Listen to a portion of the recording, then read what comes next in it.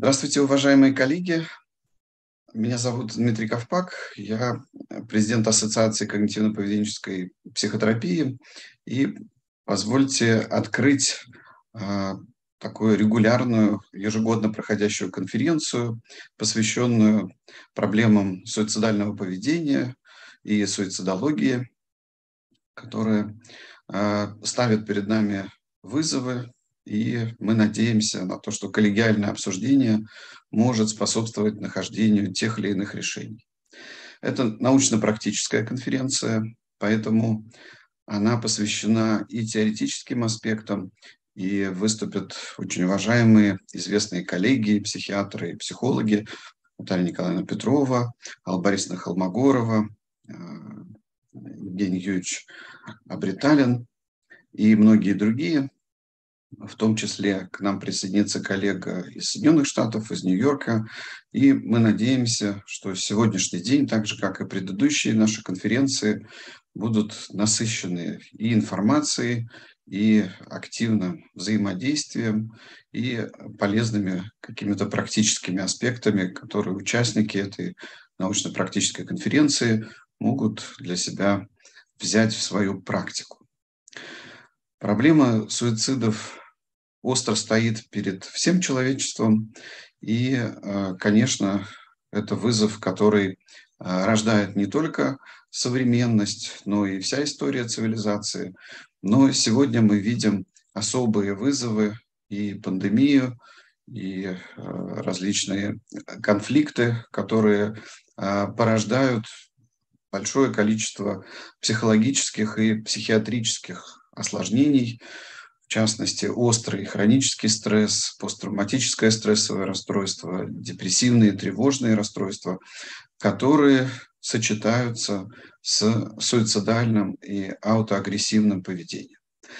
Поскольку и гетеро, и аутоагрессия тесно связаны, то нашей задачей как специалистов помогающих профессий является помощь людям и в состоянии острого стресса, и э, в помощи справляться им с его последствиями. Поэтому все эти аспекты тесно переплетены между собой, и я думаю, многие участники сегодняшней конференции и в своей практике, и э, на учебе сталкивались с этими аспектами. Я думаю, в этом взаимодействии активном и с помощью наших уважаемых лекторов, и с помощью всех участников конференции будет такой важный взаимообмен опытом, мнениями и э, теми практическими элементами, которые э, каждый из нас накапливает в течение своей практики. Есть э, много решений в этой области, поэтому мы постараемся не только констатировать факт этой проблемы, не только методологически ее разбирать, не только описывать статистику или этиопатогенез, ну и, конечно, обсуждать, как мы можем помочь пациентам с суицидальным и агрессивным поведением и психофармакологические, и психотерапевтические, и через различные социальные аспекты, которые сегодня активно вовлекаются в такую уже комплексную терапию различных нозологий и в первую очередь суицидального поведения, где мы видим а, важность биопсихосоциальной модели, предложенной Энгелем еще в 1977 году, где и биологические, и психологические, и социальные факторы очень тесно взаимодействуют, и их взаимовлияние требует, конечно, учета и в планировании терапии, и в ее осуществлении, и э, в методиках, технологиях превенции, профилактики и первичной, и вторичной, и третичной профилактики суицидального поведения. Я вижу, что к нам уже присоединились наши уважаемые коллеги, и позвольте мне представить Наталью Николаевну Петрову. А, Здравствуйте. А, Наталья Николаевна очень уважаемый, известный специалист, заведующая кафедрой психиатрии и наркологии Санкт-Петербургского государственного университета, доктор медицинских наук, профессор, а, психиатр высшей категории. И она возглавляет Санкт-Петербургское а, психиатрическое общество Бехтеревское и член правления Российского общества психиатра и член исполкома РОП. А, Ее доклад «Антидепрессивная терапия при депрессии и риски возникновения суицидальных идей» откроет нашу конференцию. И я с удовольствием передаю слово Наталье Николаевне. Э, благодарю э, организаторов конференции за приглашение к участию. Для меня это большая честь. Я уже неоднократно принимала участие в этой конференции, считаю ее чрезвычайно актуальной. И э, благодарю за такое представление. Эм, да, мое сегодняшнее выступление будет посвящено вопросам депрессии, суицидов и антидепрессивной терапии, ее роли.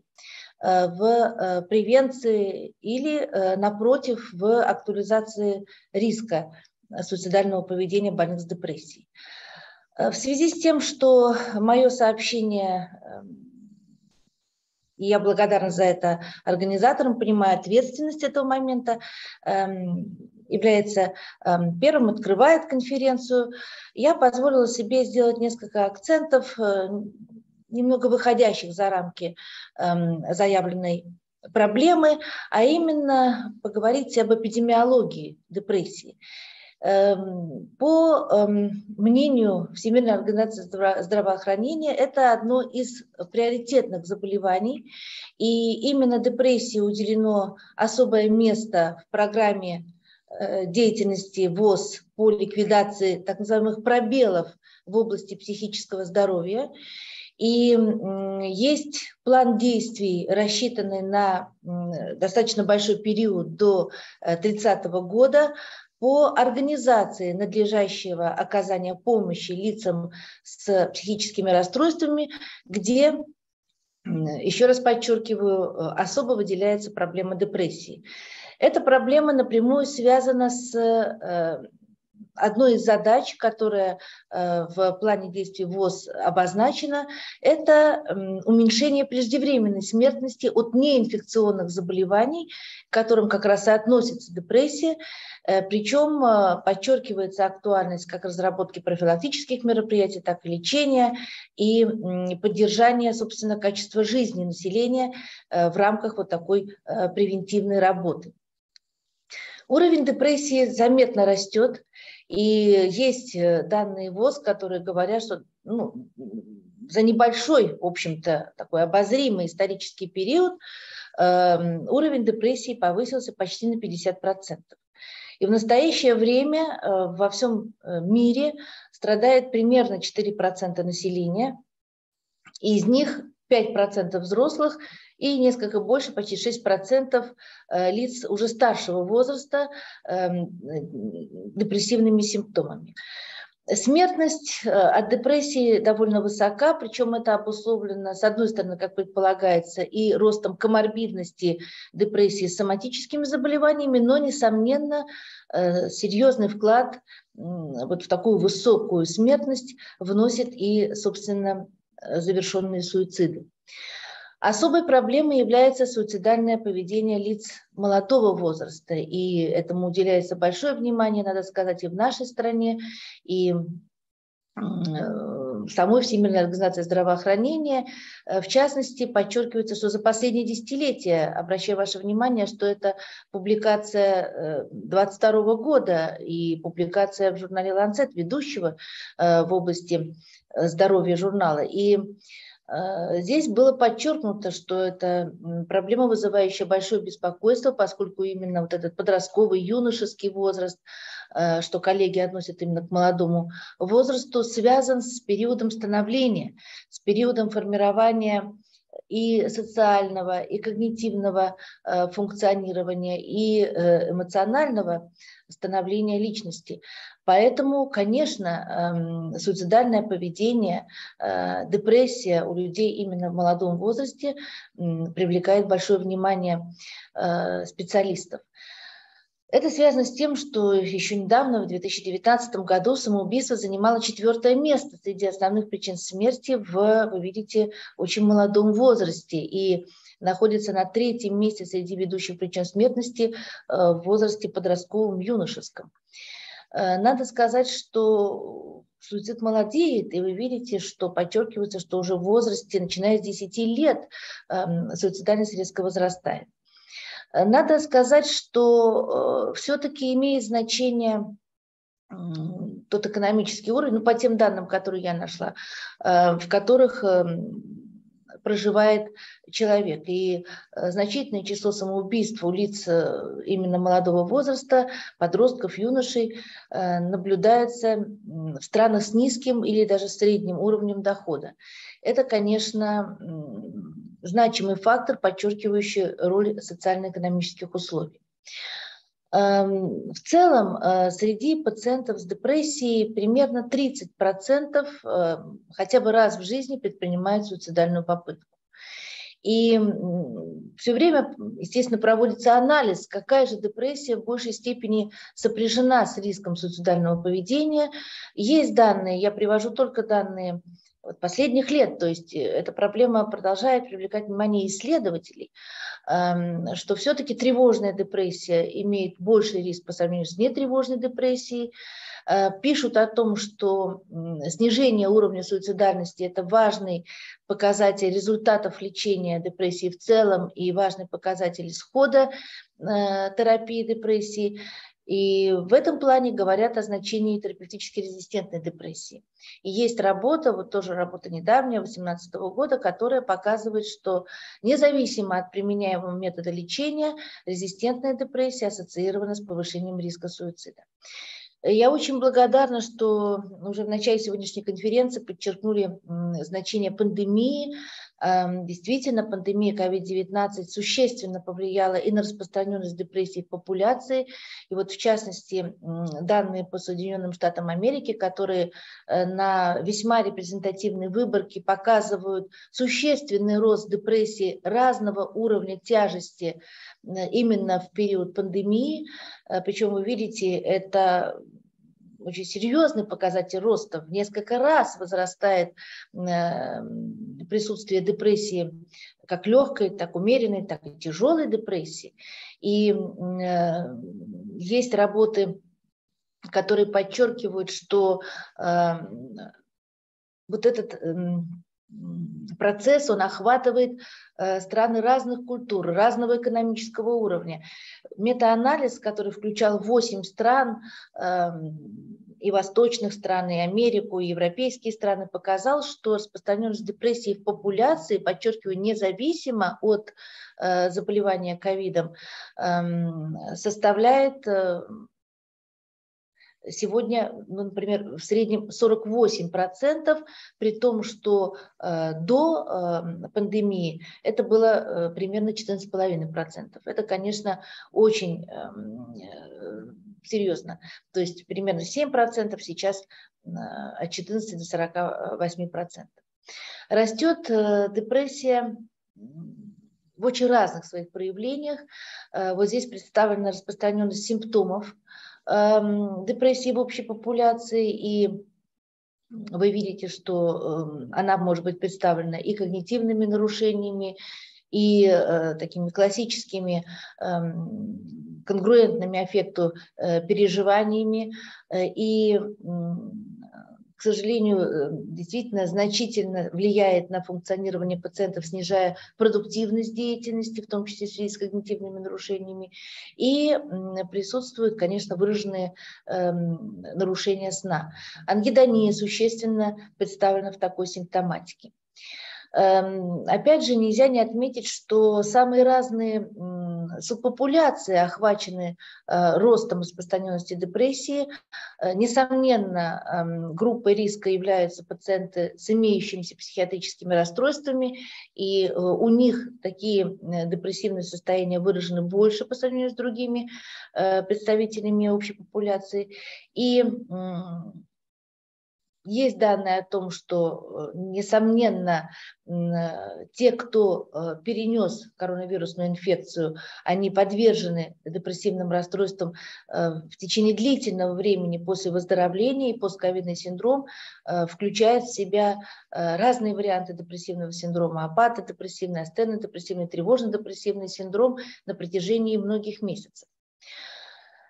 Когда говорят о пандемии и риске э, суицида, публикации очень разные. Есть, которые отмечают, что уже наблюдается рост суицидальной активности, особенно в странах с низким социально-экономическим уровнем.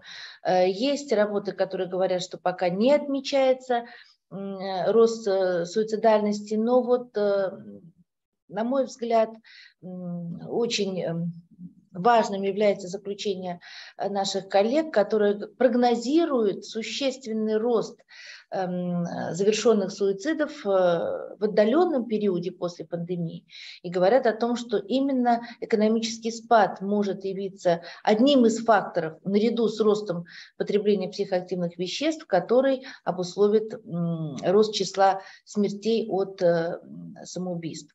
Подчеркивается, что действительно э, люди молодого возраста и представители эм, меньшинств могут э, явиться такими группами риска в плане роста суицидальности. Если говорить о эм, депрессии уже при, применительно к психиатрическим диагнозам, э, поскольку до сегодняшнего момента я обсуждала депрессию в широком понимании этого слова, без конкретной психиатрической диагностики, э, так как это представлено в литературе, то вот, например, биполярная депрессия вообще рассматривается как э, фактор, связанный с повышением риска эм, суицидального поведения и частота суицидов у людей с биполярной депрессией в 20 раз выше, чем в общей популяции. Э, высокий процент этих пациентов, до 20%, совершают законченный суицид. И до 50% больных именно с биполярной депрессией э, совершают как минимум одну суицидальную попытку. Эм, подчеркну, что э, биполярное расстройство первого и второго подтипов, которые будут выделяться уже официально в МКБ-11, ну, практически не различаются по частоте суицидов в течение жизни, но эм, вот при биполярном расстройстве первого типа э, все-таки несколько выше показатель э, распространенности суицидального поведения. Э, идет поиск прогностических факторов, связанных с суицидом при биполярной депрессии. И, конечно, с точки зрения полярности, несомненно, э, вот именно, э, естественно, доминанта депрессивных эпизодов в течение биполярного аффективного расстройства ассоциирована с повышенным риском суицида. Э, и э, есть еще дополнительные признаки, характеризующие особенности течения, например, раннее начало, наличие сопутствующей коморбидности от психоактивных веществ и э, наследственная отягощенность биполярным расстройством. Это все рассматривается как прогностически неблагоприятные факторы с точки зрения суицидального риска.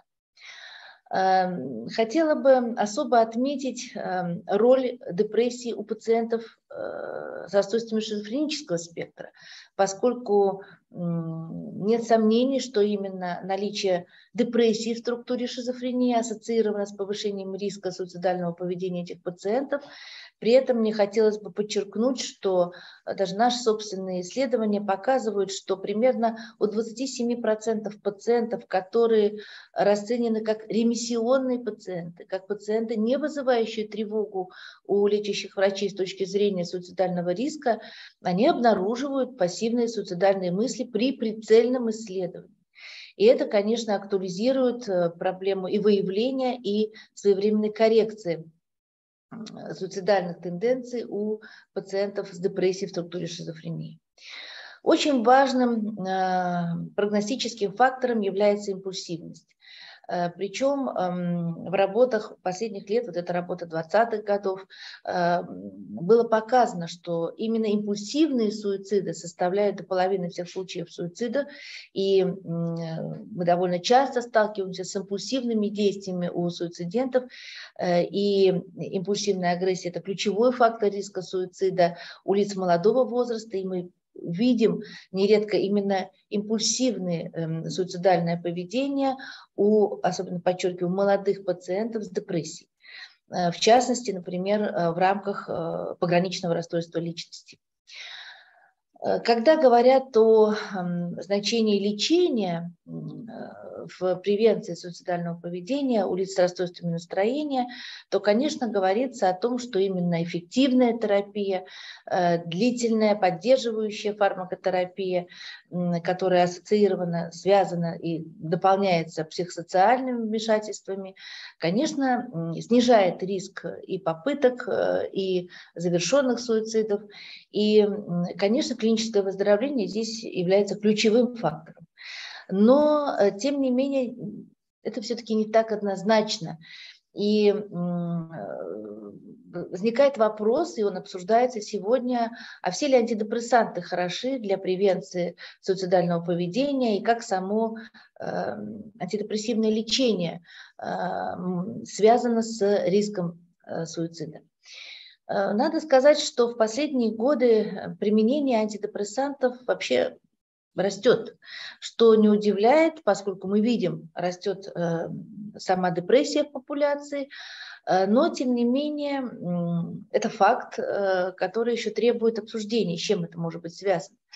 Действительно, например, в Германии применение антидепрессантов выросло на 46%, в Испании на 20%, в Соединенных Штатах больше 60% эм, больных депрессией лечатся антидепрессантами очень длительно, то есть больше двух лет. Можно предположить, что это многолетний процесс. И вот здесь э, приводится э, сравнительный анализ распространенности применения антидепрессантов э, на тысячу эм, населения э, в разных странах. Вы видите, что Соединенные Штаты лидируют. На последнем месте в этом списке находится Корея. Э, ну, в качестве примера можно отметить Финляндию, где такая частота составляет 70 случаев на тысячу населения. Конечно, показатели впечатляющие. Наши отечественные данные, это публикация 2021 года, э, в общем-то говорит о том, что мы не сильно отличаемся от э, таких общемировых показателей. Э, в частности, например, в российских службах 19% эм, пациентов с психическими расстройствами, с разными расстройствами применяют антидепрессанты, причем это больше половины амбулаторных пациентов. И, в общем, очень схожие данные приведены по Москве. 15% стационарных и 52% амбулаторных психиатрических пациентов получают антидепрессанты, независимо от э, диагноза психического расстройства. Конечно, там э, включены и пациенты с депрессией. То есть это, в общем, более-менее соответствует э, мировой практике. То есть распространенность антидепрессантов в практике велика.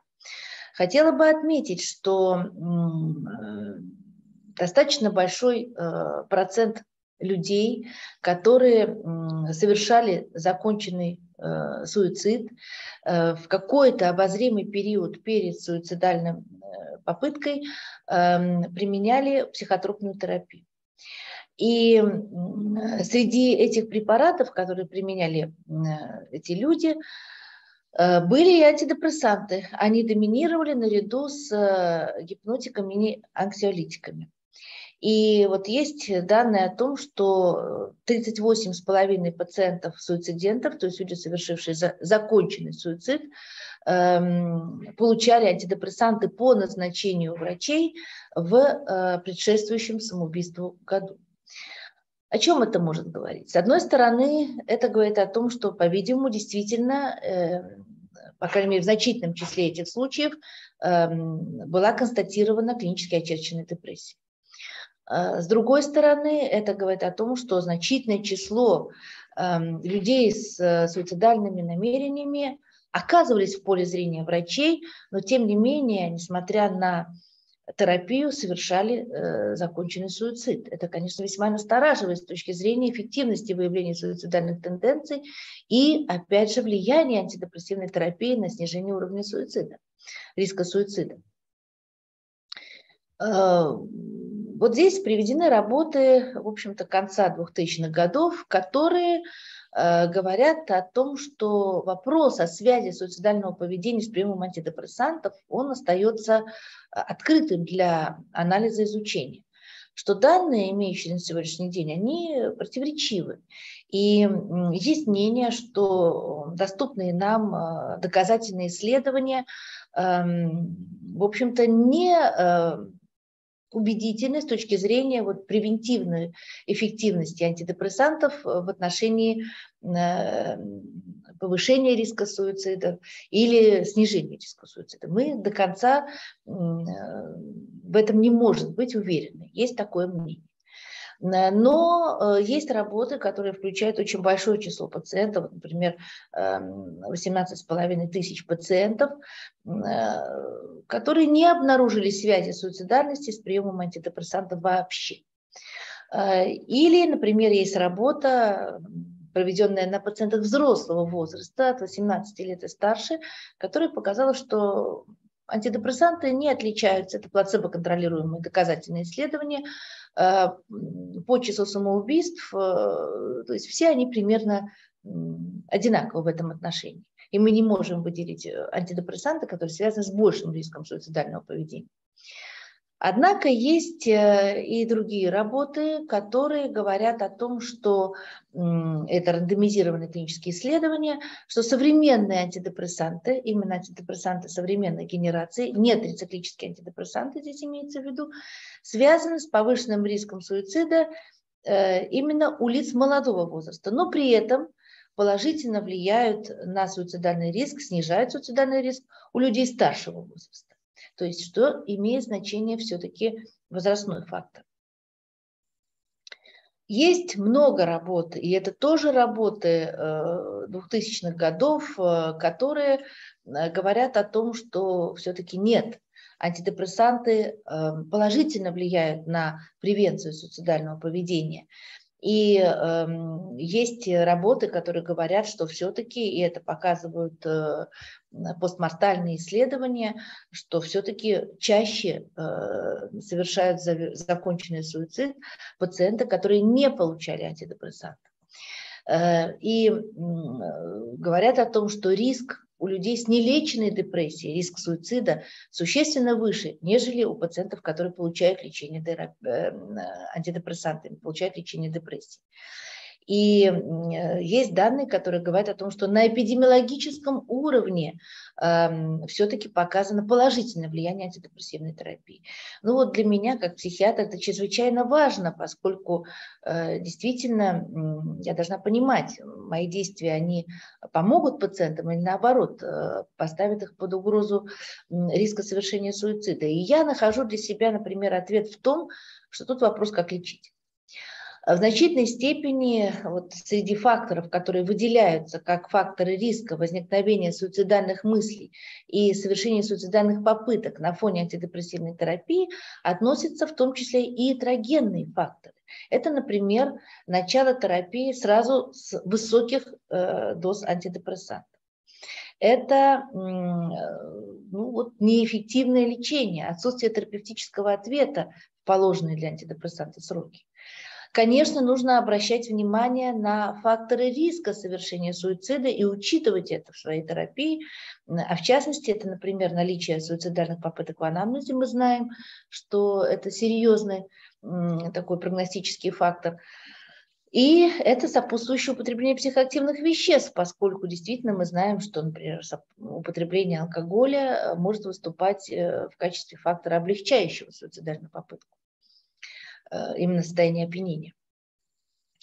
Кроме того, э, говорят о том, что э, в качестве факторов, повышающих эм, уровень суицидальности, уже после назначения антидепрессивной терапии может быть, в общем-то, плохая диагностика. Это опять, я считаю, роль этрогенного фактора, а именно то, что врач не смог выявить Эм, скрываемые пациентом суицидальные намерения, которые имели место еще до лечения, недооценил суицидальный риск у пациента, это гиподиагностика биполярной депрессии.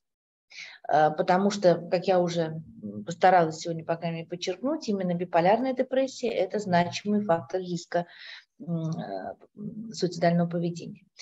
Э, кроме того, конечно, нельзя исключать что суицидальные мысли могут возникнуть уже после начала антидепрессивной терапии.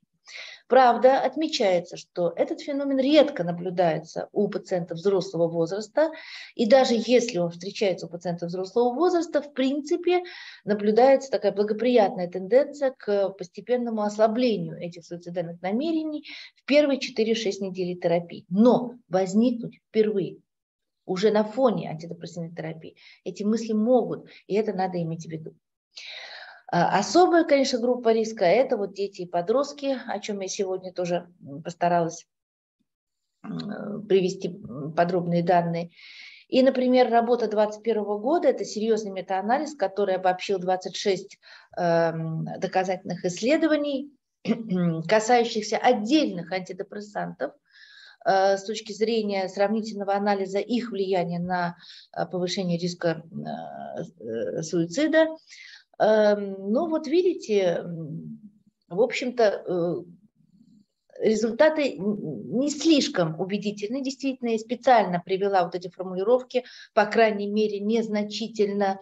Но, тем не менее, есть определенные ориентиры, что э, есть некоторые антидепрессанты современной генерации, здесь анализируются именно антидепрессанты современной генерации, э, которые говорят, что все-таки вот э, эти антидепрессанты не сильно повышают риск по сравнению с плацебо, э, но эм, вот э, в отношении верлофоксина результаты более настораживающие.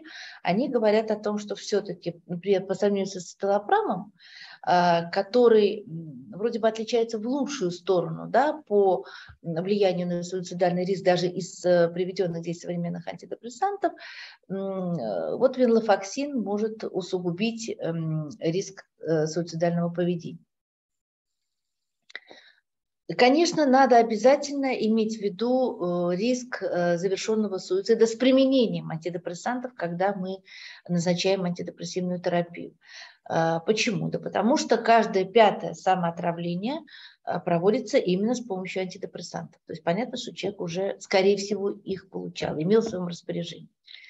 И антидепрессанты применяются в 20% случаев завершенных суицидов путем самоотравления. И э, даже больше, до 30% случаев незавершенных суицидов. Это вот данные по Великобритании. И особенно повышается риск, когда э, применяется для самоотравления не один препарат, а разные, несколько препаратов. И э, это повышает риск вообще завершенного суицида. И довольно часто тоже применяется. Что э, тоже нужно учитывать врачу, который обязан контролировать, сколько же антидепрессантов находится в распоряжении пациента и в каком количестве. И вот эта работа наших отечественных коллег, э, которые анализировали архивные материалы, 348 э, э, случаев были включены в анализ пациентов, которые совершили суицидальную попытку, было показано, что при попытке самоотравления у наших пациентов преобладала амитриптирин. Это, конечно, очень настораживающий, с моей точки зрения, показатель. Современные антидепрессанты также применяются, эм, э, к сожалению, э, для э, самоотравления, причем даже завершенных суицидальных попыток. И вот в частности очень активно анализируется значение селективных ингибиторов обратного захвата серотонина. И данные тоже очень противоречивые. Есть те, которые говорят, что нет, э, риск суицида не повышается у взрослых пациентов, получающих э, антидепрессанты этой группы, подчеркиваю, у взрослых. Но есть результаты, которые говорят, что, например, риск суицида удваивается при применении СИОЗС. То есть очень и очень такие повторяю, неоднозначные данные, которые заставляют внимательно к этому относиться. Поэтому хочу обратить ваше внимание на серьезные свидетельства разного риска фатальной токсичности антидепрессантов. И это вот очень, я считаю, должен быть важный ориентир при выборе антидепрессанта для ведения пациента с суицидальным риском. А, здесь я привожу данные коллег из Великобритании Соединенных Штатов. В значительной степени они пересекаются Э, еще раз подчеркиваю, речь идет именно о показателе фатальной токсичности. Что это такое? Это число завершенных суицидов к числу незавершенных суицидальных попыток при самоотравлении антидепрессантами. И точкой отчета является как раз амитриптилин, поскольку у него самый высокий показатель вот этой фатальной токсичности. Почему я обратила ваше внимание на вот такие отечественные данные по э, самоотравлению с помощью циклического антидепрессанта. Вы видите, верлофаксин также выделяется, наряду с этим мертазапин, бупропион. Из группы селективных ингибиторов обратного захвата серотонина наибольший риск отмечается у циталопрама, как по данным Великобритании, так и Соединенных Штатов Америки. То есть все-таки антидепрессанты различаются по риску и э, завершенного суицида и по риску суицидального поведения. Очень много хороших работ посвящено флувоксамину.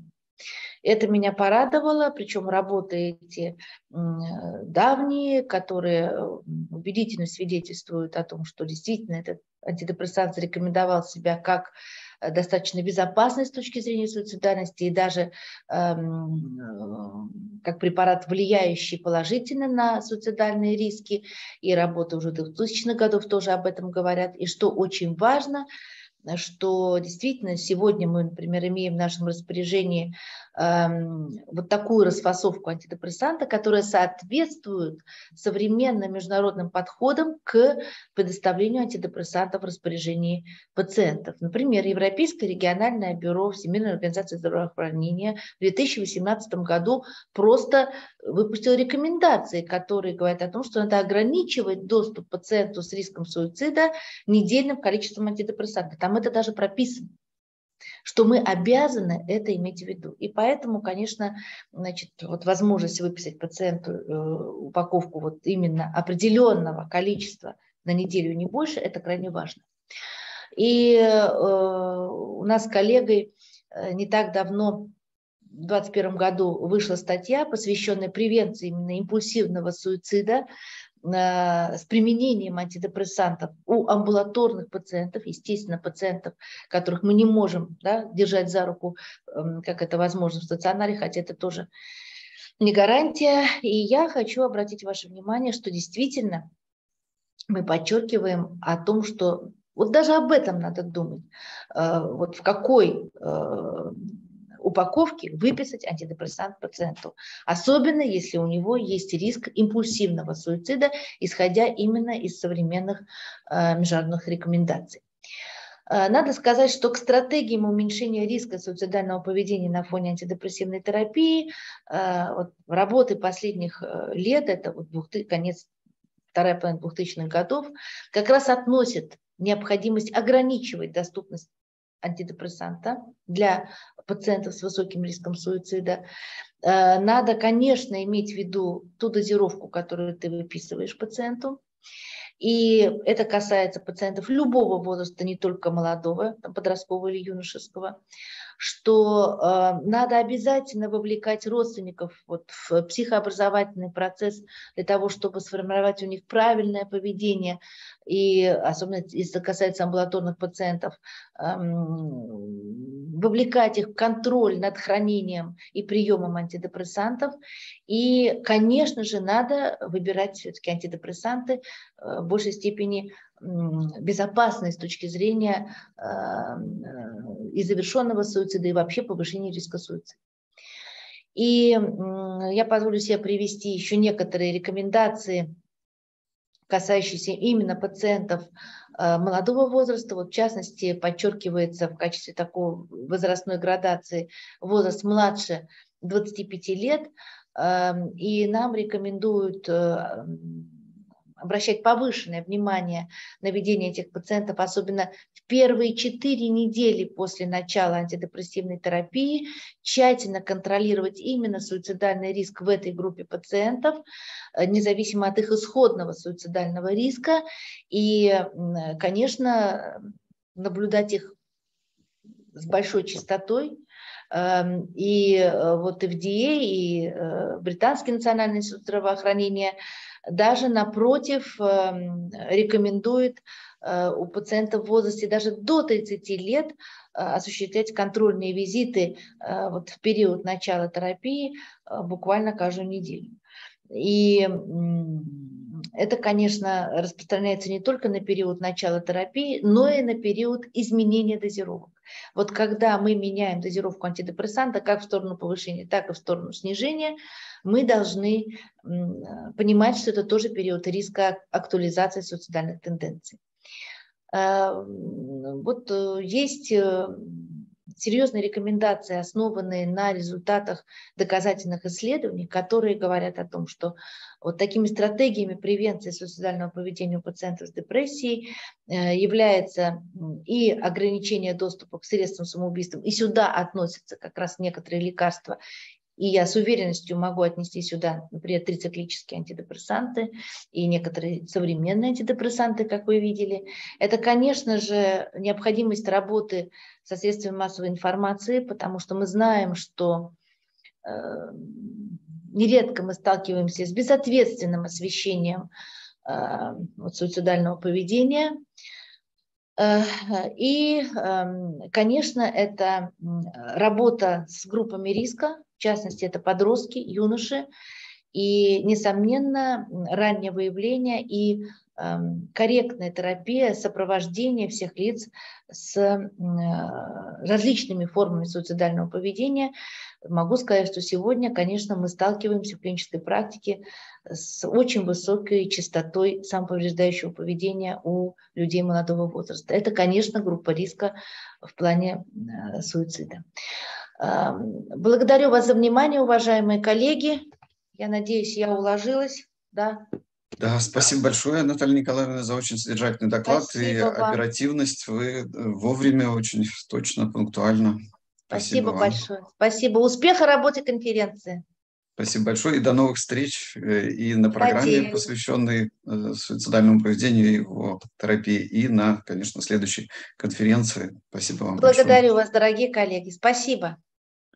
Спасибо.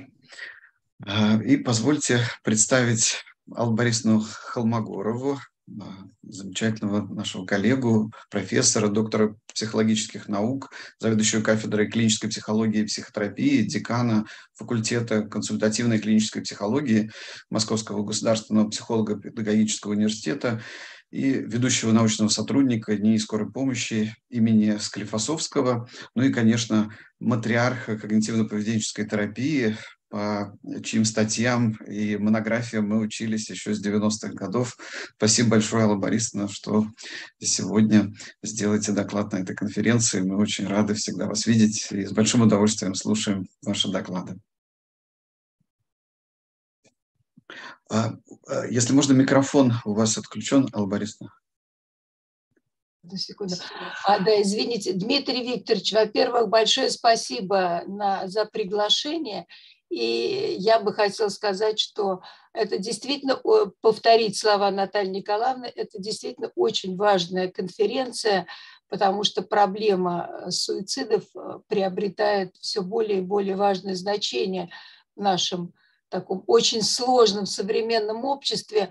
А, с огромным удовольствием слушала э, сегодня доклад, ну, как всегда, Наталья Николаевна. Это очень интересные а, и очень важные, как всегда, она факты сообщает.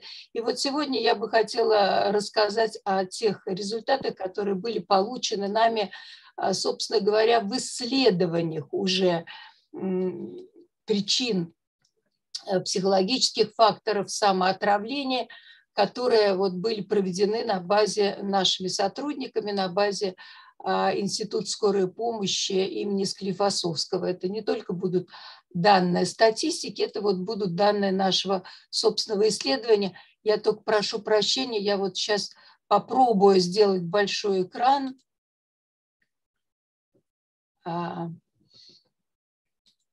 Сейчас, одну секунду, мне придется еще раз, извините, вот так. Все в порядке, конечно. Да-да-да, сейчас я... А, так, сейчас хорошо экран виден. Да, сейчас отлично. отлично. Спасибо большое. Итак, самоотравление с целью суицида и их связь, э, вот способов самоотравления с личностными характеристиками. А, сейчас будем листать. Я хочу начать, вот, э, поскольку мы э, сотрудники не только вот Московского психолого-педагогического университета с моими коллегами Ольгой Дмитриевной Пуговкиной и Марией Игоревной Субботич – с которыми вот вместе было проведено это исследование, но и мы э, также вот сотрудники отделения острых отравлений и соматопсихиатрии НИИ э, скорой помощи имени Склифосовского, нам, в общем, э, пришлось, так сказать, довольно серьезно проникнуть в такие тесные внутренние связи токсикологии и психиатрии. И вот буквально недавно, там, в прошлом месяце, прошли юбилейные лужниковские чтения. Евгений Алексеевич Лужников ну, это один из таких, в общем создателей отечественной токсикологии, много лет возглавлявший этот отдел а, в НИИ скорой помощи имени Склифосовского. И э, он был очень дружен, вот его звали Евгений Алексеевич, вот два Евгения, он был очень дружен с Евгением Александровичем Чуркиным, а, братом, кстати, Александра Александровича Чуркина, которого, наверное, многие знают, вот кто там моего возраста и чуть, может быть, моложе, ну и, конечно, старше, который был долгое время главным психиатром а, при Минздраве а, еще вот в СССР и в 90-е годы. И а, Евгений Александрович Чуркин был одним из тех, кто начал исследовать связь, э, так сказать, психической патологии и э, самоотравления, да, то есть э, суицидального поведения в результате самоотравления, ну и также психическое состояние пациентов а, переживших различные самоотравления. А, в 90-х годах появилась вот такая книга Трегубова и Вагина «Эстетика самоубийства». И я знаю от, а, из рассказов своих коллег из отделения острых отравлений и соматопсихиатрии, что вот Лужников Евгений Алексеевич – он интересовался да, вот этими исследованиями, которые показывают, что способы, характер и тяжесть самоповреждения и способов суицида различаются в зависимости от тяжести психического состояния, от нозологии и от мотивов. И вот, э, как Наталья Николаевна говорила, очень высок риск при таких диагнозах, как шизофрения, бар, рекуррентное депрессивное расстройство. И что важно, сами самоповреждения носят, как правило, более тяжелый характер э, и э, значительно повышают риск летального исхода. Ну и вот э, самоотравление относится к менее жестоким и опасным способам самоповреждения. Ну, конечно, если вот исключить там отравление самоприжигающими жидкостями – и свойственно лицам с расстройствами личности и с аффективными расстройствами. И нередко могут, э, так сказать, вести к неоднократным попыткам. Но, как мы знаем, каждая суицидальная попытка увеличивает риск и опасность летального исхода, каждая новая. Поэтому очень внимательно нужно относиться, конечно, к этим пациентам тоже. Ну, мы вам здесь хотим привести также некоторую статистику суицидов и именно самоотравления как способов суицидальных действий. А, Наталья Николаевна уже говорила о том, что самоотравление а, лекарственными средствами, в том числе антидепрессантами, одна из главных причин, а, главных способов суицидов – а, но вот на психотропные препараты из всех 30% самоотравления приходится 14% и 10 на гипотензивные и, антиаритмич, и, и антиаритмические препараты, которые вот в том числе нас э, интересовали в нашем исследовании. И вы видите, что мы здесь ну, показали еще раз, да, статистика, мы опять, в общем, переместились на одно из первых мест в мире. и это тем более по статистике суицидов, и это тем более делает вот такого рода конференции, как сегодняшняя, очень и очень актуальными. А, ну, понятно, что нужно уже вот буквально, когда эти пациенты с попытками суицидальными поступают в отделение токсикологии, а, быть очень внимательными, потому что от 20 до 60 процентов суицидентов предпринимают повторные попытки с интервалом до трех лет, и каждая попытка повышает риск летального исхода. Итак, а, вернусь сейчас вот к токсикологической реанимации, которую мы э, с коллегами а, психологами, которые сейчас вот являются научными сотрудниками этого, этих, э, этого отделения НИИ Склифосовского, а, надо рассматривать как первый этап в процессе оказания помощи профилактики повторных суицидов. Дорогие коллеги, что бы мне здесь хотелось сказать? Да, вот а, большой проблемой, как я поняла на лужниковских чтениях, где присутствовали токсикологи ну, со всех, из всех регионов России, является вот эта необходимость тесной работы психиатров и токсикологов, а также психотерапевтов и э, психологов, потому что до настоящего времени э, в токсикологических отделениях все-таки от, отмечается нехватка такого рода псих, э, специалистов, да, психиатров, а, психотерапевтов, психологов, поэтому нередко вот этой первой именно психологической, психиатрической помощи не оказывается, да, проходит э, детоксикация, проводится, пациенты спас, э, ну, спасается их жизни, но столь важное на этом этапе мероприятие по оказанию первичной психологической помощи и уже некоторого направления этих пациентов а, за дальнейшей помощью, да, то есть на следующей стадии реабилитации профилактики суицидального поведения – Этому, наверное, уделяется пока недостаточное внимание. И вот мы с коллегами видим э, в этом одна, одну из основных наших, наших задач. я бы хотела тоже вот э, всех, так сказать, коллег, которые сегодня слушают нас и присутствуют на этой конференции, обратить вот на это внимание. Потому что да, пациенты, которые оказываются в результате острых самоотравлений, находится в трудной жизненной ситуации. И субъективно, как мы знаем, э, многим она кажется неразрешимой. Доминирует чувство безнадежности.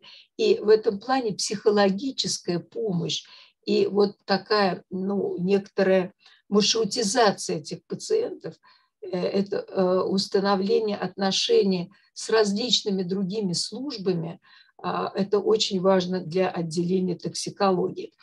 А, хочу напомнить вам одну, может быть, из самых а, таких целостных и всеохватывающих моделей суицидального поведения а, Рони У'Коннора, одного из ведущих суицидологов нашего времени. Это так называемая трехфазная модель. И вы видите, что на этой картинке, что он выделяет действительно три фазы. Первая – это премотивационная фаза, и там а, имеют место в первую очередь уязвимость да, или диатез к суициду. Это определенные личностные характеристики и, конечно, такие триггеры, как а, травмирующие события, особенности окружения. На мотивационной фазе, да, когда диатез сработал, тоже существуют свои медиаторы, о которых мы сегодня поговорим, в том числе докладывая данные своего исследования. И эти медиаторы, их действия в конце концов приводят вот к той самой волевой фазе активных действий, где импульсивность, низкая чувствительность к боли, прошлый опыт суицидальных а, попыток могут играть решающую роль для завершенной попытки суицида, о чем, собственно, вот тоже говорила Наталья Николаевна. А, мы вот э, на прошлой нашей конференции полностью ее посвятили э, нашему рассказу о руминациях и адаптации опросника, ну, который диагностирует уровень руминативного мышления, и считаем, что это очень важное, так сказать, такой фактор риска да, или модератор, модератор суицида.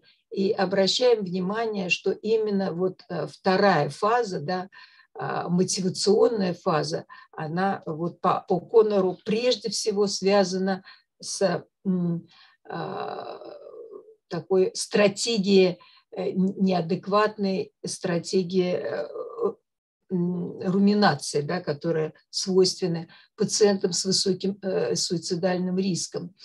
А, да, или вот э, руминативное мышление называют еще мыслительной жвачкой.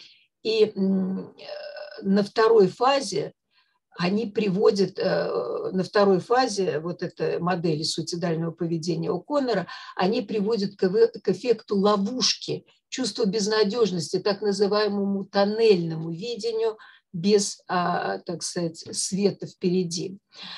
А, также сама предиспозиция или диатез к суициду, да, это первая стадия в модели Аконера, это дезадаптивный стиль мышления, потому что руминация – это склонность да, к умственной жвачке, это, собственно говоря, и диатез, и предиспозиция, потому что это некоторая устойчивая стратегия пациентов из группы риска застревание на повторяющихся неприятных мыслях, воспоминаниях на тему прошлых неудач, э, которые, так сказать, могли бы не произойти, а, на тему там, потерь, ошибок и так далее, и так далее. Да, такой вот очень высокий уровень самокритицизма и негативного селектирования. Также а, по многочисленным исследованиям к предиспозиции или диатезу относится высокий уровень алекситимии или низкий эмоциональный интеллект. Это трудности, собственно, осознания своих чувств и э, их переработки. Также трудности обращения за помощью, потому что именно понимание своих эмоциональных состояний, возможность вербализовать, выразить их, она, в общем-то, а, является необходимой предпосылкой для обращения за помощью. А сейчас было очень масштабное исследование Смуллера, дорогие коллеги, а, нидерландского исследователя, который провел такой, знаете, а, метаанализ, сложив очень много разных исследований и выявляя главный фактор протектор депрессии и суицида – и оказалось, что таким с намного, а, с большим отрывом, а, таким фактором с большим отрывом, следующим за, от всех остальных, является способность обратиться за помощью, способность заявить о своих проблемах и а, рассказать о них. Да? И вот поэтому мы сейчас очень должны большое внимание уделять развитию эмоционального интеллекта и вот этому фактору риска, такому фактору э, риска, как алекситимия. Также э, к диатезу, по данным многочисленных современных исследований, относится перфекционизм, или фиксация на достижениях, на совершенстве, страх не соответствовать ожиданиям, тоже прежде всего социально предписанный перфекционизм. То есть это постоянное ощущение а, очень высоких ожиданий от себя, да, что в современном мире, к сожалению, да, таком нарциссическим очень, а, в общем-то, и обоснованно бывает нередко, и очень большой страх не соответствовать этим ожиданиям.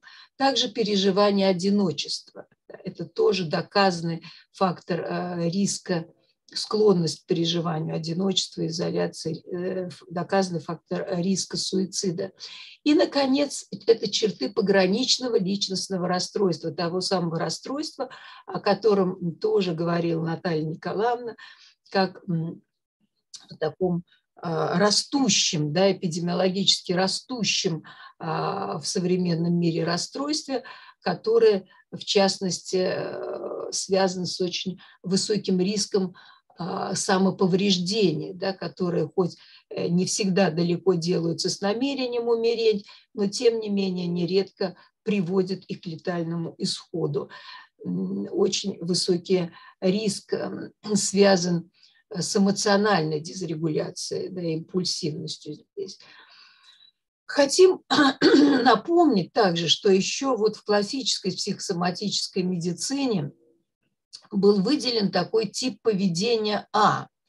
а да, это связанный а, с такой сверхответственностью, ригидностью определенной, трудоголизмом, постоянным чувством нехватки времени, стремлением к достижению, но вообще в современных терминах это те же перфекционисты.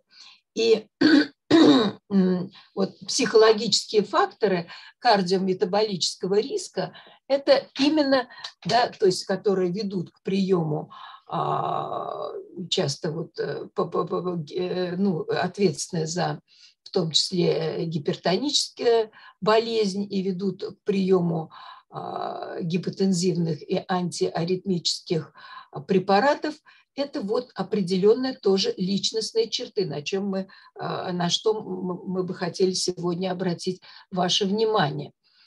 И также, как вот сегодня о возможных рисках а, суицида, связанного с приемом трициклических антидепрессантов, говорила передо мной Наталья Николаевна, также есть данные что риск депрессии также могут повышать прием бета-адреноблокаторов, особенно в комплексе с препаратами, снижающими уровень холестерина. И такие исследования, в общем, носят несколько противоречивый характер, ну, так же, как и в случае антидепрессантов. Есть данные за это, есть и данные против, но, в общем, а, мы считаем, что а, современные данные все равно а, э, предрасполагают к тому, чтобы кардиологов, в общем, предупреждать тоже об опасности вот этих препаратов, возможной опасности этих препаратов, и чтобы они были внимательнее так же, как и ну, психиатры, назначающие антидепрессанты, в плане наблюдения за этими пациентами. А, не буду сейчас повторять э, данные, которые великолепно рассказала Наталья Николаевна по поводу времени депрессии. Хочу только обратить внимание еще раз, да, вслед за ней, а, о рисках, а, связанных с назначением трициклических антидепрессантов, особенно вот в молодом возрасте. И э, также особенно важно было бы отметить, что среди психотерапевтических методов именно когнитивно-бихевиоральная терапия была определена как эффективное лечение, особенно а, в сочетании а, с лечением антидепрессантами. Но тут очень важно отметить, дорогие коллеги, что а, есть данные о том, что для лечения депрессии легкой степени антидепрессанты вряд ли будут эффективнее, чем плацебо.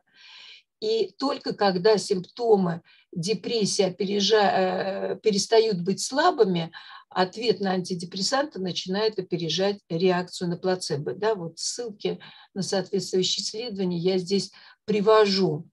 И поэтому, а, ну, например, Американская психиатрическая ассоциация считает использование антидепрессантов для пациентов с легкой депрессией over-treatment, да, называют, то есть э, чрезмерное лечение, и а, рекомендует начальный выбор для, в качестве начального выбора лечения для этих пациентов когнитивно-бихевиоральную терапию, что для нас, в общем, а, очень важно, да, как для представителей именно этого подхода.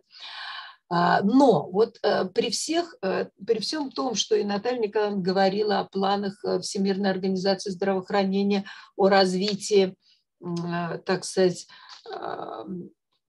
ну, новых методов помощи, доступности психотерапии. Нас очень пугает новый тренд, переход к цифровой психотерапии и э, широкое распространение этой помощи. Я бы вот хотела сказать, что на следующей неделе у нас будет конгресс, посвященный Лурии Выгодскому, где мы как раз будем говорить о последних данных а, связанных с цифровой психотерапией, которые вовсе не так однозначны, как это может показаться по некоторым отчетам. Но это большая экономия, и поэтому вот есть определенное опасение, что будет э, распространена, у меня э, будет получит широкое распространение.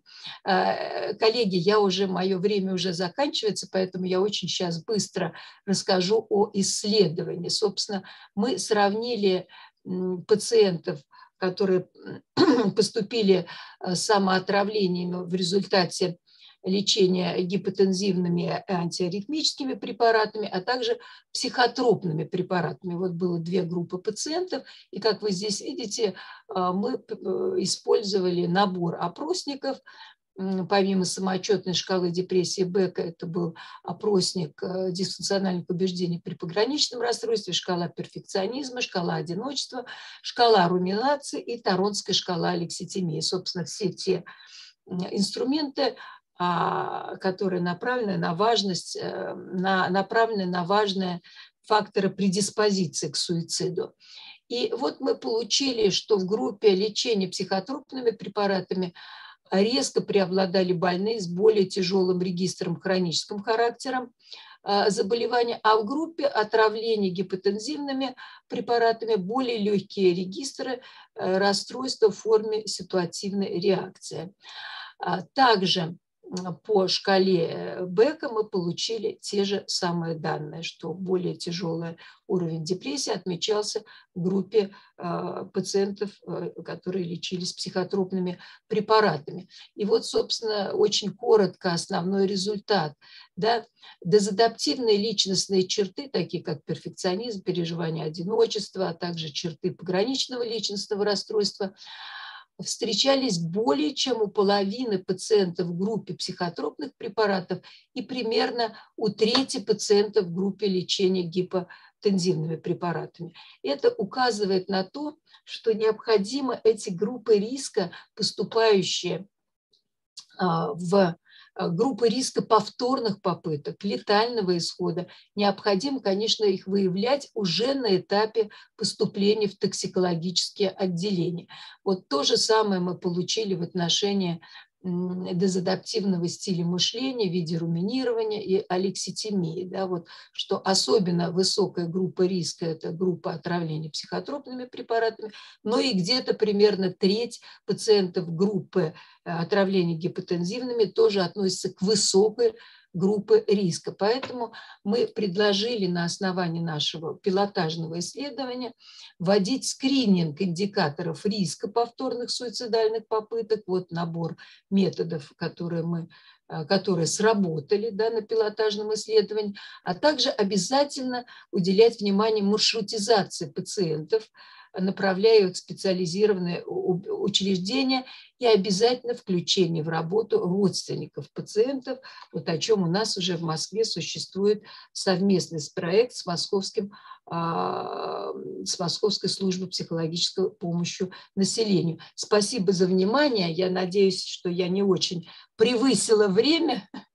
А, напротив, Алла Борисовна, идеально. Вы э, даже минуту а, одну еще имеете в запасе. Но, но я думаю, что мы можем посвятить э, не только эту минуту, но и большее количество времени ответом на вопросы. Несколько вопросов в чате. В первую очередь большая благодарность. Ну, конечно, и от меня лично, и от участников нашей конференции. Они в чате пишут очень много слов признательности, благодарности за такой насыщенный, емкий и очень содержательный доклад. И э, возник вопрос сразу у нескольких участников по поводу упомянутой вами цифровой э, психотерапии, и некоторые даже спрашивают, являетесь ли вы ее Э, противником. Адептом. И или, если, против... или адептом, да. И, и если да, в ту или в другую сторону, то такие аргументы за и против, которые вы уже отчасти упомянули. А вы знаете, э, Дмитрий Викторович, дорогие коллеги, вот как раз будет большой доклад на эту тему. У нас на следующей неделе будет конгресс, международный конгресс, посвященный а, Выгодскому Илурию, и будет отдельное даже у нас. Он вообще по цифровизации и э, мы сделали там как раз э, связанные вот э, с психологической помощью цифровой. Меня нельзя назвать таким категоричным противником, но ни в коем случае не адептом. Я считаю, что современное распространение цифровизации психологической помощи, психотерапевтической помощи очень тесно связано с конъюнктурой, и современные исследования показывают, что а, там, где мы человеческий компонент убираем вообще, да, а, то э, эффективность такого рода помощи, она очень низкая. А кроме того, исследования доказательные, многие проведены некорректно. И это я тоже, мы вот с моими коллегами а, въедливые, э, так сказать, изучая качество исследований доказательных, мы тоже постарались вот эм, это обнаружить, и мы, конечно, подготовим тоже публикацию на эту тему, потому что это может быть сейчас одна из самых горячих тем, да, вот э, согласны? Э, Абсолютно. Особенно вот начиная с пандемии, когда была необходимость такая в дистанционных формах, но, но такой тренд сохраняется и даже развивается, и, конечно, Вы знаете, Дмитрий Викторович, вот дистанционная форма это все равно живое общение. Да? Я вот да, да, да. говорю прежде всего о цифровых, э, цифровой психотерапии. Там, Чат-боты, живое, искусственный да, интеллект. Вот, вот, вот это вот нам нужно к этому отнестись очень-очень настороженно. И хотя есть какие-то кажущиеся уже прям там непровержимые данные, что это все очень хорошо работает, нет, коллеги, не верьте, давайте будем здесь очень большими скептиками. Да, попытка убрать психологов, заменив их э, различными устройствами, программами, да, пока явно э, преувеличена по своей эффективности, чем э, в реальности. Но э, мы приглашаем тогда от вашего лица, Алла Борисовна, а, всех участников и нашей конференции на эту замечательную конференцию, посвященную таким нашим великим соотечественникам Люсу Миловичу Выгодскому, Александру Романовичу Лурии, и их живой ум и, и как раз такое душевное взаимодействие с людьми, зажигая сердца, это пример того, что, конечно, машина э, на нашем поприще еще не скоро заменит реального живого человека. И, и такие встречи, посвященные памяти этих великих ученых, и, и живое общение, такая коллаборация на них, это очень важное дело. И спасибо большое, Алла Борисовна, что рассказали, и, что у вас будет такой прекрасный доклад по очень-очень актуальной теме, потому что это животрепещущий вопрос. У, у многих уже такие опасения Э, по вытеснению людей из разных сфер. И, мы надеемся, что наша сфера как раз будет примером, что люди по-прежнему важны, нужны, и что человеку нужен человек а не только э, такой электрический, электронный или механизированный собеседник. Но пасаран. Спасибо, спасибо большое. Доброго, спасибо вам. Большая благодарность еще раз от меня, от всех коллег в чате. Спасибо еще раз. И мы переходим к следующему докладчику Альберт э, Инзирович Муртазин, а, преподаватель нашей ассоциации когнитивно-поведенческой терапии. Здравствуйте, очень рад вас видеть. Он представит такой важный доклад «Когнитивная терапия, ориентированная на восстановление при суицидальном и самоповреждающем поведении». Анонсируя этот доклад, хотелось бы подчеркнуть, что это сегодня такое передовое слово в развитии когнитивно-поведенческой терапии, такое ноу-хау Института Бека, который развивал еще э, сам Бек и его коллега э, Пол Грант э, для того, чтобы помогать с помощью этого подхода, в том числе и про, при тяжелых таких ментальных проблемах и психических заболеваниях. И э, даже на таком актуальном фронте э, есть серьезные успехи, э, несмотря на трудности работы с такими пациентами. И мы, конечно, прекрасно понимаем трудности работы с суицидальным и самоповреждающим поведением. И вот здесь интересно будет узнать и обсудить такие возможности, которые CTR, э, новая терапия, ориентированная на восстановление, может дать специалистам, помогающих профессий, и психиатрам, и психотерапевтам, и клиническим психологам в работе с суицидальными пациентами и пациентами с самоповреждающим поведением. Поэтому вам слово, Альберт Анзерович, очень ждем вашего доклада. Дмитрий Ильич, спасибо огромное за представление, спасибо за возможность выступить на этой конференции. Эм, очень важно, на мой взгляд, эм, на очень важном событии, уже ставшем таким ежегодным, традиционным. И мне особенно эм, радостно взять эту эстафету, принять эстафету нашей такой цепочки докладов у Аллы Борисовны, у Натальи Николаевны. И очень важные аспекты были затронуты, я буду на них в том числе ссылаться. А, действительно, мой сегодняшний доклад, он больше практический. А, я сталкиваюсь в своей работе, как и многие из вас, коллеги, с пациентами да, с диагнозами депрессия, в том числе тяжелая депрессия, биполярное эффективное расстройство, пограничное расстройство личности, при которых мы наблюдаем как часть симптоматики в составе ну, других симптомов и суицидальное, и самоповреждающее поведение, и даже если вы не, не работаете с этим целенаправленно, так или иначе сталкиваясь с этим, а, мы с вами а, должны понимать, как именно с этим быть, как именно с этим работать. И а, я хочу осветить тему, анонсированную Дмитрием Викторовичем, как с этим может нам помочь терапия, направленная на восстановление.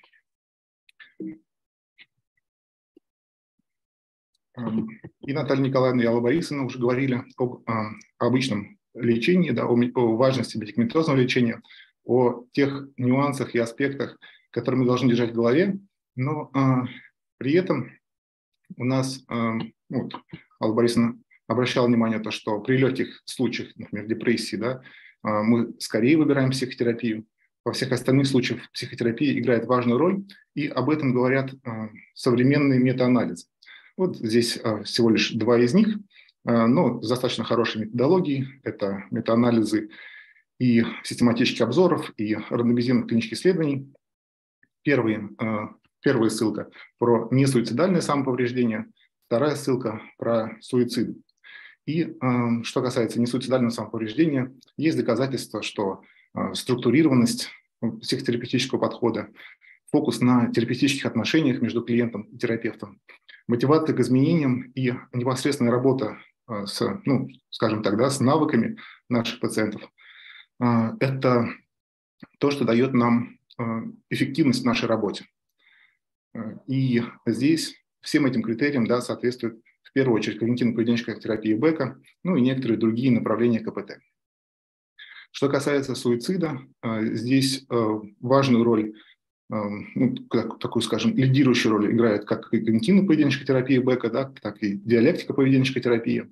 Оба этих метода показали умеренную пользу снижения суицидальных мыслей, а КПТ Бека в том числе уменьшало количество пыток самоубийства, да, что для нас является таким очень а, важным критерием.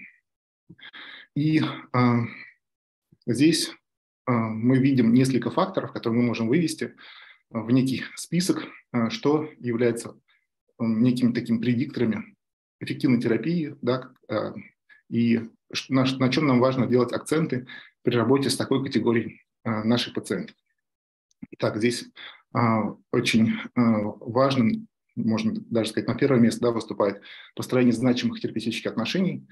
А, здесь важен срединный путь, который включает в себя пункт ниже. Это и делегирование ответственности, с одной стороны, когда мы говорим пациенту, что многое да, в твоих руках, в ваших руках, но с другой стороны, это такое поддерживающее теплое отношение, то есть наша такая терапевтическая позиция, интерес к клиенту как к человеку, и э, может быть для наших для какого-то конкретного клиента, да, вы будете единственным человеком, который проявляет к нему интерес и такое поддерживающее отношение. И эти два элемента и создают тот самый срединный путь, который позволяет выстроить хорошие, достаточно хорошие терапевтические отношения. Структурированность нашей терапии которые мы с вами можем оценить самостоятельно да, или а, с помощью э, индивидуальной групповой супервизии по, шкале, по шкалам CTRS, CTS Revised и другим шкалам.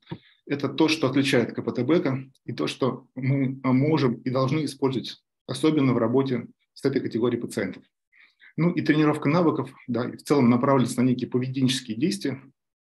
Это то, что мы также должны держать в голове для того, чтобы наша терапия с этими пациентами была максимально эффективной. И говоря о навыках, да, мы видели в предыдущем исследовании акцент, отсылку к диалектике поведенческой терапии.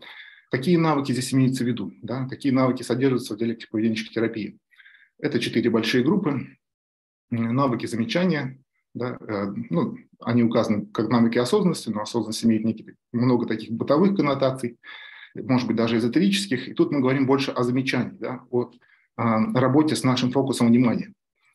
И э, большое значение имеют навыки межличностной эффективности, да, и здесь ключевое э, – это построение значимых отношений, завершение деструктивных отношений. Алла Борисовна делала ссылку к своему исследованию и к важности эмоциональной регуляции да, о диагностике алекситимии. И в целом это то, с чем мы работаем в КПТ БЭКа, но с этими пациентами мы должны делать на это особенный акцент. И навыки стресс, стрессоустойчивости, да, воспитание так называемого резилиенса, жизнестойкости. Это и преодоление кризиса, и принятие реальности, как а, некая такая а, диалектическая позиция. И а, обратите внимание, здесь нет никаких особенных навыков, которые мы не можем использовать в КПТ БЭК. Это о том, да, что а, мы а, можем, сохраняя нашу концептуализацию, предложенную Арнбеком, да, Джудит Бек, и а, с, сохраняя фокус на, когнитивной, на когнитивной модели, на стандартной когнитивной модели или генеративной когнитивной модели, а, которую предложил Арнбек, а, мы можем интегрировать эти навыки в свою работу в КПТ Бека, если вы работаете именно в этом подходе. И э, развитие э, разных направлений да, под зонтичным брендом КПТ не могло э, пройти мимо э, нашего такого методического центра, да, Института Бека. И э, уже 20 лет, э, ну, 20 лет в течение жизни, последних лет жизни Аарона Бека, и после этого его коллегами развивается такое направление, как когнитивная терапия, ориентированная на восстановление, да, или на английском языке Recovery Oriented Cognitive Therapy. И а, это направление, оно а, является во многом интегративным. На него оказали влияние и а, гуманистические подходы, не относящиеся к КПТ, и некоторые направления КПТ, такие как DBT, да, которые мы уже упомянули, TEFT, такой скорее стиль консультирования, чем направление мотивационное консультирование, позитивная психология, психотерапия. И это все привело к неким принципам, а, не все из которых мы использовали в начале развития когнитивной терапии Бека. В частности, когнитивная терапия ориентированного восстановления, она основана на сильных сторонах. И как следствие этого ориентирована на позитивные убеждения и действия, на формирование позитивных действий. Здесь важную роль играет такое обучение через эксперименты, да, то, что мы использовали всегда, поведенческие эксперименты, и здесь это выступает на первый план. А, создание осмысленной жизни через ценности. И это может быть то, что, э, что явилось как раз важным аспектом этой интеграции, такое обращение к смыслам и ценностям, которые хорошо дополняют классическую концептуализацию. Ну и еще обращу внимание на пункт, который внизу с левой стороны слайда. Не требуется мотивация, чтобы получить поддержку. Это, этот вид терапии, это направление изначально было ориентировано на работу с тяжелыми пациентами. Поэтому даже если у клиента низкая мотивация, что может быть достаточно характерно для тяжелых пациентов с суицидальным и самоповреждающим поведением, э, мы в рамках этой терапии, да, используя нашу обычную когнитивную концептуализацию и когнитивную модель, мы можем им помогать, может быть, э, несколько лучше да, большему количеству пациентов, особенно тем, у которых снижена мотивация. А, я говорил о том, что уже более 20 лет развивается направление терапии. Изначально оно было сфокусировано на работе э, с пациентами, страдающими шизофренией. А, э, это направление является таким развитием КПТ-психозов, и а, истоки идут оттуда.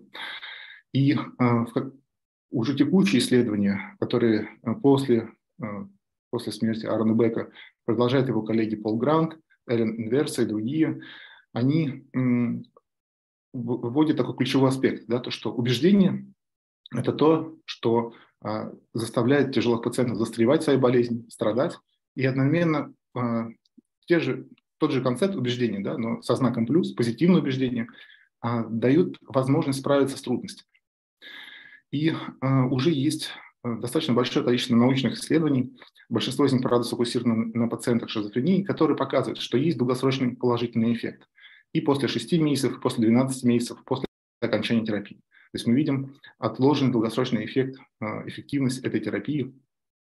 И надо сказать, что коллеги из Института Бека уже расширяют этот подход а, если он изначально был предназначен для пациентов шизофрении, да, то сегодня они уже работают и с тревожными расстройствами, да, с таким а, самым, наверное, часто встречающимся спектром расстройств, а, и с пациентами, у которых диагностированы расстройства личности, и с пациентами, у которых есть зависимости. Ну и я так надеюсь, да, что отдельная категория пациентов с суицидальным самопровождающим поведением тоже может быть исследована, да, тоже получит научные доказательства в каком-то ближайшем будущем. Коллеги, если вы работаете с такими пациентами да, и готовы, желаете применять этот подход, то а, Ассоциация когнитивно-поведенческой психотерапии может, как и в других направлениях, да, выступить таким методическим центром. И а, нам было бы интересно, может быть, а, организовать такое мультицентровое исследование, да, может быть, по разным точкам э, нашей большой страны.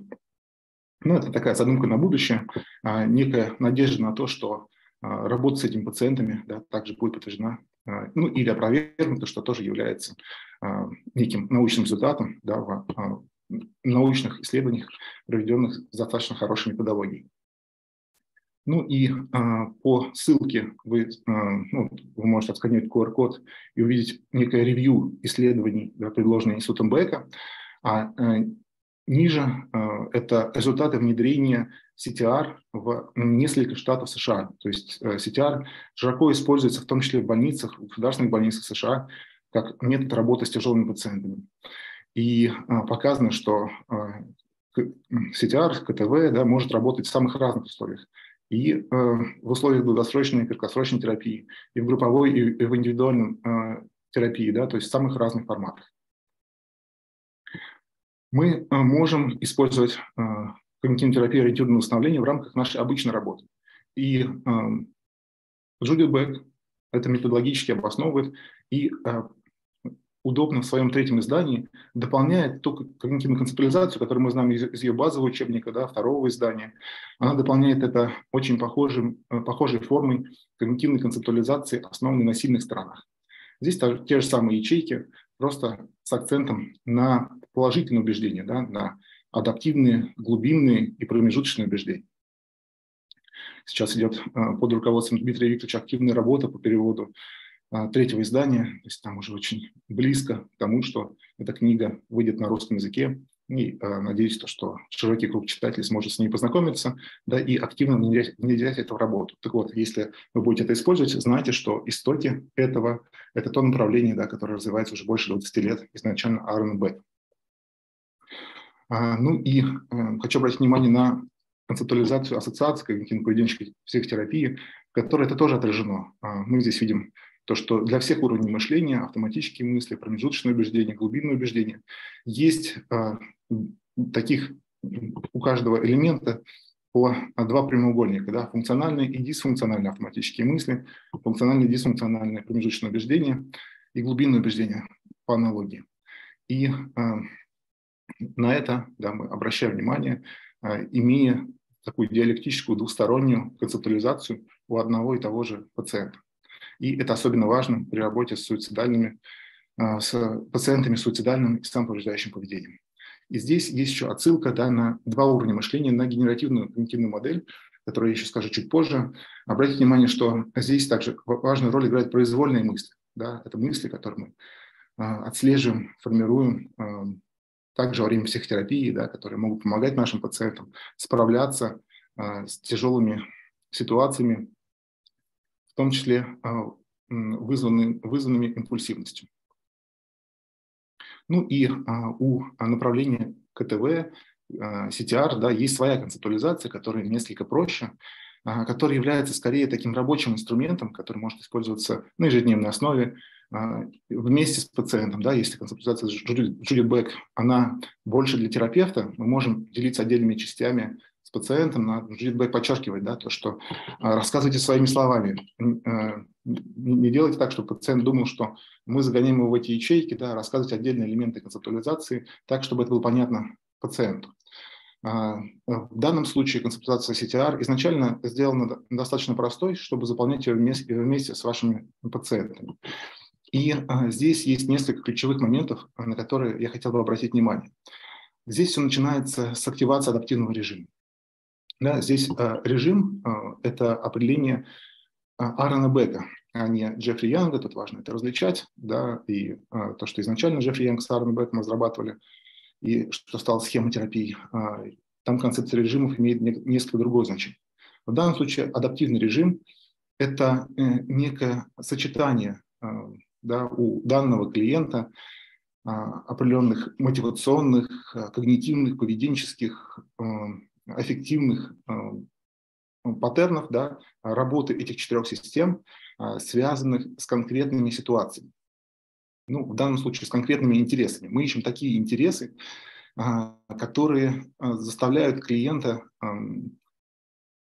вспоминать свои позитивные убеждения о себе. Да? То есть мы это видим и чисто визуально. У наших пациентов начинают в кавычках, да, там, гореть глаза, мы видим блеск глаз, да, мы видим то, что уровень энергичности, скорость речи да, и скорость вообще моторных реакций повышается.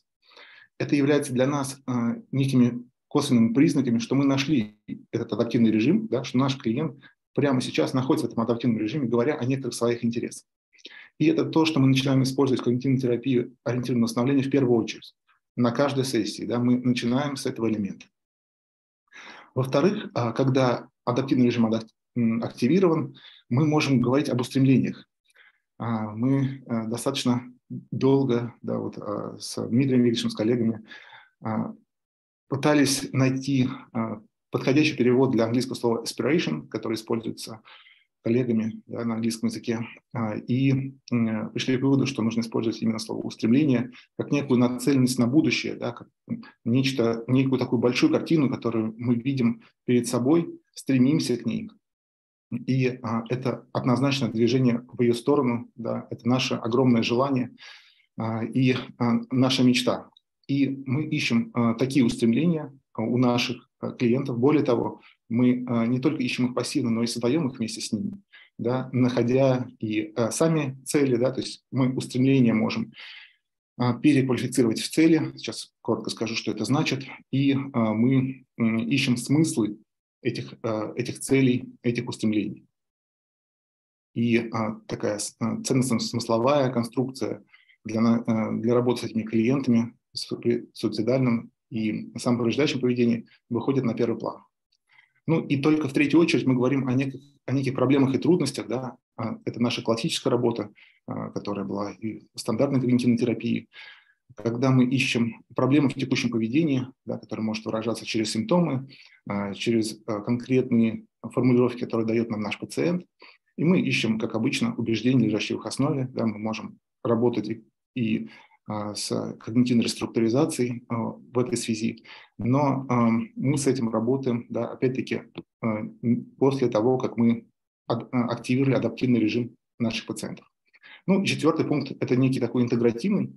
Мы говорим о том, что мы каждый раз на каждой встрече и между встречами поощряем клиента вести список действий, да, список действий на следующий день, связанных с этими устремлениями, связанных с теми смыслами и ценностями, которые мы обсудили вместе с клиентом.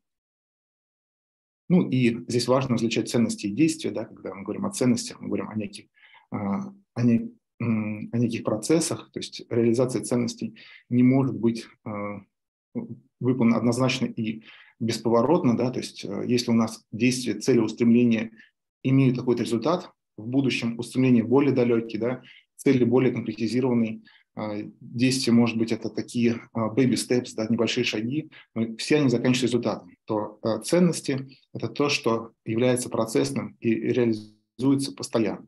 Например, если наш клиент да, в плане безопасности пишет, что вот, есть некое действие, которое дает, которое имеет для него смысл, да, например, общение с любимым домашним животным.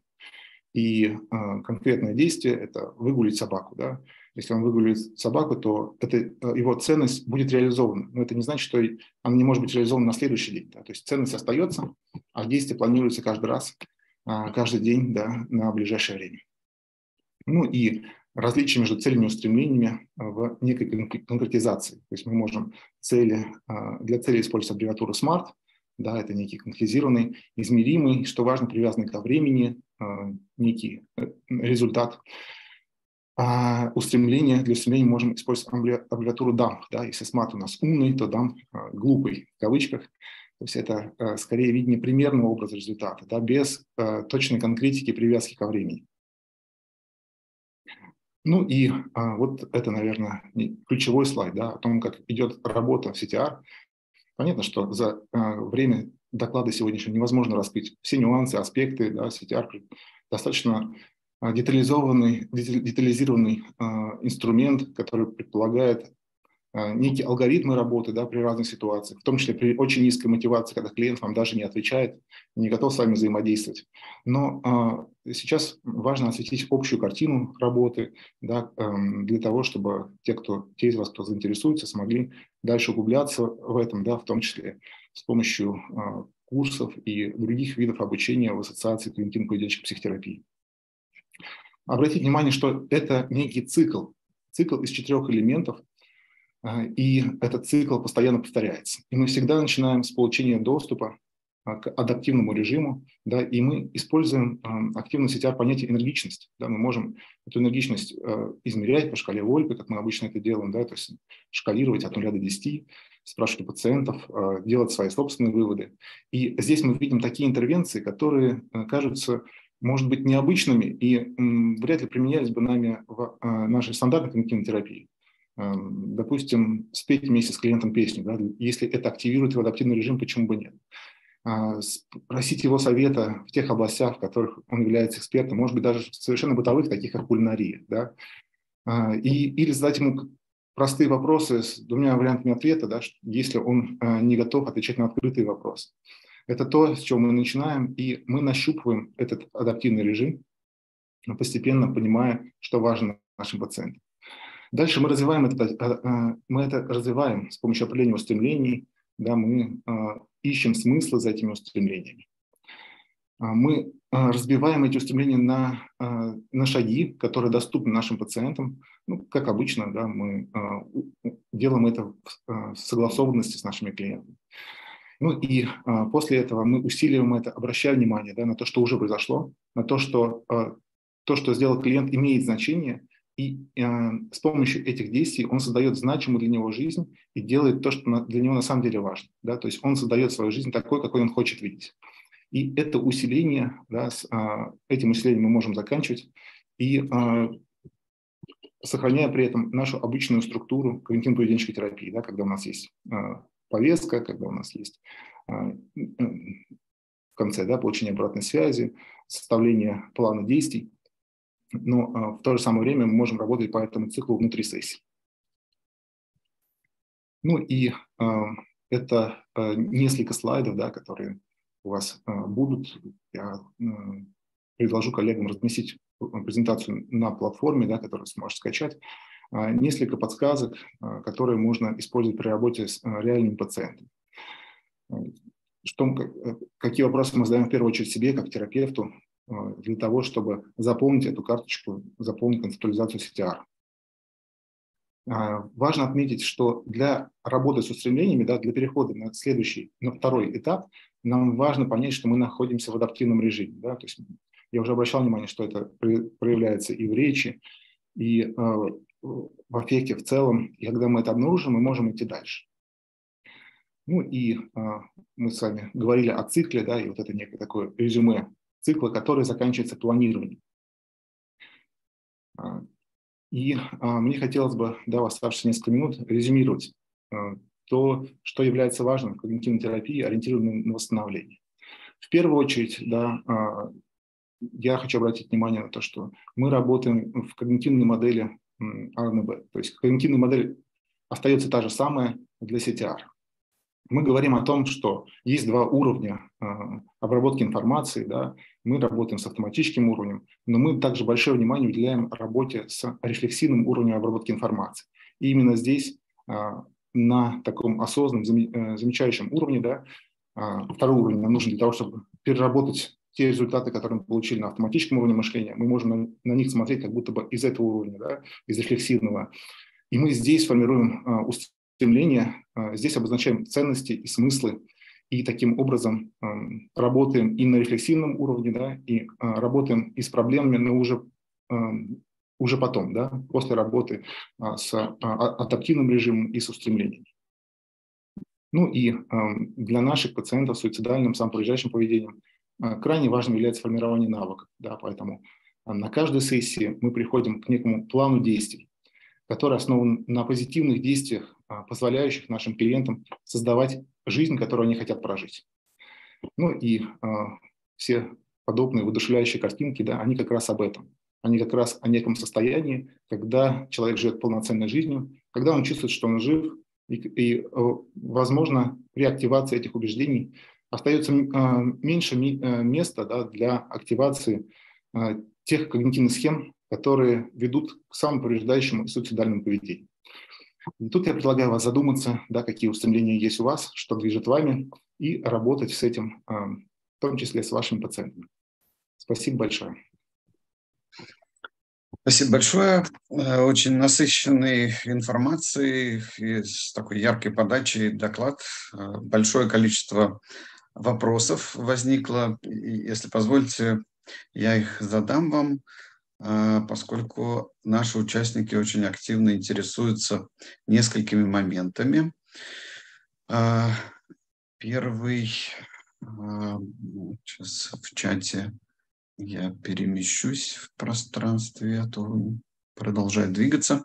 Галина Марковская спрашивает, подскажите, пожалуйста, каков возраст пациентов с самоповреждениями, ну, видимо, самоповреждающим поведением, и какова специфика работы при самоповреждениях в раннем и позднем подростковом возрасте?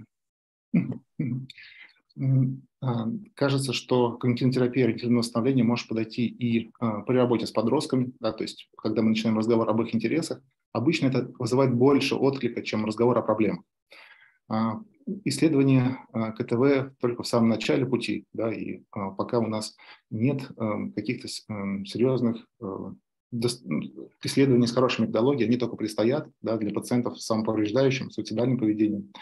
Но работа моей практики, работа коллег показывает, что это, ну, скажем так, э, работа со старшим подростковым возрастом, ну, примерно от 15 лет, да, а, вполне себе, для этого вполне себе подходит КТВ, а, но, конечно, тут требуется дальнейшее исследование, да, чтобы это обрело какую-то научную базу.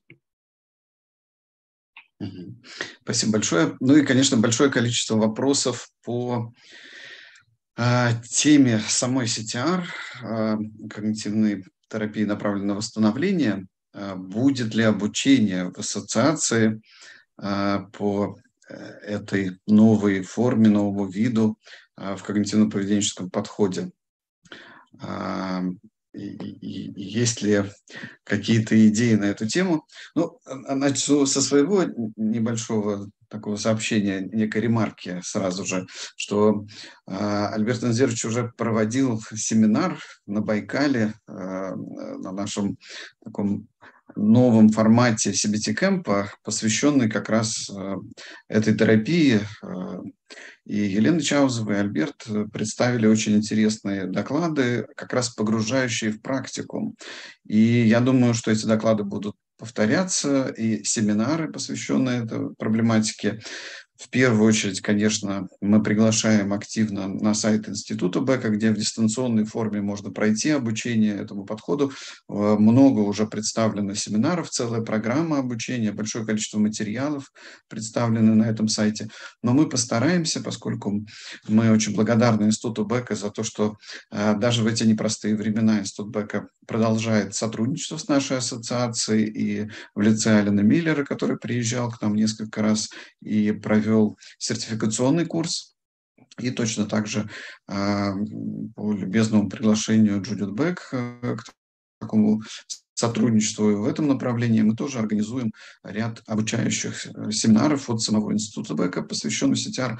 Мы переводим сейчас книгу, которая посвящена этому направлению, которую написал Бек и Пол Грант. Э, я думаю, что в следующем году она выйдет на русском языке. И, конечно, мы приглашаем вас э, на семинары, которые мы тоже собираемся э, посвятить такому разъяснению этого нового, интересного и такого творческого, как вы видите, подхода, который выходит уже за рамки только э, тяжелых ментальных проблем, но и касается, как уже сказал Альберт Анзерович, и тревожных, и депрессивных расстройств, и других форм.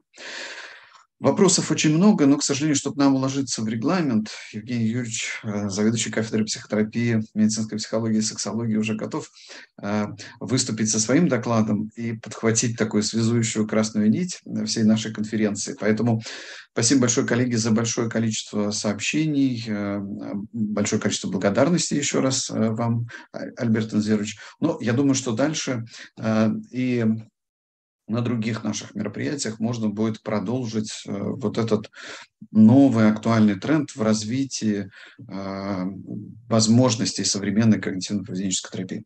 Спасибо большое, Альберт Анзерович, еще раз Спасибо за большое. интересный и содержательный доклад. И позвольте представить э, очень уважаемого коллегу, профессора, доктора медицинских наук Евгения Юрьевича Абриталина, одновременно э, моего руководителя по кафедре, где я являюсь доцентом, а, и а, Евгений Юрьевич выступит с темой из другого подхода, э, такого экстенциально-гуманистического, транзактный анализ э, в работе с суицидентами и один из его аспектов – антисуицидальный контракт. Ну, вызывающий, конечно, много вопросов и жарких споров и обсуждений э, и в сети, и в профессиональном сообществе, тем интереснее будет и само выступление, безусловно, но и ваши вопросы, коллеги. Если вы будете писать в чате, я обязательно сообщу Евгению Юрьевичу по завершению вашего вопроса. Спасибо большое, Евгений Юрьевич. Вам слово. Спасибо большое, Дмитрий Викторович. Здравствуйте, уважаемые коллеги. Действительно, мы ну, вот, в ходе сегодняшней конференции касаемся разных аспектов и э, оказываем помощь исходя, пациентам, исходя из биопсихосоциального подхода, и вопросы биологической терапии были затронуты и психологическая составляющая рассматривается с разных позиций. Ну и говоря о трансактном анализе, я не могу не вспомнить о ее, э, о, об основоположнике, вернее, этого метода Эрике Берна, который в свое время был, так скажем, отвергнут а, психоаналитическим сообществом, ну, как и многие его современники, которые имели смелость высказывать свое собственное представление э, в противовес тому, что трактовалось Зигмундом Фрейдом. Ну и вот такое отвержение послужило определенным стимулом для развития собственного направления.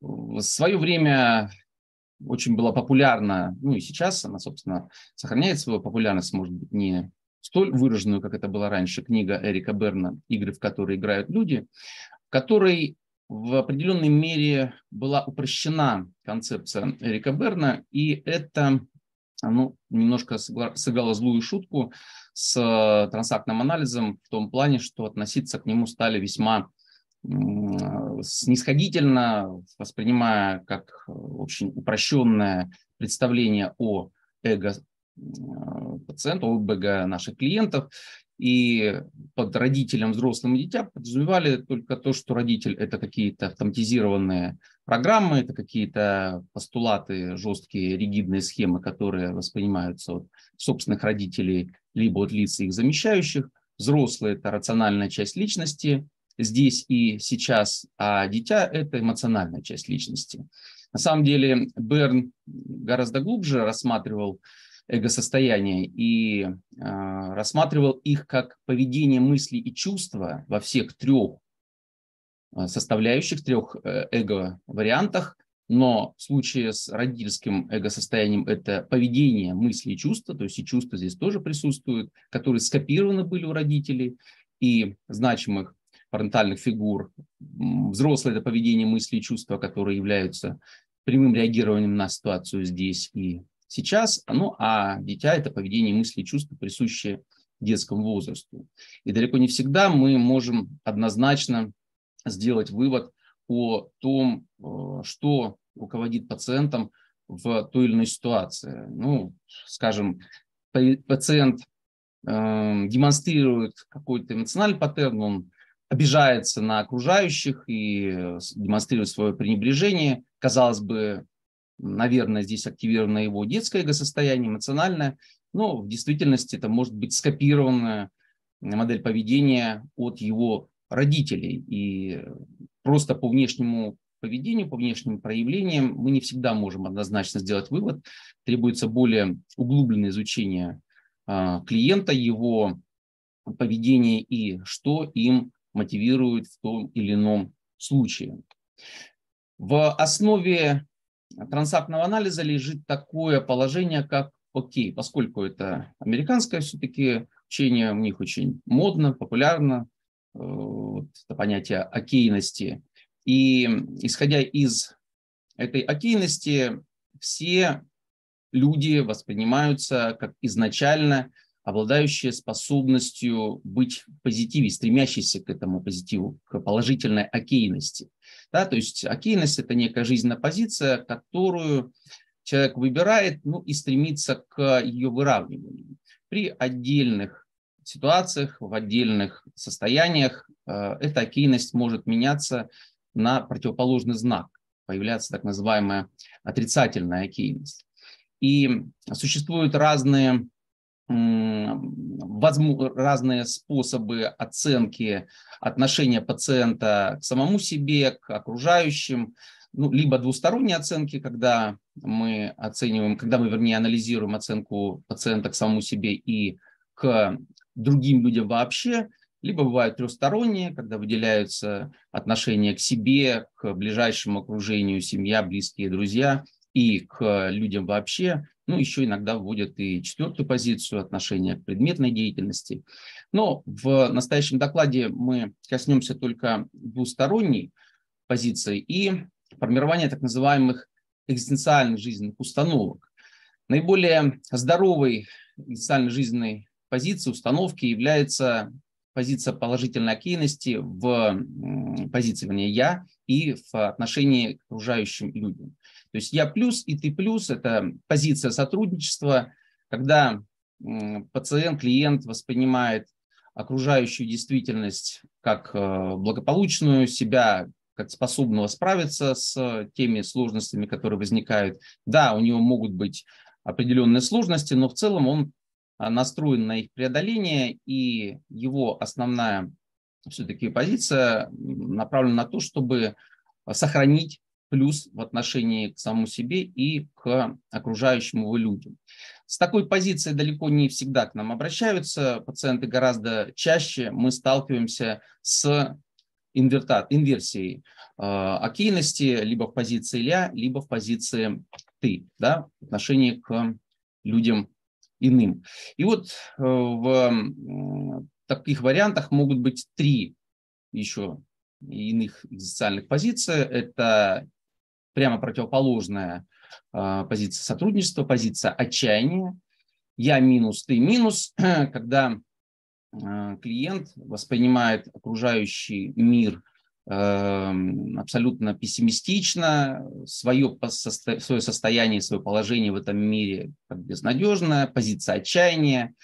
Такая установка может возникнуть э, либо когда изначально воспитывают ребенка в деструктивных условиях, всячески минимизируя его успехи, дезактуализируя их, вернее, вот, пренебрежительно относясь к Э, личности в принципе, с позиции очень жесткого критикующего родителя, когда любая э, успешность такого ребенка взрослеющего, она воспринимается всего лишь как давность и никоим образом не поощряется, никаких положительных поглаживаний, ну или недостаточно их количества.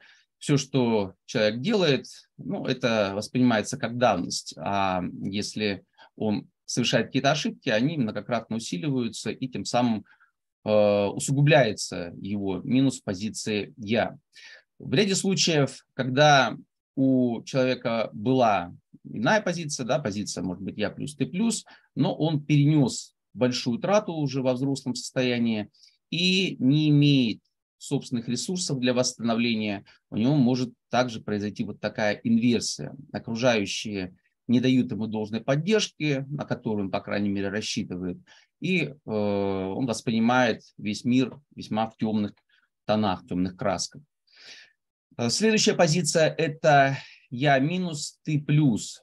Позиция угнетенности, ну, условно называется депрессивной позицией, конечно, это не клинические термины, и хотя это может и фактически выражаться в клинической депрессии, но сейчас мы говорим о состояниях, которые могут быть в рамках, так скажем, условной нормы. И далеко не всегда пациенты, клиенты с такой позиции сразу же обращаются к психотерапевту, к специалисту с какими-то определенными жалобами. Длительное время они могут в этом состоянии находиться и, в общем-то, следовать ну, такому хорошо известному выражению, у соседа всегда трава зеленее. Да, вот все у окружающих лучше, а у них все гораздо хуже по тем или иным э, обстоятельствам. Им не удается выровнять э, позицию «я», перевести ее в положительную окейность. Такие личности недостаточно уверены в себе, и даже при получении должного количества положительных поглаживаний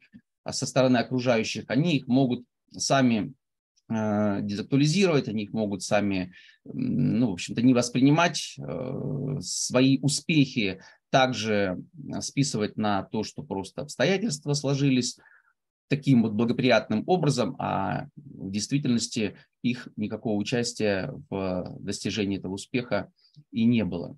И такие личности зачастую опасаются брать на себя инициативу, ответственность, всячески избегают э, активности, ну и в отдельных ситуациях это может даже приводить к тому, что они ну, хотят полностью прекратить э, какую-либо активность вплоть до появления активных суицидальных тенденций. Ну и еще одна позиция – это позиция высокомерия, условно, опять же, называемая параноидальной позицией.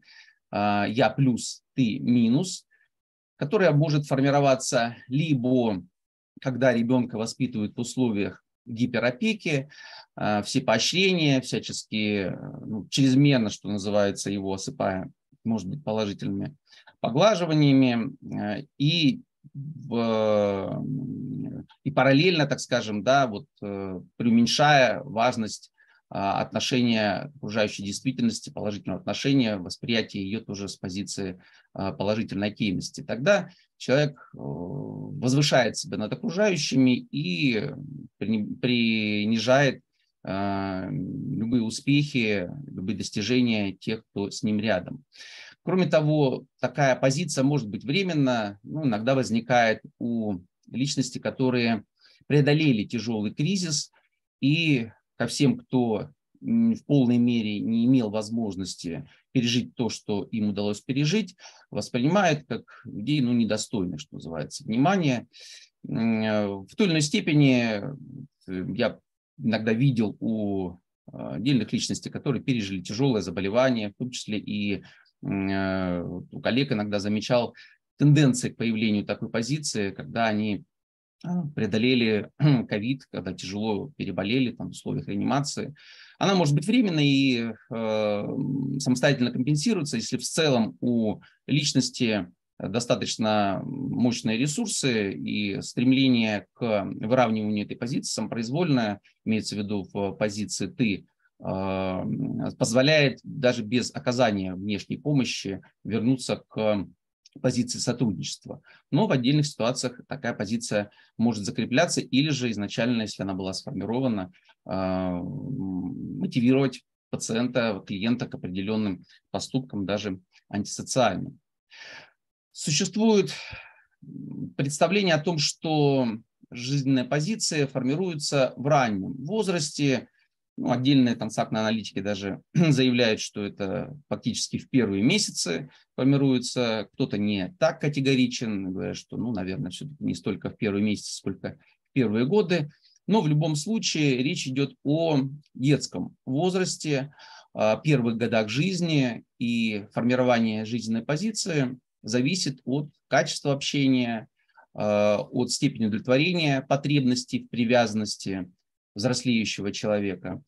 И в дальнейшем, когда жизненная позиция уже сформирована, если это не временный переход в нее, еще раз подчеркиваю, что в силу определенных обстоятельств жизненные позиции могут меняться у человека в течение его жизни, то когда человека сформировалась определенная жизненная позиция, он нередко находит вокруг обстоятельства или других личностей, которые всячески подтверждают его базовую жизненную позицию. Ну, в частности, а, человек с позиции «я плюс, ты минус», он с большей вероятностью будет э, искать личности, у которых прямо противоположные оценки «я минус, ты плюс», и в какой-то степени вот, человек с позиции «я минус, ты плюс» тоже будет, общаясь с э, человеком позиции «я плюс, ты минус», подтверждать свою экзистенциальную позицию. Да, действительно, у окружающих все гораздо лучше, чем у меня, а у меня все гораздо хуже. Каждой жизненной позиции соответствует свой сценарный выбор. Ну, если говорить о а, параноидальной позиции, вот это пренебрежение к окружающей действительности может выражаться в стремлении, ну, в лучшем, так скажем, в кавычках случае, уходу от окружающих людей, да, к некому уходу в мир своих переживаний иногда, ну а в более таком агрессивном варианте это э, проявление каких-то агрессивных тенденций, выражающих вплоть до э, появления даже, в общем-то, э, наказуемых деяний, да, вплоть до агрессии и даже убийства. С экзистенциальной жизненной позицией «я минус, ты плюс» могут быть связаны э, появление и суицидальных тенденций, когда возникает ощущение безнадежности, связанное с э, внутренней тоской. И вот э, в данном случае с такой позиции личности могут совершать так называемый меланхолический суицид. Я минус, ты минус – это отчаянное саморазрушение, ближе, может быть, к такой апатической депрессии, но когда появляются определенные силы у такого клиента, такого пациента, то он может совершать так называемый суицид безнадежности, когда нечему радоваться, ни к чему стремиться, и все это хочется категорически прекратить. И возможность совершения аутоагрессивных действий, суицидальных действий – ну, и, в общем-то, и вообще агрессии, это называется такими экстремальными сценарными выборами или люками для побега, аварийными люками, которые клиент может убежать тогда, когда ему не удается справиться с текущей жизненной ситуацией, и он для себя всегда вот имеет такую, ну, условно, запасную возможность. И у людей с трагическими сценариями вот такие люки как бы условно приоткрыты. То есть они могут, э, с одной стороны, поддерживать, в кавычках, что называется, свою экзистенциальную позицию, всячески ее подтверждать, вычленяя из всего комплекса того, что происходит с ними событий, именно то, что эту позицию подтверждает. И, э, ну, условно, всегда иметь в виду, что в случае когда им совсем станет тяжело, они могут прибегнуть вот к такой э, возможности ухода в этот самый аварийный люк да, путем совершения либо агрессивных, либо аутоагрессивных суицидальных действий. И есть мнение о том, что в рамках работы с такими клиентами, пациентами э, целесообразно закрывать такие люки путем подписания договора между взрослым эго-состоянием терапевта и взрослым эго-состоянием клиента. Но здесь есть, конечно, как уже сказал Дмитрий Викторович, много споров, дискуссий, насколько э, нам удается, насколько возможно вообще достучаться до взрослого эго-состояния клиента, у которого взрослое эго-состояние ну, в значительной части контаминировано внутренним ребенком, И если говорить о использовании данной стратегии, то нужно быть действительно уверенным, что мы фактически контактируем уже со взрослым многосостоянием, э, деконтаминированным, не подчиненным ребенку, который не идет на поводу у терапевта, который не просто подписывает какую-то очередную бумагу, совершенно не понимая, зачем это, тем более, что, э, забегая вперед, скажу, подписание таких договоров, конечно, не несет никакой юридической силы, а исключительно имеет психологическое значение для клиента в первую очередь, ну и для терапевта. Но здесь тоже есть несколько нюансов, когда терапевт может э, путем активного подталкивания клиента к подписанию такого договора ну, в какой-то степени снимать с себя ответственность и уменьшать бдительность. Э, первоначальная задача состоит в том, чтобы принять э, клиента с его активированной детской позицией, детским, детским эго-состоянием и э, дать возможность внутреннему ребенку ну, несколько успокоиться, насколько это возможно, вот в таком критическом состоянии. И тогда уже на этом фоне, когда ребенок, протестировав окружающую реальность, понимает, что здесь можно доверять, можно э, быть более открытым, возможно активизация э, контаминированного взрослого состояния. Полная деконтаминация, выведение, так скажем, взрослого из подчинения – это достаточно непростая задача, и ну, в ряде случаев она очень сложно достижима, когда пациент находится в таком критическом состоянии. Если мы говорим о подписании контрактов, то несколько слов стоит сказать в принципе о том, что это из себя представляет. Ведь э, контрактная система в транзактном анализе ну, занимает достаточно важную составляющую э, этого психотерапевтического процесса. И контракт, по большому счету, определяет долю ответственности, которую берет на себя каждая из сторон. То есть что готов и хочет изменить клиент, что он готов для этого сделать, в свою очередь, что психотерапевт а, может э, ему дать, насколько он может а, поспособствовать тому, чтобы вместе с клиентом двигались для достижения поставленной цели, используя максимально свои профессиональные навыки, ну и, конечно, там также обсуждаются, если мы говорим вообще о контрактах, сейчас не об антисуицидальном контракте конкретно, а о контракте в принципе на терапию, то обсуждаются разные вопросы, включая и компенсации за работу. И Эрик Берн в свое время говорил, что контракт – это двустороннее подробное обязательство на определенный образ действий. Э, контракты в трансактном анализе способствуют выравниванию позиции окейности, которая в значительной части случаев у наших клиентов, пациентов нарушена, находится в позиции минуса. А, распределяется ответственность, определяется действительно то, что может а, сделать психотерапевт, чтобы избегать а, каких-то манипулятивных взаимоотношений, попытки втянуть клиентам психотерапевта в игру, когда клиент активно просит в общем-то, решить за него его основные жизненные проблемы и принять решение то, которое, в общем-то, должен принимать сам клиент.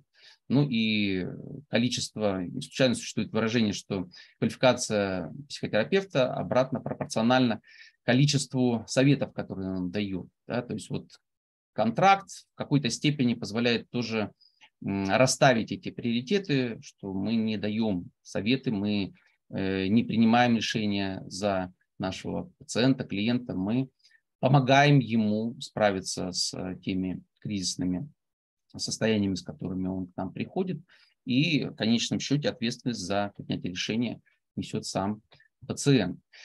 В рамках заключения контракта Э, ну, вот подробно обсуждаются. Сейчас я еще раз говорю, это общие принципы, это не речь идет о суицидальном контракте, а в принципе о подписании контракта на терапию. Что вы готовы сделать, что готов сделать наш пациент, как он поймет, что цель достигнута, какие есть признаки того, что э, действительно он получит то, на что рассчитывает в рамках терапии, чтобы четко определиться с тем, Э, к чему мы идем, и с одной стороны не может быть, э, замахивается на нечто большее, что невозможно достичь в рамках ограниченного курса психотерапии. С другой стороны, чтобы пациент сам понимал, что в этой работе ему придется не просто принимать активное участие, а быть э, непосредственным партнером по взаимодействии с психотерапевтом для достижения поставленных целей. Э, в свое время Клод Стайнер озвучивал четыре условия построения хорошего контракта. Это взаимное согласие, то есть заключается контракт, как я уже сказал, между взрослыми эго-состояниями, и нужно быть действительно уверенным, что в момент заключения контракта активизировано взрослое эго-состояние, а не подталкивать э, клиента к подписанию контракта тогда, когда он находится исключительно под властью своего внутреннего ребенка. Э, в рамках э, контракта, как я уже сказал, и определяются вопросы взаимодействия, финансового взаимодействия, компетентность, насколько э, психотерапевт может помочь пациенту справиться с теми проблемами, с которыми к нему пришел, обратился пациент, клиент. Ну и, конечно, мы работаем в рамках законодательного поля, никоим образом не идем на поводу у клиентов тогда, когда их запросы выходят за рамки этого поля. Ну и вот что касается непосредственно э, антисуицидального, вернее, сначала э, договора о неубийстве, договора о контроле агрессивных импульсов, такой вот пример здесь приводится.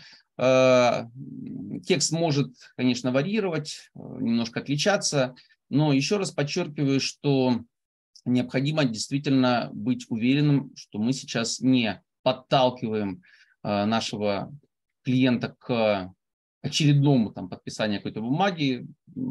Этот договор несет исключительно психологическую составляющую. И если пациент понимает, что он делает, для чего он это подписывает, то для него такой договор может ну, своего рода быть зароком по аналогии с проведением противорецидивной терапии при работе с аддиктивными пациентами. И с ними, кстати, тоже э, используются контракты на неупотребление психоактивных веществ, например, на период э, психотерапевтического, психотерапевтической работы. Вот здесь своего рода такой тоже зарок на не э, проявление агрессии, по крайней мере, на период работы с психотерапевтом.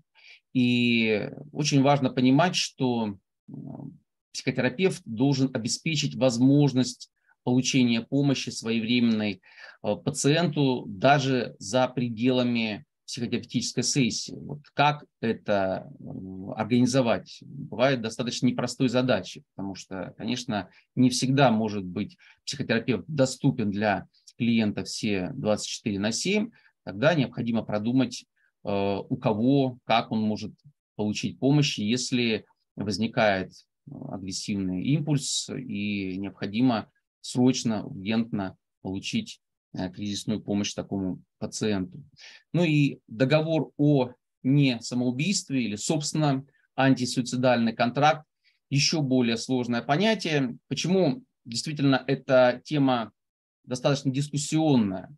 Потому что есть мнение о том, что закрывая вот эти аварийные люки, мы можем в какой-то степени усилить состояние фрустрации пациента и невольно напротив его даже подтолкнуть к такой реализации, то есть не оставив ему выбора. Как ни странно, суицид – это ну, своего рода выбор, которого мы, лишая пациента, можем невольно его к этому подтолкнуть.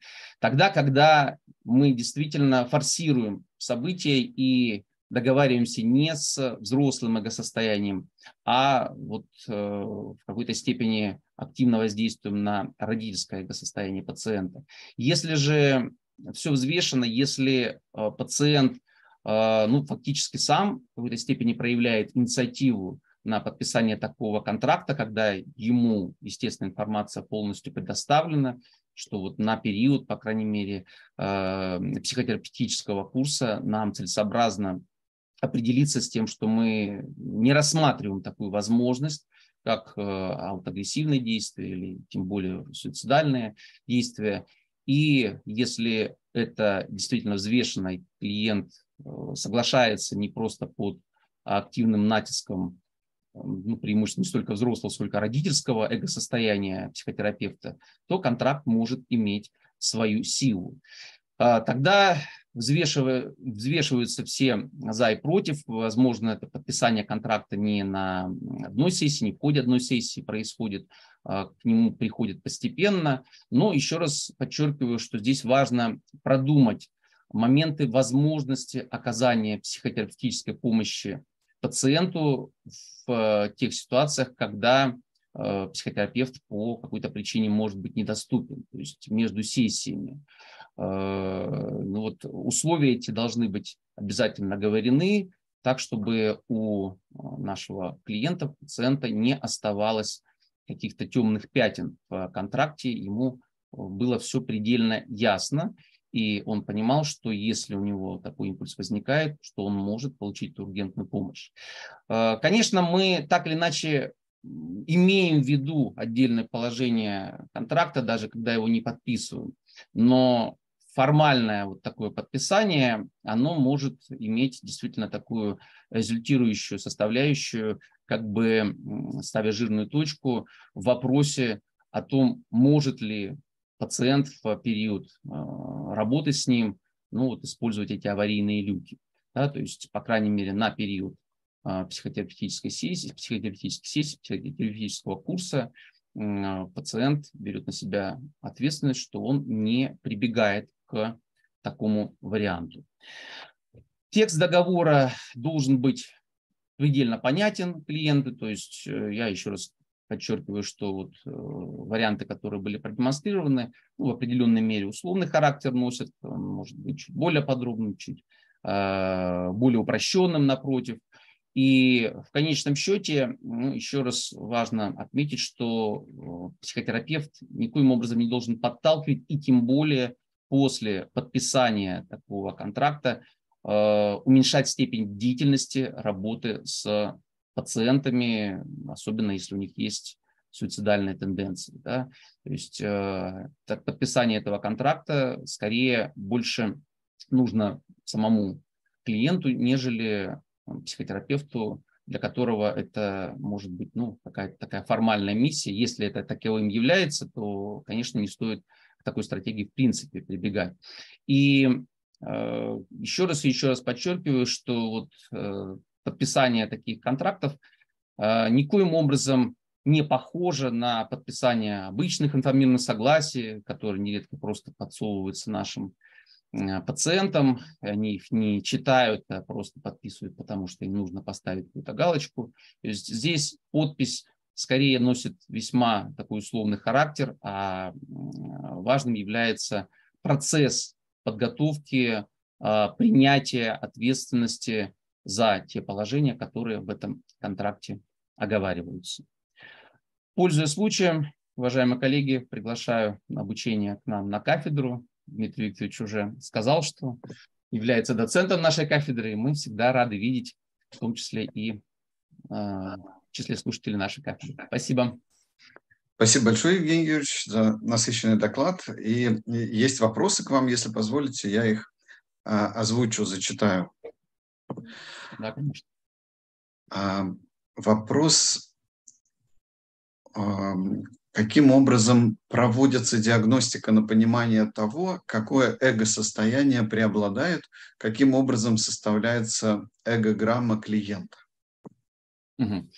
Ну, мы составляем эгограмму клиента в данном случае, конечно, начинает он составлять сам, но в дальнейшем своего рода тестирование такое проводится, насколько то или иное эго-состояние активизировано в момент общения с э, психотерапевтом.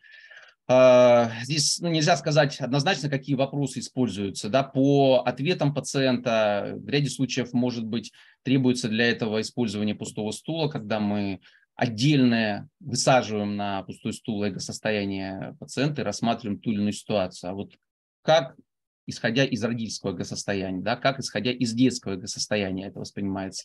И ну, тогда сразу становится понятным, э, понимает ли пациент, клиент, о чем идет речь, и действительно ли он находится в том эго-состоянии, которое он изобразил на эгограмме, или же у него есть смешение, или тем более там, ну, контаминация, когда ему кажется, что его действие вполне рациональное, а фактически он находится под влиянием внутреннего, ну, чаще всего ребенка, когда в кризисном состоянии пребывает. Спасибо большое. Э, есть еще вопрос а, от Юлии Куприкиной. Клиент сообщает о том, что принял собственное решение о собственной смерти. Он хочет, чтобы его поняли и приняли его решение. Как при этом может сохраняться нейтральная позиция терапевта? Как, на ваш взгляд, разграничивать ответственность в данных ситуациях? Ну, конечно, э, когда у пациента активное суицидальное намерение, если, это, если он уже принимает для себя решение, которое собирается реализовать, то мы вряд ли будем ограничиваться только нашими психотерапевтическими интервенциями. И помощь будет более комплексной, более вплоть до, до стационирования, конечно, и оказания, прежде всего, биологической терапии возможно. Но разграничение здесь, э, разграничение в чем? Разграничение в том, чтобы принимать пациента без э, какого-то морализирования осуждения. Да, мы в любом случае даем э, понимание пациенту, ну, такую эмпатическую составляющую его внутреннему ребенку, что да, мы понимаем его, но это не значит, что принимаем да, понимать и принимать совершенно разные вещи. И от э, понимания уже переходим к э, рассмотрению этой позиции исключительно из взрослого эго-состояния. Спасибо большое. И э, завершающий вопрос. Я так понимаю, э, пишет э, Армон Лангардуров, э, контракт можно заключить с пациентами старше 25 лет, э, да, спрашивает он, ведь в 25 лет заключить такой контракт... Ой, съехала, сейчас, секунду. Заключить такой контракт... Извините. А, будет бесполезным в плане ответственности со стороны пациента. Ну, я так понимаю, что речь идет, конечно, о формировании, уже завершенном формировании личности, и 25 лет возраст э, в определенной мере условный. Кто-то угу. и раньше созревает, да, ну а кто-то и в 25 еще находится в инфантильном, преимущественно детском состоянии. Поэтому, безусловно, мы заключаем контракт с теми клиентами, пациентами, у которых взрослое эго-состояние достаточно хорошо сформировано. То есть, когда мы ну, в определенной мере все-таки уверены в том, что мы работаем со взрослым эго-состоянием, мы можем этот контракт заключать. 25 или чуть раньше, ну, это зависит уже от индивидуальных особенностей наших клиентов. Спасибо большое. А, правда, есть вот еще один а, вопрос, если позволите, завершающий. Корректно ли в случае недоступности терапевта между сессиями дать клиенту телефон доверия?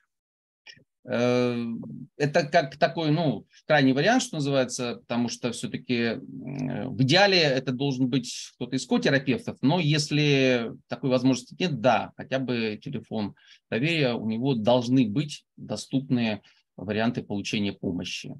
Ну и желательно это не просто дать телефон, а нужно быть уверенным, что он эту помощь получит, потому что, к сожалению, далеко не всегда те телефоны, которые мы получаем где-то в интернете, не убедившись в том, что там оказывают качественную помощь, они потом сработают тогда, когда это потребуется. Да, полностью согласен. Спасибо большое, Евгений Юрьевич, за очень интересный доклад. И, Спасибо еще раз. Я передаю слово э, Марине Андреевне Рис. Э, она не только психолог, но и учредитель благотворительного фонда «Просто люди», создательница проекта «Пси-просвет». И она выступит с докладом «Переживание жизненного кризиса жителями России. Анализ обращений на горячую линию проекта «Пси-просвет» с февраля по октябрь 2022 года». То есть очень актуальная и важная информация. Здравствуйте, Марина Андреевна. Здравствуйте, коллеги, здравствуйте, Дмитрий Викторович, здравствуйте, слушатели. А, как раз э, я являюсь представителем той самой горячей линии телефона доверия, а, на которой люди звонили, ну, звонят нам достаточно давно, мы работаем с 2020 года. Но анализ и исследование того же, что переживают люди сейчас в связи с, с кризисом в стране, Этим мы занимались плотно с марта по октябрь. Вот. Если позволите, я покажу презентацию.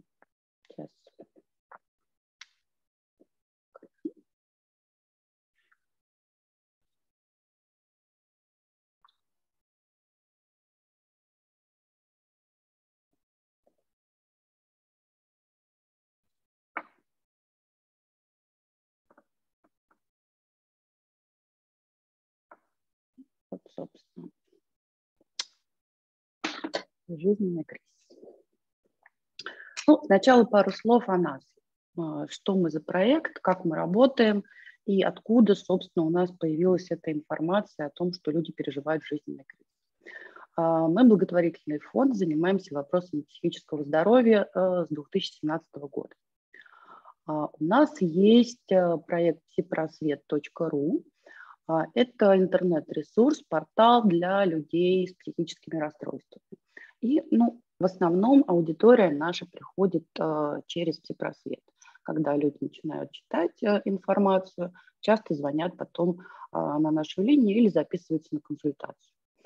У нас открыта горячая линия 8 800 100 1941, ну так уж получилось такой номер. А, где мы оказываем психологическую помощь совершенно каждому человеку, который к нам обратится, независимо от того, есть у него диагноз э, или симптом психического расстройства, или он просто хочет поговорить. А, то есть э, ну, квалифицированную помощь может получить каждый. А, работаем мы с 2020 года, ну, порядка 20-30 звонков в день, что дает э, порядка 3000 консультаций в год. Ну, в общем, а, на базе этого а, мы начали исследовать а, состояние людей, ну, буквально начиная с 25 февраля, когда вместо обычных 20 звонков к нам поступило 80 ежедневно, с 25. Линия справилась, психологи справились, все вышли на дежурство – вот э, такая волна звонков и обращений, она через некоторое время спала, а, но тем не менее мы уже э, поняли, что что-то не так происходит. По нашей статистике, такой рост обращений в три раза без каких-то а, рекламных акций, такого у нас еще не было. И мы начали смотреть, ну, что же на самом деле происходит, э, выводить какую-то статистику, закономерности, и этим я хочу сегодня поделиться с вами. Но э, для начала небольшой дисклеймер. Да? А, мы э, не исследовали политические взгляды людей и избегали специально задавать какие-то вопросы о том, каких взглядов, какой страны а, э, наш абонент, респондент, клиент придерживается. А, тем не менее, эта информация всплывала или не всплывала, но ничего об этом вы сегодня не услышите. А, мы а, не пытаемся дать статистические данные по России, хотя у нас достаточно солидная выборка, а, ну, даже если сравнить с крупными социологическими опросами. Тем не менее, все-таки обратившиеся за психологической помощью не составляют какую-то значимую статистическую категорию людей. То есть мы предполагаем, что таких людей, которые ищут э, психологическую помощь, ну, их 10-20%. Э, И на основе э, там, взглядов, переживаний наших клиентов нельзя строить статистику по стране. Это получится температура по больнице. Да? Мы не ставим диагнозы, мы помогаем их снимать, поэтому здесь, наверное, психиатры э, и клинические психологи бы, наверное, э, смогли лучше прокомментировать, но мы даем данные вот как есть, как мы слышим от клиента, э, не пытаясь поставить диагноз. И мы не делаем научных выводов, ну, потому что все-таки исследования проводятся в специфических условиях, в полях. Эм, ну что ж, кто, собственно, стал участником нашего проекта? Это э, порядка пол, полутора тысяч человек, которые позвонили на горячую линию, которым мы дали консультации. В среднем консультация длится час, хотя в последнее время это время удлинилось. Ну, обсуждаются очень серьезные проблемы. Мы опрашивали психологов, которые сотрудничают с нашим проектом, у каждого из которых есть своя практика, и несколько сверялись по динамике э, их клиентов. То есть э, порядка 100 человек были под постоянным наблюдением, и психологи делились э, ну, прогрессом или регрессом тех запросов, с которыми клиенты обратились. Мы целенаправленно в конце уже исследования в сентябре проводили интервью. Тема интервью была «Жизненный кризис», а, то есть подробно-подробно э, расспрашивали людей о том, а, что, что же произошло с ними. То есть это было такое глубинное интервью. А, расспрашивали также наших коллег из психиатрических клиник, ну, чтобы понимать э, статистику обращений, э, с чем приходят уже в клинике клиенты. А, кто наш а, типичный респондент? Ему 20-55 лет, старше редко звонят, а, в основном женщины. Как правило, это люди среднего класса с высшим образованием. И да, еще раз обращаю внимание, что психолог, как правило, нашему респонденту не чужд. То есть он уже осознает свою проблему и ищет пути ее решения. Мы не используем опросы, в отличие от э, соцопросников, где есть там набор вопросов, ну, что вы чувствуете, насколько выражена ваша тревога и так далее. Э, ничего подобного у нас нету. Вот с чем человек пришел, о чем он говорит, на основе этих данных э, мы и строим наши гипотезы и делаем выводы э, и делаем статистику. Если человек о чем-то не говорит, ну, вспоминаем важное правило, не чешется, не чешите.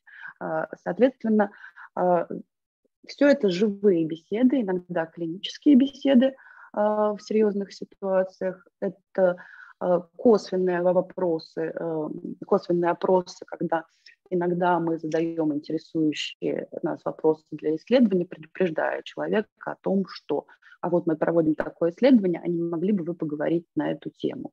Так бывало.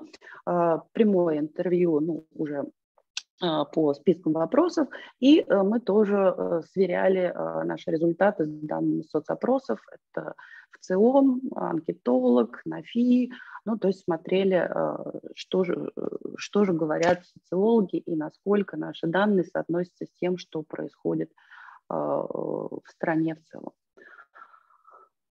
Так что же происходит? А, условно мы сейчас а, разобьем этот процесс на три этапа. Этапы переживания ситуации. А, эм, и первый этап, март-май, мы бы назвали острой шоковой травмой.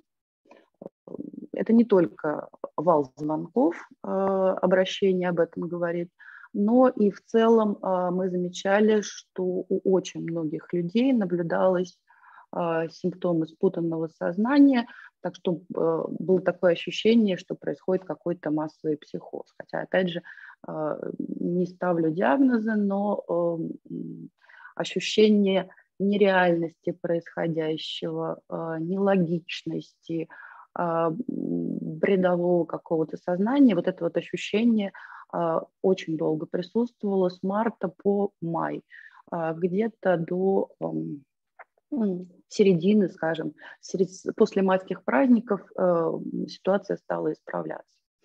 А, могу даже назвать э, три пиковые даты, которые были. Это было 25 февраля, не 24, 25 февраля. А, затем пик был 5-6 а, марта, выходные, и затем пик был 12-13 марта. А, клиники подтвердили, что вот это были самые-самые острые точки, а, когда люди действительно а, впадали в психозы и да, было обострение.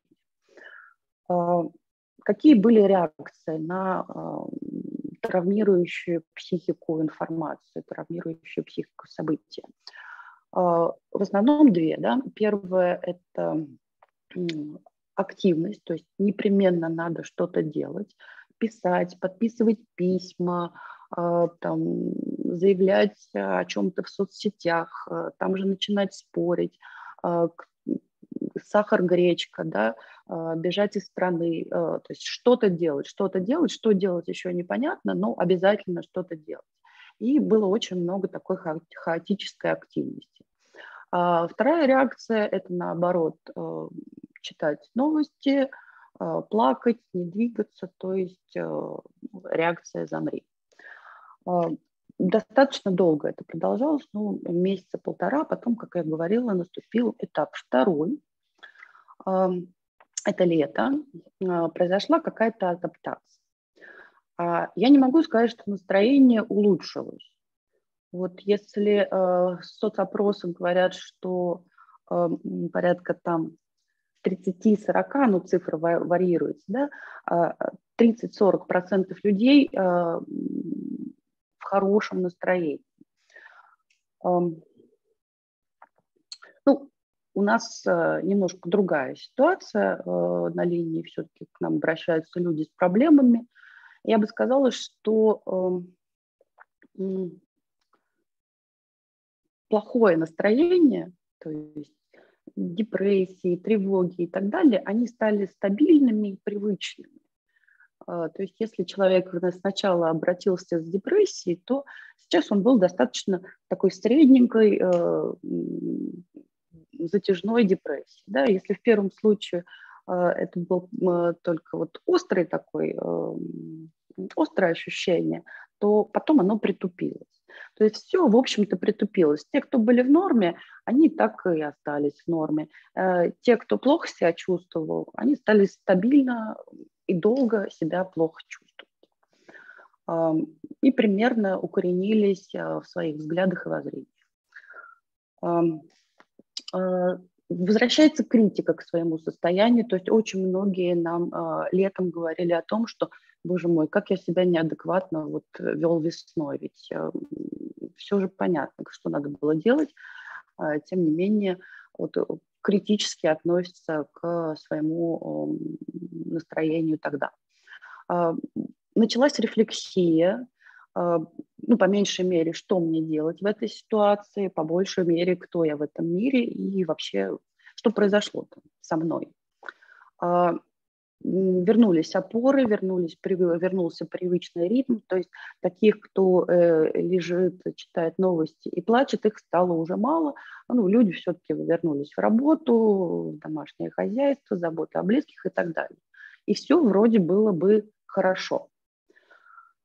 В сентябре а, изменился, изменился вообще фон. Да, еще замечу, по данным клиник, количество обращений в августе было даже ниже, чем в 2021 году. А, Все вроде бы стабилизировалось стало хорошо. А, но э, тем, тем не менее, вот такое вот напряжение, такое предгрозовое, оно очень сильно чувствовалось прямо с начала сентября – изменилась э, ситуация, то есть закончился отпуск, началась работа, учеба, дом, вроде бы все вернулись в привычные свои ритмы, в привычные свои задачи, а ничего не работает, а, как раньше. То есть все, все за это лето очень сильно изменилось. Э, и было эм, ожидание катастрофы. Вот практически каждый второй респондент говорил, ой, сейчас что-то случится, сейчас что-то случится, сейчас что-то случится. Вот а, ядерная война, да, вот, наверное, случится. А мы спрашиваем, а когда? А, вы ожидаете, что она случится? Ну, вот где-то 1 сентября. То есть а, ожидание катастрофы прям остро-остро чувствовал. Как будто вот, вот локатор такой стоит и ждет, откуда угроза, откуда угроза, откуда угроза. Естественно, это состояние влекло колоссальное физическое истощение. То есть, казалось бы, все нормально, я нормально функционирую, я держусь, я думаю, я не делаю ничего неадекватного, да? А, но внутреннее вот это вот состояние поиска, ожидания, непонимания, а, я думаю, что просто истощило людей ну, вытянув колоссальное количество энергии. И ну, те трагические события, которые э, были озвучены 21 э, сентября, а, мобилизация, очень странно, что несмотря на все это ожидание, это произошло как будто вдруг. А, то есть мы можем говорить о, ну, во многих случаях а, как о повторении, о ретравматизации. И опять те же самые признаки – острой, шоковой мы стали наблюдать, ну, о которых я говорила в начале, хотя э, сейчас, ну, сейчас немного еще времени прошло, я бы сказала, что быстрее все наладилось, быстрее все вошло в норму, и вот э, меньше э, неадекватного поведения, как вот э, прям буквально на днях клиентка говорила, я тогда э, в своем весеннем психозе отстрадала э, на всю оставшуюся жизнь. Меня сейчас уже не так сильно трогает то, что происходит. То есть какой-то даже вот у некоторых э, клиентов, которые выдали очень острую реакцию э, в э, марте, э, сейчас в сентябре какое-то отупение, спокойствие, принятие. Ну, судите об этом сами, э, что это означает. Симптоматика, с которой к нам приходит. Да, да тут 80%, эм, как правильно говорят соцопросы, а, с проявлениями тревоги. Но, знаете, слово тревога – это ни о чем. Тревога – это там, я тревожусь, э, приедет ко мне курьер или не приедет. А, просто степень э, выраженности эмоций и страха, она непонятна. Тревога тревогой, но мы увидели очень сильный панический страх, страх, э, страх за свое существование и существование своих близких.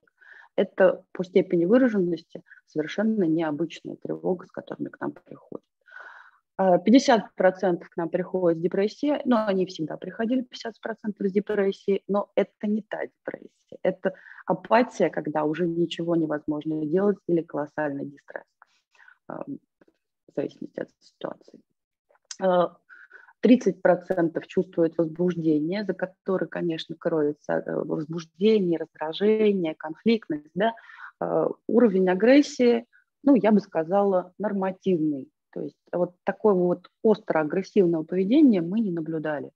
А, в общем-то, ну, может быть, у нас очень адекватные люди на линии, но я бы сказала, что агрессия – это не главная проблема. 20% а, говорит, что у них все нормально и волнуют их все те же а, старые проблемы, которые были всегда. А, как правило, это э, люди с патологиями психическими, у которых все нормально. Вот все-таки более нормативной реакцией, как нам кажется, было бы попереживать в этой ситуации, чем так, игнорировать происходящее. Ну и бывают, конечно, люди веселые, активные, которые испытывают подъем энергии, их немного. Ну, часто, часто за этим кроется некоторая такая маниакальная эйфория, как правило, не диагностированная. Практически не встречаю, ну, поскольку к нам приходят люди с диагнозами, которые уже проконсультировались у психиатров, мы удивились, что к нам не пришел ни один человек, которому кто-нибудь поставил диагноз ПТСР. Ни одного. Что касается суицидальных намерений, очень интересно. В целом статистика а, не выросла. Ну, у нас вот, из 20 звонков, как правило, а, ну, 5 с суицидальными намерениями в день бывают. Да? так, в общем-то, и осталось, может быть, даже чуть меньше их стало на фоне общего роста обращений. Но интересно, что бывают дни или недели, когда идет просто вал. Я не знаю, с чем это связано, с солнечной ли активностью, с политической ли э, активностью, но бывают просто вот вал, а потом сходит на нет слежу за временем, остановите меня, а, если, будет поджимать. А, но хотела бы еще рассказать не только о симптоматике. Да, симптоматика – это самая верхушка айсберга. А, хотела бы рассказать еще о проблематике. Что, собственно, стоит за этими симптомами. И э, что люди предъявляют, ну, как в мир, да, ну, мы тоже часть мира, психологи, да, мы считываем запросы э, формальные, с которыми нам, к нам приходят, и что потом э, в процессе, ну, такой экспресс нашей, конечно, терапии удается выяснить. А, что же это за жизненный кризис такой? Какие проблемы? Я набрала, их, конечно, очень много, и кажется, что все люди переживают одно и то же. Нет, это совсем не так. А, каждый переживает по-своему. То есть э, каждая история, с которой, с которой к нам приходит, она уникальная совершенно. Но есть некоторые закономерности. Внешне люди жалуются, что очень много э, читают новости и не могут от них оторваться. То есть происходит зависание и, и не читать не могут, поскольку наступает пустота, и когда читают, становится все плохо, плохо, плохо. Э, к чему это приводит? Э, что постепенно э, своя собственная жизнь разрушается. То есть уже а, ни о чем о другом, как о новостях, человек не думает. Очень непросто его возвращать а, вопросы, а что же с тобой -то происходит, ты как себя чувствуешь? А, чувство вины, стыда, которые как бы разделяются вместе со всеми. Почему я там, заранее, полгода назад не сделал то-то, то-то, я был бы готов. Почему я доллара не продал? Почему я доллара не купил? Почему я не поменял работу? Почему я не уехал? Почему, почему, почему? А, как же, как же так я вот такое вот допустил? Да? Как же мы такое допустили? А, что нас, э, что на самом деле стоит за этими чувствами, какая оборотная сторона. Человек, который постоянно слышит обвинения от, э, там, не знаю, от ботов в соцсетях или от демонов в своей голове, неважно, это примерно одно и то же, да, становится очень конфликтным, он, он э, очень хрупкий, он становится постоянно в состоянии защиты. Э, любое слово Э, неосторожное, он слышит как обвинение. Да? А, так что, казалось бы, да, жертвы, испытывающие вину, на самом деле а, обнаруживают себя в позиции агрессора, как правило. А многие люди, перечитав инфопоток какое-то время и э, пообщавшись с кем-то в конфликтных ситуациях, а, выбирают одиночество. Но это такое одиночество именно как бегство, потому что а, очень многие были травмированы разговорами не только в соцсетях, но и в каком-то своем окружении, а, и выбрали одиночество. Что мы, что мы с такими людьми делаем? Мы спрашиваем, а вот из твоих каких-то важных для тебя людей, ну, кто тебя обидел на самом деле. Выясняется, что не так уж и много. Не так уж и много. И эта иллюзия агрессивности и конфликтности а, мира, социума, это именно иллюзия. Потому что ну, в ближайшем окружении, как правило, один-два человека старшего возраста э, там, обижают.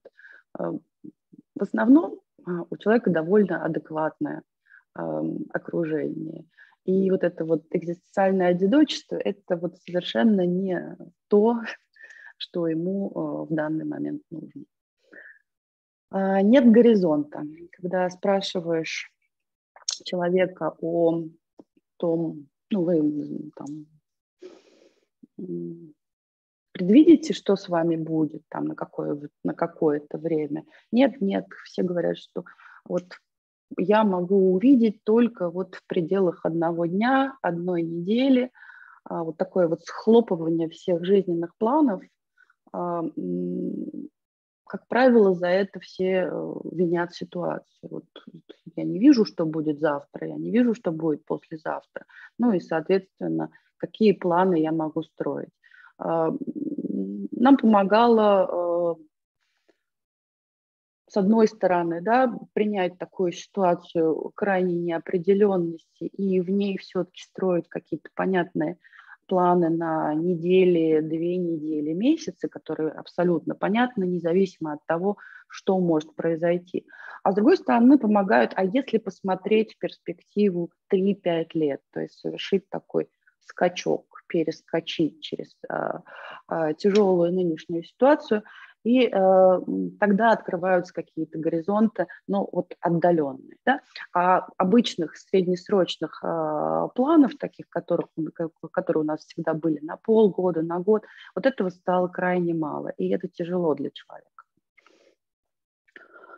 Э, ну, то, о чем я уже упоминала, одно из самых травмирующих чувств которое звучит э, ну, практически у каждого, это чувство неопределенности.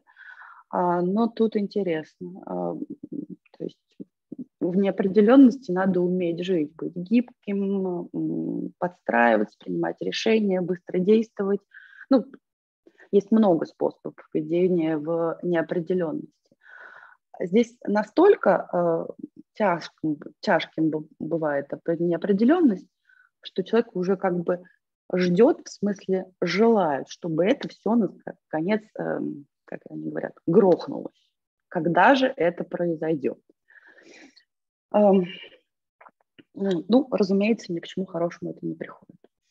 А, некоторые э, строят опоры э, в неопределенности на каких-то повседневных, таких простых делах, там, убираться, мыть, там, заботиться о детях и так далее, и так далее, и так далее. А, ну и в этом а, видит смысл жизни а, на данном этапе. Да, но очень часто за таким во всех отношениях надежным поведением бывает э, то, что вместо того, чтобы убираться, там, э, гладить, драить кухню, там, к примеру, да, э, ты в это время не принимаешь какие-то очень важные решения, э, которые от тебя как вот там главы семьи требуются. Или там или как человека, ответственного за себя очень-очень часто опоры, вот якобы опора является не опора, а не опоры, а каким-то э, хлипким э, тоже избеганием э, того, что э, предъявляет тебе жизнь, предъявляет ситуация. Э, заболевания. Э, очень много пошло с э, психосоматики, особенно в сентябре, особенно в октябре, вот сейчас идет как раз вот этот вот вал а, заболеваний. А, это, скорее всего, результат нервного истощения на протяжении многих месяцев. Люди не отдыхали на самом деле, то есть формально был отпуск, на самом деле отпуска не было. Ну, про правила и про беспредел я, наверное, сейчас углубляться не буду, но тут немножечко затрону тему неисполнения обязательств как выход из ситуации, когда правила не работают. То есть если никто не соблюдает правила, ну давайте никто и не будем, э, не будем соблюдать вообще ничего. То есть идет вот какая-то вот такая вот эм, не выработка новых правил, а уход от всех правил. Да, то есть очень часто встречаются разводы, увольнение, а, отказ от детей, отказ от больных родственников а, и просто неисполнение своих обязательств. Тяжело, но сейчас последний, самый уже тяжелый файл. Да. А, когда вот все вот это в совокупности, конечно, создает угрозу жизни вот, угрозу психическому здоровью и, как следствие, э, угрозу жизни каждого, каждого человека. А, но есть некоторые ну, особо опасные ситуации. Вот, казалось бы, медитация, молитва, философия, размышления. Казалось бы, это все очень хорошие вещи. Но когда ты спрашиваешь человека, ты о чем, собственно, молишься, о чем ты Бога просишь, да, ну, выясняется, что он хочет всех отправить в ад. Что, собственно, он и делает по жизни. То есть э, вот магическое мышление, которое сейчас а, набирает силу, а,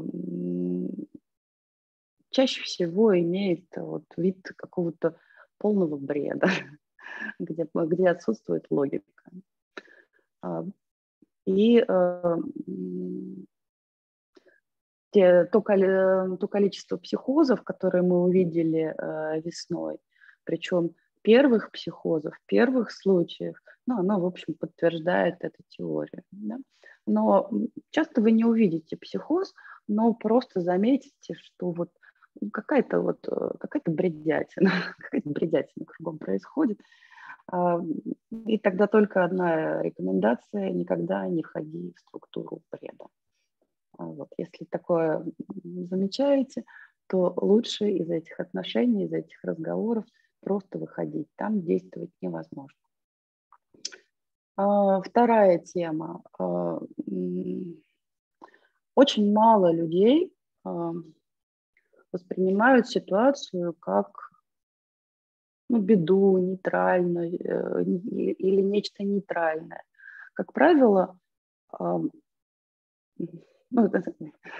я не могу сказать, что как правило, да, то есть когда думаешь о процентах, наверное, все-таки не так много людей, но есть ощущение тонкое о том, что весь мир против меня, что все это было придумано вот специально для того, чтобы мне э, навредить. Собрались какие-то злые люди, э, и они разрушили мою жизнь. Ну, соответственно, позиция жертвы никогда э, а, не выводит человека в а, нормальное состояние, и те затяжные а, ситуации, э, ну, затяжные, затяжные психологические кризисы, в которых сейчас многие оказываются, они вот отчасти связаны с жертвенностью. Следующая тема. 80% там в августе сказали, сказали, что они переживают кризис. И мы решили повнимательнее посмотреть путем там, специальных интервью, что же это за кризисы. Очень интересно. А, кризисы а, связаны не с политической ситуацией. Они связаны со здоровьем, с местом жизни, а, с какими-то глубокими потерями, которые человек пережил или переживает, то есть, в общем-то, или, или там непонимание своего места в жизни, или переход в другую возрастную категорию. То есть, в общем-то, кризисы жизненные э, совершенно разные. А, но когда мы спрашиваем, а когда, собственно, начался, начался вот этот кризисный период, как правило, длительный, он там год-два, а называют э, либо 2020 год, а, либо конец 2021 года. И пик этого жизненного кризиса приходится ну, вот ровно на март месяц. О чем это может говорить?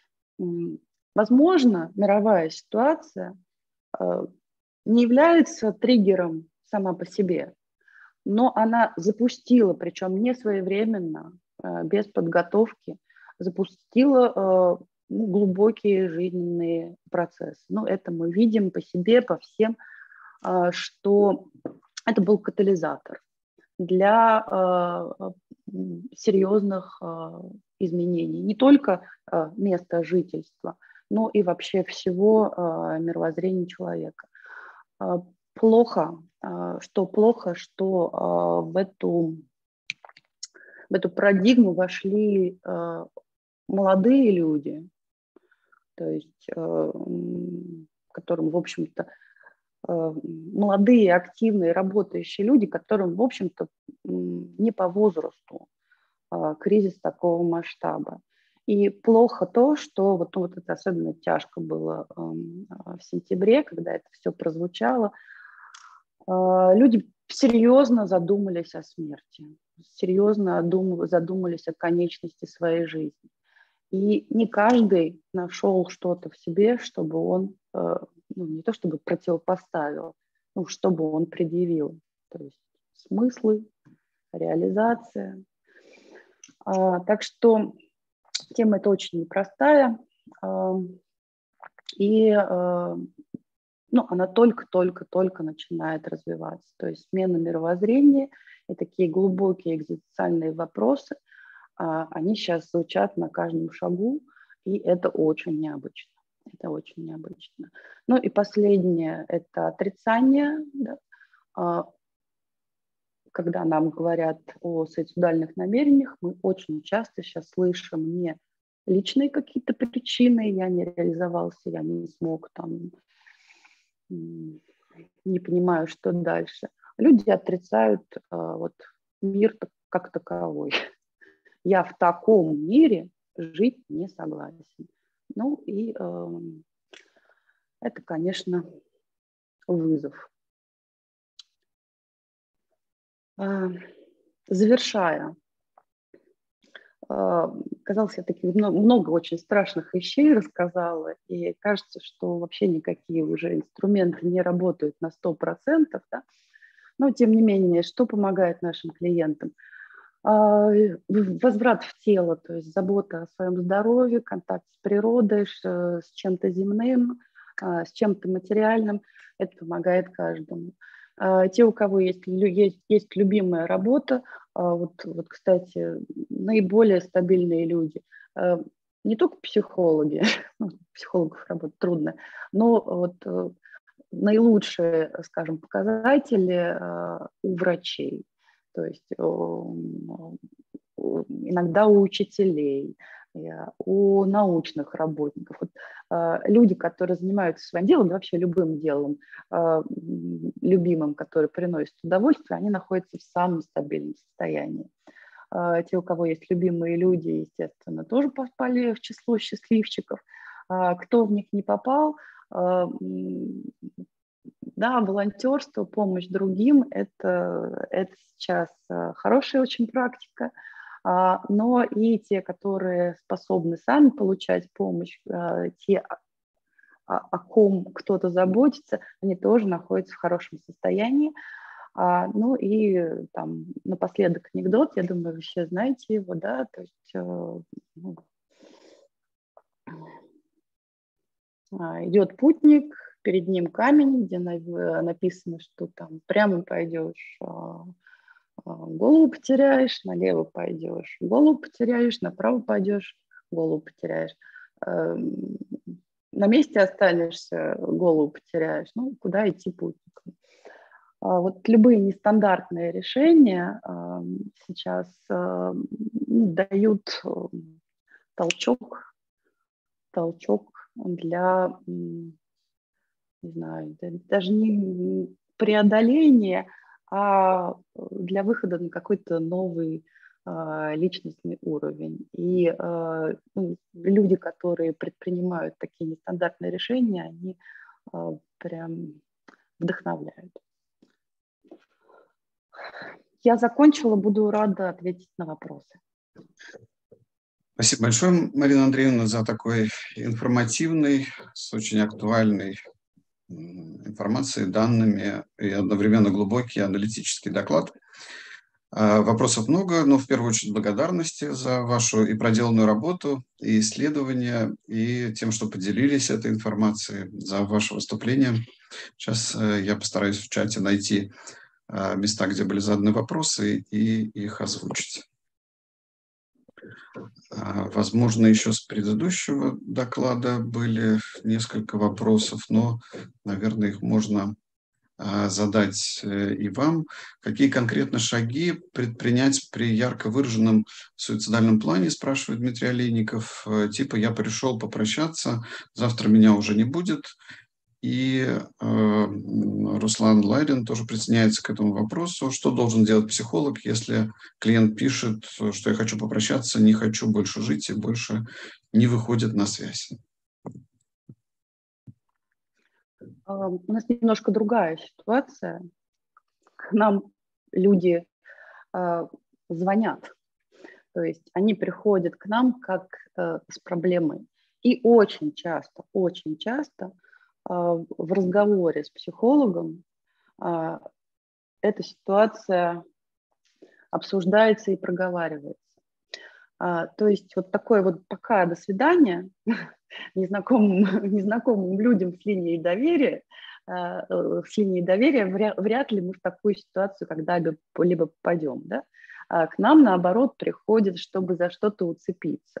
И, как правило, находя живого человека там, э, на другом конце провода, э, уже в процессе разговора человек возвращается. Что делать с теми, которые сказал э, пока, до свидания и пропадают? Э, у нас бывают такие ситуации, мы ведем тоже групповых клиентов, и часто бывает, что человек вот пропал, не приходит на группу, что с ним неизвестно, о суицидальных намерениях мы знаем, ну, а, на самом деле ничего в этой ситуации не сделаешь. Только а, ждать и надеяться.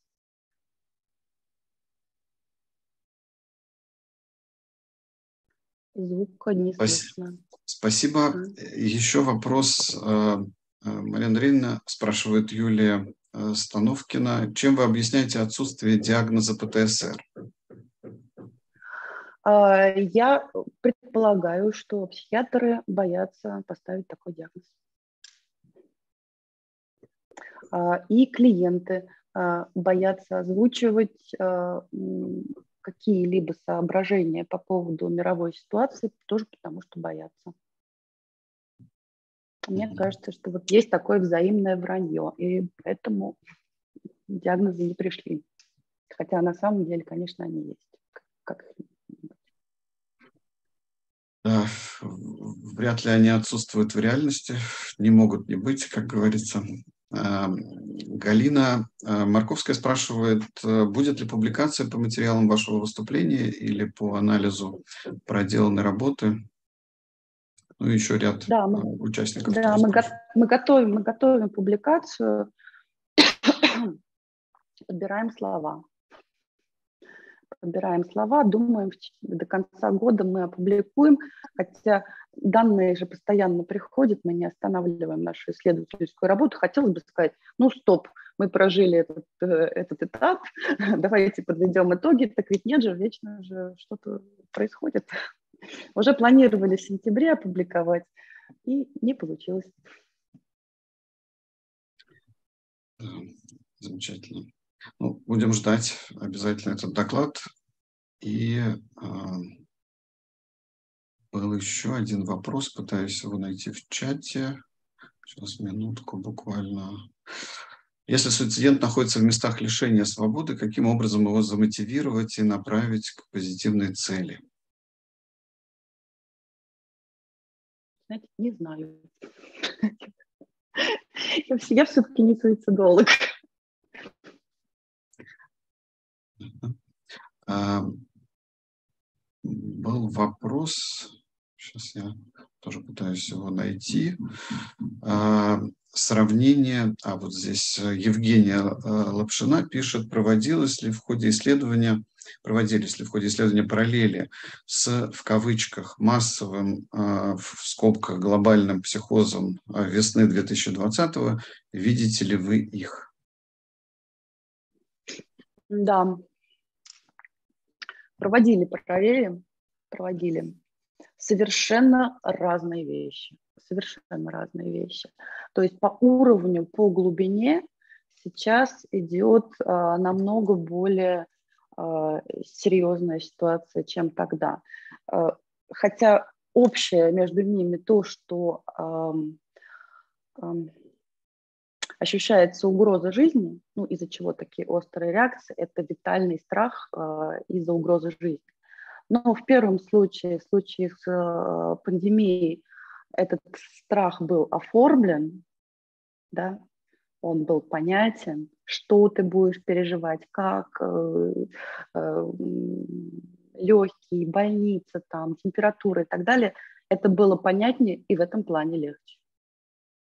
Сейчас угроза жизни чувствуется, но вот помните, я говорила, да, ждали, ждали, ждали, ждали ядерную катастрофу, дату уже все назвали 1 сентября, и, и там вот кривая была, жалко, я не показала, да, 21 вот этого никто не ожидал. И вот настроение вот было вот такое вот, с плюса на минус, вдруг, внезапно все произошло.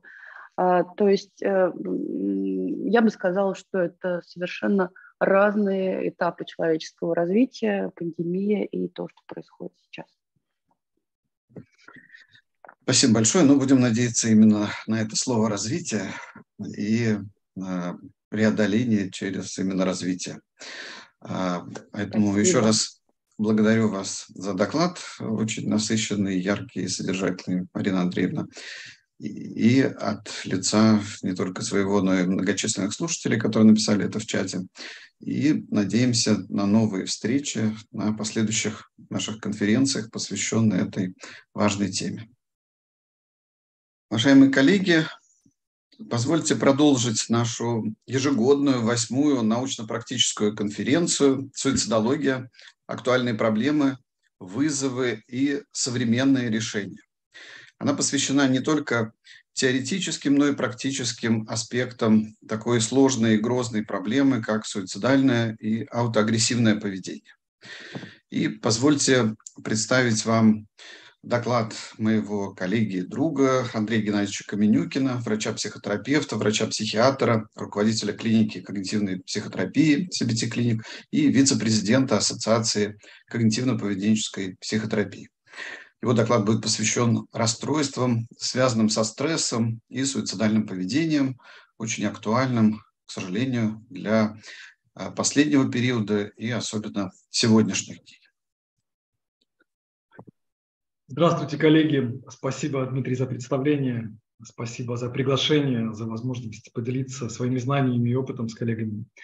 И действительно, тема, к сожалению, актуальная очень. И боюсь, что в рамках времени я не смогу полностью раскрыть, но, по крайней мере, значимость э, того, что обозначено в теме нашей конференции, я постараюсь прояснить, потому что часто, когда мы сталкиваемся с расстройствами, связанными со стрессом, мы не думаем о том, что здесь есть риски суицидального поведения, но в действительности это так. И я поделюсь с вами некоторыми исследованиями, которые на данном этапе существуют, и они показывают, как же это взаимосвязано. Но, тем не менее, хотел бы, прежде чем мы к этому подойдем, э, начать с общих аспектов, э, напомнить всем э, о том, что же такое расстройство, связанное со стрессом, потому что до сих пор, к сожалению, многие путают, что же это такое. Однако есть критерии, которые позволяют нам довольно четко определиться и четко диагностически обозначать, о каких же расстройствах идет речь.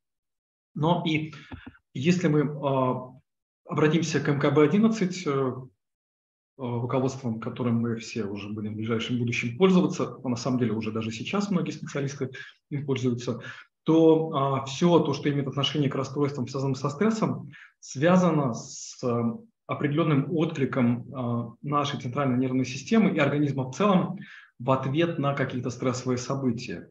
И вот здесь очень часто по опыту проведения и супервизии, и интервизий, и семинаров я сталкиваюсь с тем, что вводит в заблуждение вот этот термин «стрессовые события». Часто он интерпретируется как такой достаточно а, объемлющий не только то, что подходит под критерии, но и любые стрессовые события. Однако же расстройства, о которых я буду говорить, они возникают в ответ на определенные стрессовые события. То есть не все стрессовые события, которые возникают в жизни, они могут привести к например, к посттравматическому стрессовому расстройству или к комплексам ПТСР или к другим расстройствам, связанным со стрессом. Поэтому надо здесь э, ориентироваться достаточно верно и грамотно на критерии. Но, собственно, а какие же стрессовые факторы могут быть? Постольку, поскольку эта группа расстройств включает в себя а, целую линейку состояний, то важно понимать, что в основе этих состояний бывают разные события. Когда мы говорим о посттравматическом стрессовом расстройстве или о комплексном ПТСР, то здесь, конечно же, а, причиной этих состояний будут э, экстремальные, выходящие за рамки естественного человеческого опыта события, такие как какие-то техногенные катастрофы, сопровождающиеся разрушением зданий, падением самолетов, а, такие как какие-нибудь природные катастрофы, наводнения, землетрясения, которые приводят к жертвам ну или к э, разрушению жилых зданий. Ну и, конечно, такие события, как боевые действия, это то, что как и для, учащ... так как и для участников боевых действий, так и для гражданского населения может представлять угрозу и может приводить к посттравматическому стрессовому расстройству или к комплексному ПТСР.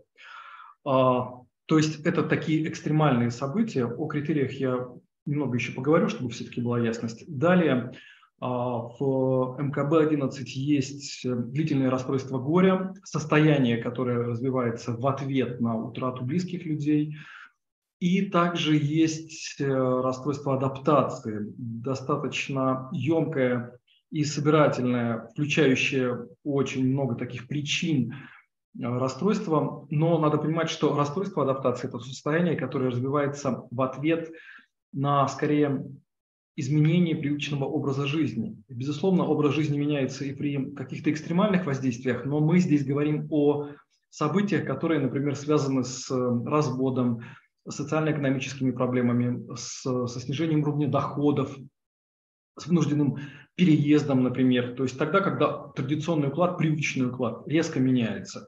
И в ответ э, на это у человека может развиться определенное эмоциональное состояние. И вот эти вот три а, таких а, ключевых причины, которые, в свою очередь, вызывают определенные расстройства, которые включены в круг расстройств со стрессом, они, в свою очередь, могут у наших клиентов вызвать переживания, которые могут включать в том числе и суицидальные риски. Но давайте последовательно разберем это все. Коротко, учитывая, что очень мало времени, я по статистике э, пройдусь. В целом важно учитывать, что, конечно, особенно сейчас, да, учитывая контекст, мы имеем высокую вероятность развития таких состояний, и Э, здесь нам, пожалуй, лучше отталкиваться не от цифр, которые декларируются в ВОЗ или в других источниках, а лучше отталкиваться от того, что вероятность э, того, что к вам попадут э, клиенты или пациенты с данными расстройствами, очень высока. Потому что, например, распространенность посттравматического стрессового расстройства в группе риска у участников боевых действий, у жертв конфликтов, у тех, кто находится в этой зоне – может возрастать до 60%. То есть здесь, э, я думаю, что мы можем реалистично оценивать э, то, что будет в нашей практике. Однако надо учитывать, что, конечно, эти расстройства могут быть, а, ну, скажем так, а, не в жалобах клиентов. То есть клиенты могут жаловаться на какие-то симптомы, и нам, как специалистам, важно уже из этих симптомов составить представление о том, что же у нашего клиента есть. Ну и вот как раз здесь, когда мы собираем э, жалобы и собираем анамнез, нам надо понимать, что же такое травма, что же такое травматическое событие, которое могло повлечь за собой определенное состояние нашего клиента. А, два типа травматических событий мы выделяем. Краткосрочное, неожиданное, то есть сексуальное насилие, какое-то нападение криминальное, а, какое-то однократное нахождение в зоне обстрелов, когда человек попал какую-то ситуацию рядом взорвались снаряды. А ДТП однократное, какое-нибудь э, воздействие последствий какой-нибудь природной катастрофы. Это все то, что именно один раз произошло и четко было очерчено во времени, является источником а, травматического опыта, но при этом, кроме таких событий, могут быть постоянно, постоянно повторяющиеся травматические события, то есть те, которые системно присутствуют в жизни человека, и в данном случае вот эти повторяющиеся события, особенно когда человек живет э, в зоне, где происходят какие-то события, которые ставят под угрозу жизнь его и его близких, они будут развивать определенный травматический опыт.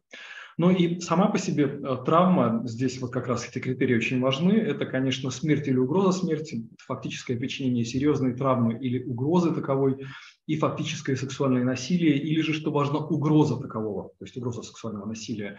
И здесь важно понимать, что как раз а, а, даже если человек был свидетелем или он подвергся какому-то нападению с угрозами, но насилию не подвергался, это может привести к развитию расстройств, связанных со стрессом. Поэтому здесь, конечно, вероятность, как мы понимаем, очень высока. Но и сами способы столкновения с травматическим опытом, а, они могут быть тоже в нескольких вариантах представлены. Это может быть прямое столкновение, когда на человека напали.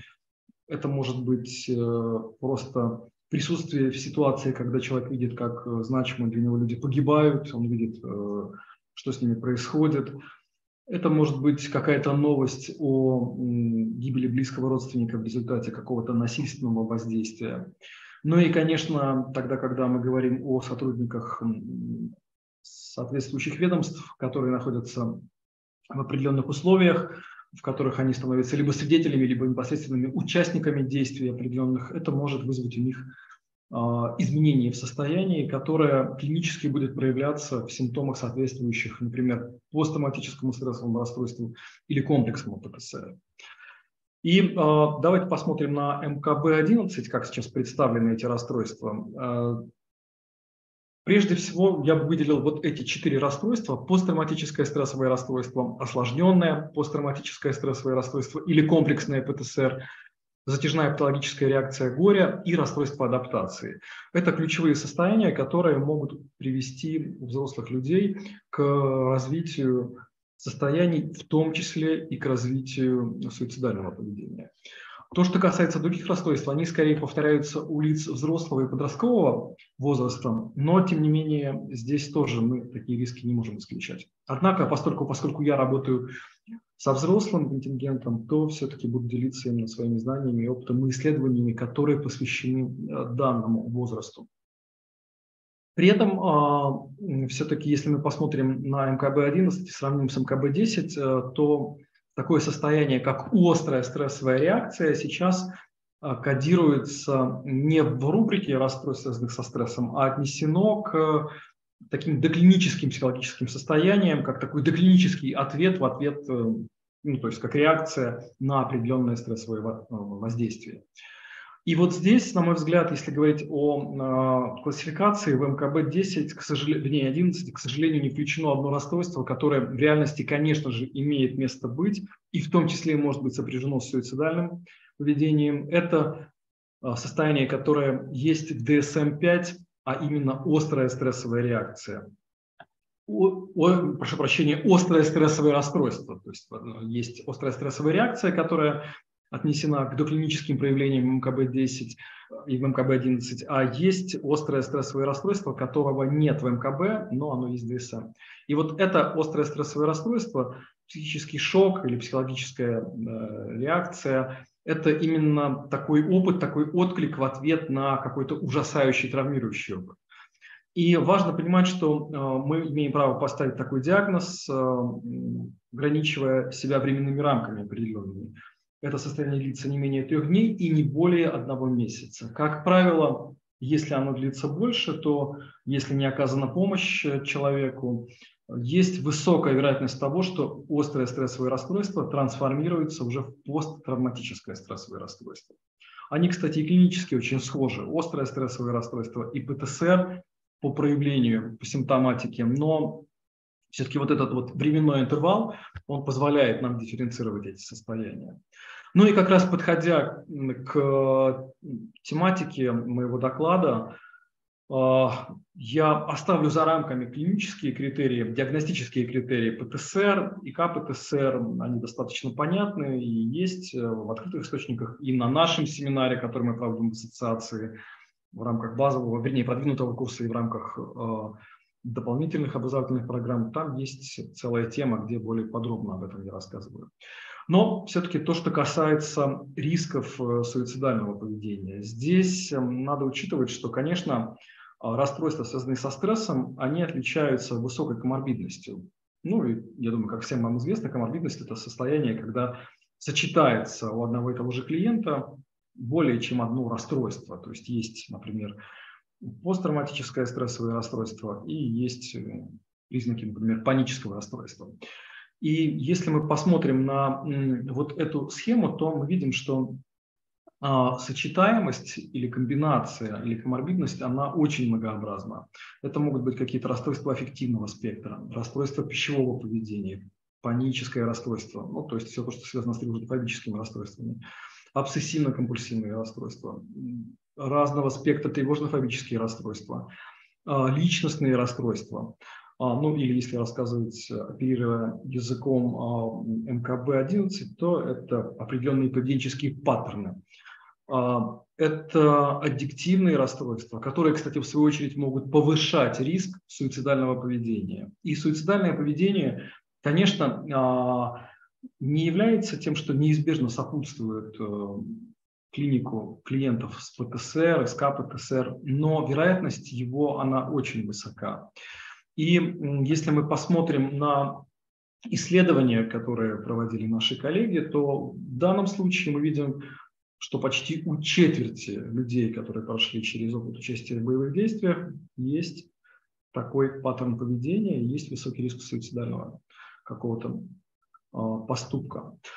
И кроме тех исследований, которые провели наши коллеги, я поделюсь несколькими исследованиями, которые не так давно на самом деле были проведены и опубликованы.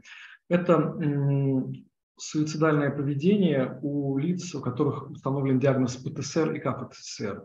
В одном из исследований показано, что сексуальное, например, насилие является важным предвестником суицидального поведения, особенно у женщин. И получается, что если у женщины было сексуальное насилие или была угроза такового, то необходимо во внимании держать в том числе и вероятность этого поведения.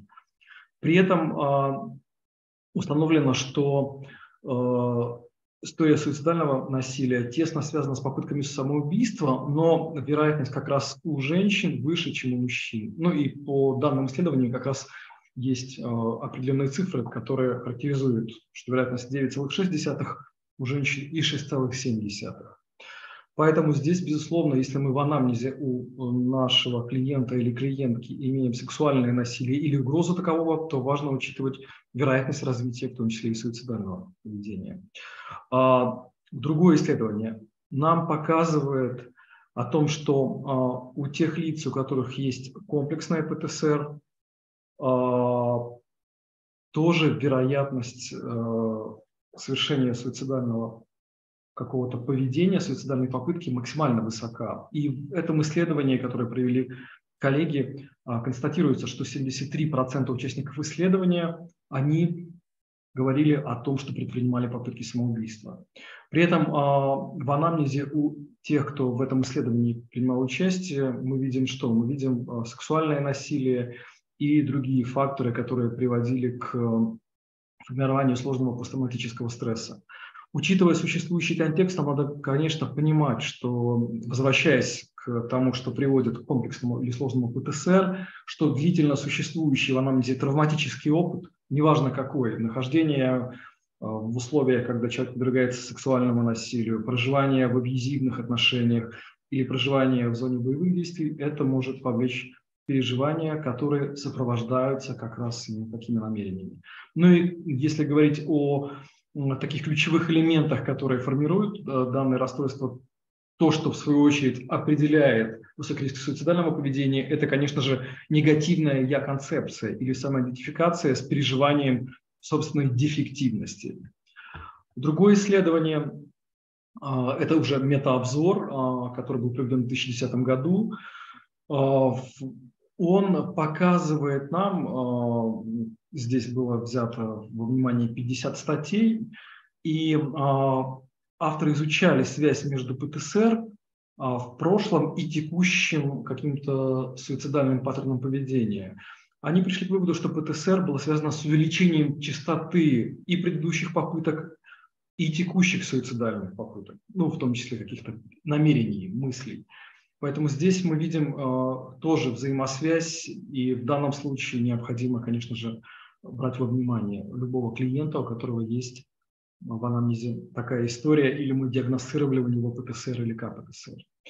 А, те исследования, о которых я упоминаю, я намеренно в презентацию включил ссылки, вы можете более подробно с ними ознакомиться, просто учитывая короткий формат выступления, я стремлюсь к тому, чтобы именно донести то, что уже установлено, и вот эту взаимосвязь показать между определенными диагнозами и высоким риском суицидального поведения. Ну и еще одно исследование, которое показывает, которое было на самом деле вот не так давно проведено, самое свежее. Это интересное исследование, которое было проведено в Швеции, там более трех миллионов участников в нем было. Оказалось, что ПТСР является основным фактором риска самоубийства, особенно у женщин. И э, у мужчин мы видим, что 0,6% самоубийств связано с ПТСР, у женщин 3,5% самоубийств обуславливается этим. Поэтому нам здесь, конечно, надо учитывать, что э, то, что совершают наши клиенты, их намерения или действия, они во многом могут быть связаны с травматическим опытом. И нам, конечно, говоря о таком э, понимании, что нужно делать, Прежде всего необходимо устанавливать верный, корректный диагноз.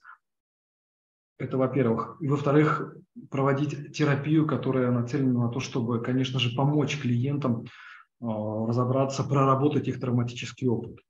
Но при этом нам важно учитывать, что если у нашего клиента есть э, намерения четкие, превалируют э, в переживаниях и в суждениях э, какая-то суицидальная готовность, то нам прежде всего необходимо, конечно же, взять во внимание этот суицидальный риск и начать работать с ним, рассматривая разные варианты, разные протоколы. Но прежде всего, если это есть, если мы это наблюдаем, то это нельзя игнорировать. И после того, когда мы прорабатываем этот опыт, дальше мы уже руководствуемся протоколом, который помогает клиентам с посттравматическим стрессовым расстройством или с, со сложным посттравматическим стрессовым расстройством пройти курс терапии, который позволит этот травматический опыт интегрировать, и, в свою очередь, это, конечно же, понизит вероятность совершения суицидального поведения.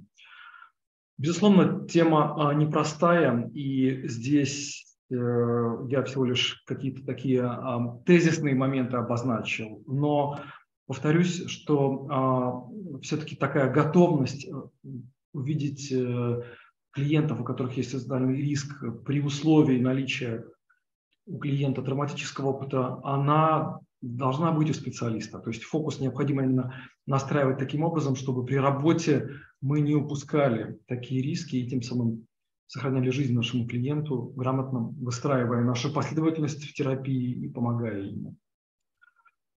Коллеги, у меня все. Если есть какие-то вопросы, пожалуйста. Презентацию обязательно отправим вам, чтобы вы могли по ссылкам пройти и более подробно знакомиться. Спасибо большое за такой содержательный доклад и ссылки на современные исследования. А, есть вопрос от Ирины э, Семчуриной. А, ОСР может возникать при разводе и при неоказании помощи перейти в ПТСР? Острое стрессовое расстройство все-таки не возникает в ответ на развод, только если в этом разводе присутствовал какой-то компонент, соответствующий критериям, а, а, ну, скажем так, сильнейшего стресса, то есть соответствующий критериям травмы, если там было какое-то насилие со стороны партнера. Но сам по себе развод – это скорее то, что может привести к расстройству адаптации, а не то событие, которое приводит к именно такому серьезному отклику. Э, иногда клиенты описывают свои переживания как действительно тяжелые, но нам важно как клиницистам ориентироваться на критерии. То есть если был тяжелый травматический опыт, то значит здесь мы имеем право говорить о ОСР, например, или ПТСР. Если же нет, то тогда а, мы в этом случае чаще всего при разводе мы можем говорить о расстройстве адаптации.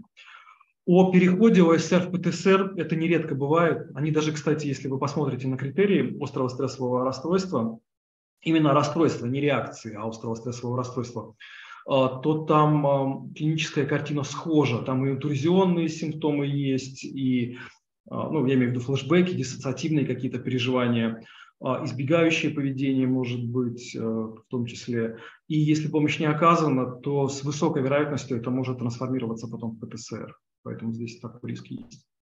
Ну и как раз тут важно как раз, э, ну, нет, таким клиентам, если мы выявляем острое стрессовое расстройство, оказывать помощь, чтобы можно было предотвратить развитие а, уже посттравматического стрессового расстройства. Спасибо большое. Э, пока вопросов я не вижу. А нет, вот э, потеря работы в связи с СВО может быть причиной ПТСР.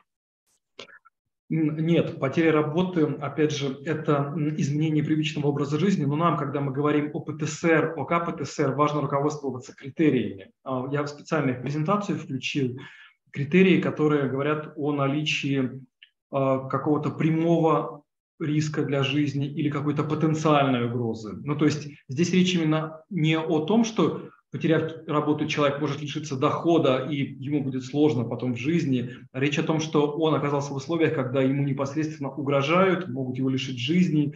И в этом случае только мы можем говорить о посттравматическом стрессовом расстройстве.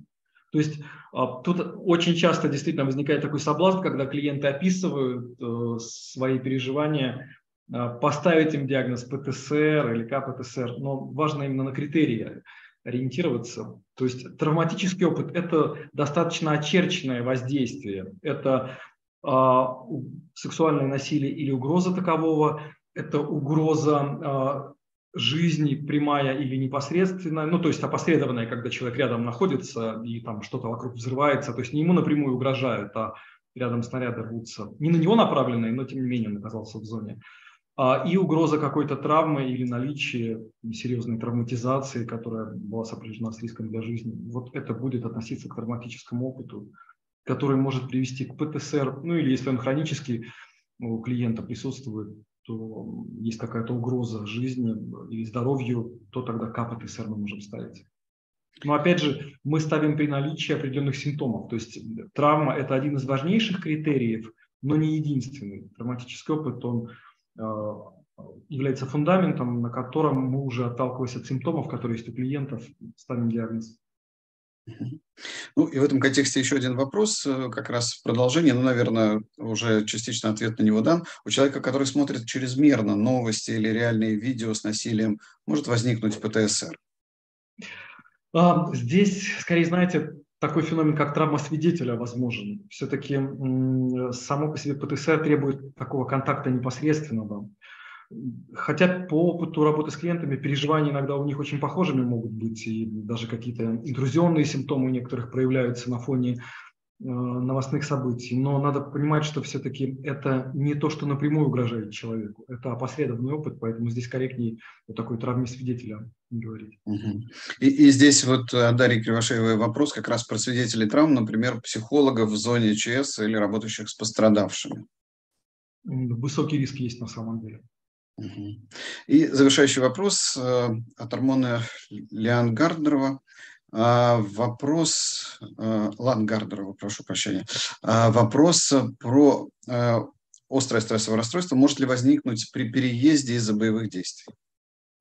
Но если, смотрите, человека эти боевые действия застали, ну, то есть, например, там он находился в городе, который стал подвергаться обстрелам, и он уехал, то здесь может быть острое стрессовое расстройство. Если он а, знает, что там к городу могут подойти какие-то боевые действия, но ничего не происходит, ну, идет какая-то эвакуация плановая. Здесь все-таки у нас недостаточно данных, чтобы говорить о наличии причин для острого стрессового расстройства. Но Хорошо, тут ты... надо смотреть, как контекст, из чего он там состоял, конечно. Ну да, здесь очень важны детали, и да. тут сложно сказать в общем, нужно персонализированно, общаясь уже непосредственно с клиентом, прояснять э, все детали и факторы, которые на него влияют, безусловно. Mm-hmm. Спасибо большое за насыщенный доклад и очень актуальный, к сожалению, в рамках текущего времени. А, Спасибо. Мы... Спасибо. Да, да. Спасибо большое. Спасибо, коллеги. Спасибо, Дмитрий. И тогда до встречи. Да, до новых встреч. А, ну и до новых встреч в рамках программы а, по суицидологии, где тоже будут представлены а, семинары и обучающие воркшопы, посвященные как раз проблематике суицидального поведения и ПТСР. Я передаю слово Максиму Александровичу Зрютину, а, медицинскому психологу, схемотерапевту и супервизору, руководителю когнитивно-поведенческого центра BCBT в Самаре и Павловского отделения Ассоциации когнитивно-поведенческой терапии. Его доклад будет посвящен суицидальным рискам при обсессивно-компульсивном расстройстве. Максим Александрович, приветствую. Да, здравствуйте. здравствуйте. Да, уважаемые коллеги, добрый день. И спасибо за возможность поделиться своим опытом и поделиться некоторыми исследованиями относительно такой ну, достаточно сложной все-таки темы. Да, все темы сложные, но ОКР имеет некие такие тенденции, что сложности в исследовании и некий обзор как раз нам с вами покажет то, что даже ряд вот этих вот исследований, которые существуют, там есть очень такие спорные моменты, есть разные результаты, которые очень важны в целом для понимания того, как нам а, взаимодействовать а, с пациентами, которых обсессивно-компульсивное расстройство. Ну и в частности, а, мы говорим про суицидальное поведение, и на самом деле риски суицидального поведения при обсессивно-компульсивном расстройстве, они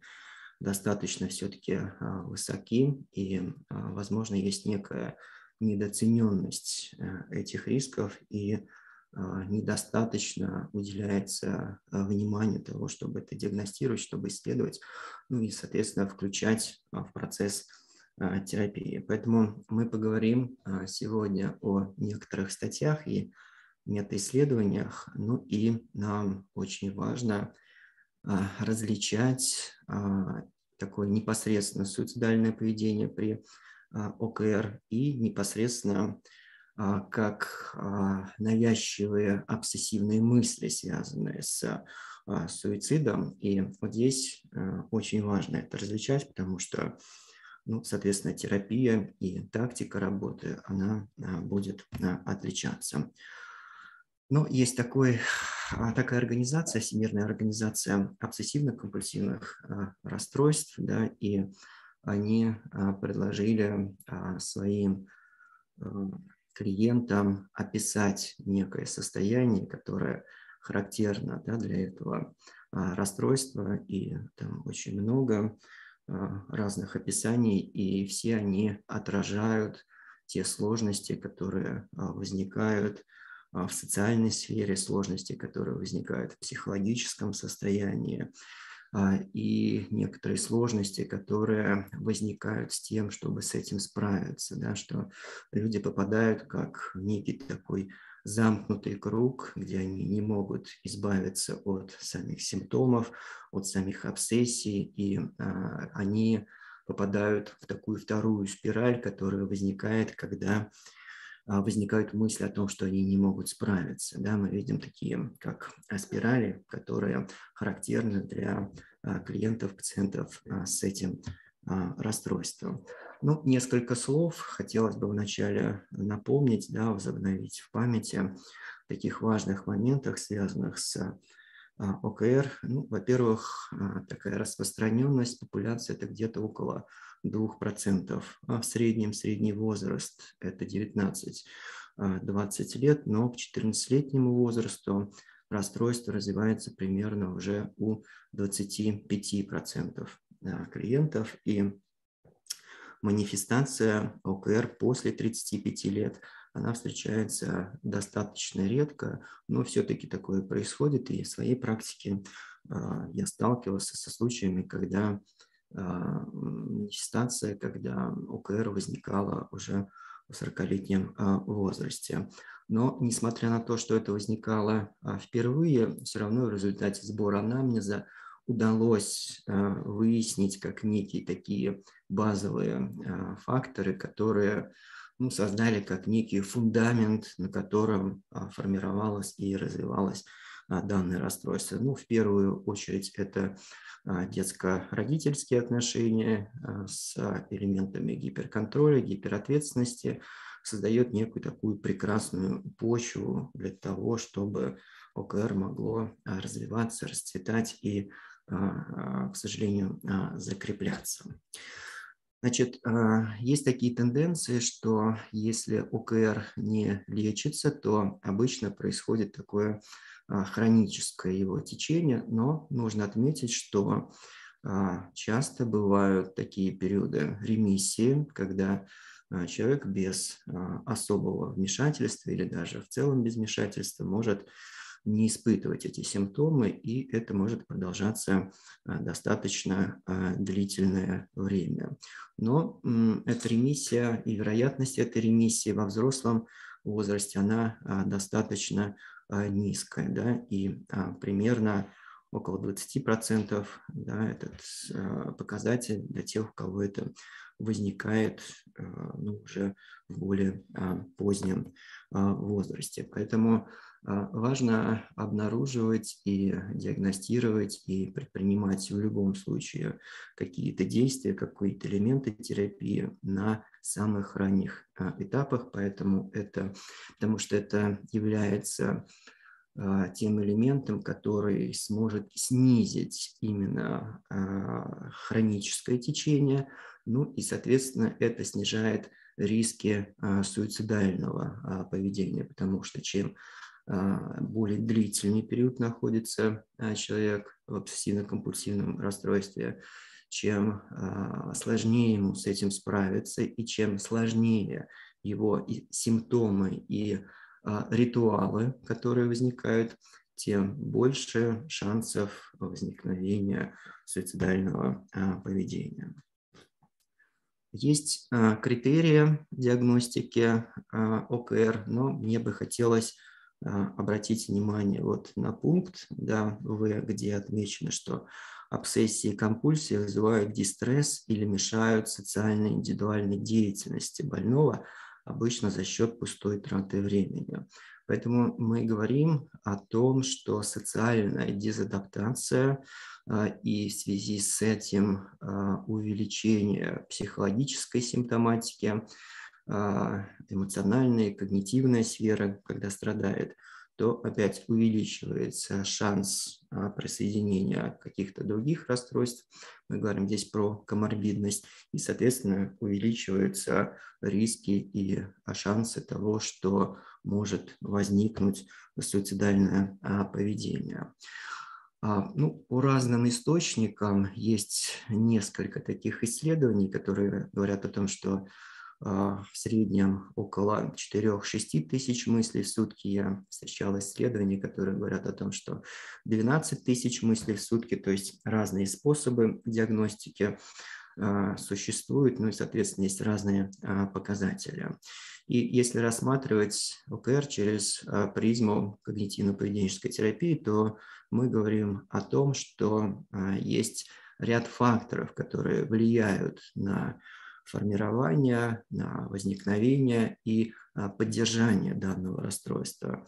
Здесь мы говорим про риски, связанные с а, генетикой, мы говорим про биологические факторы, есть концепции теории, которые говорят про а, вирусные происхождения, есть теории, которые говорят о том, что происходят определенные сбои в работе головного мозга. Э, и, безусловно, мы выделяем детско-подростковые взаимоотношения со значимыми людьми, с а, определенными стрессами, факторами, которые складываются в жизни у ребенка и подростка. И все это вместе а, может являться такой базой, основой для формирования обсессивно-компульсивного расстройства.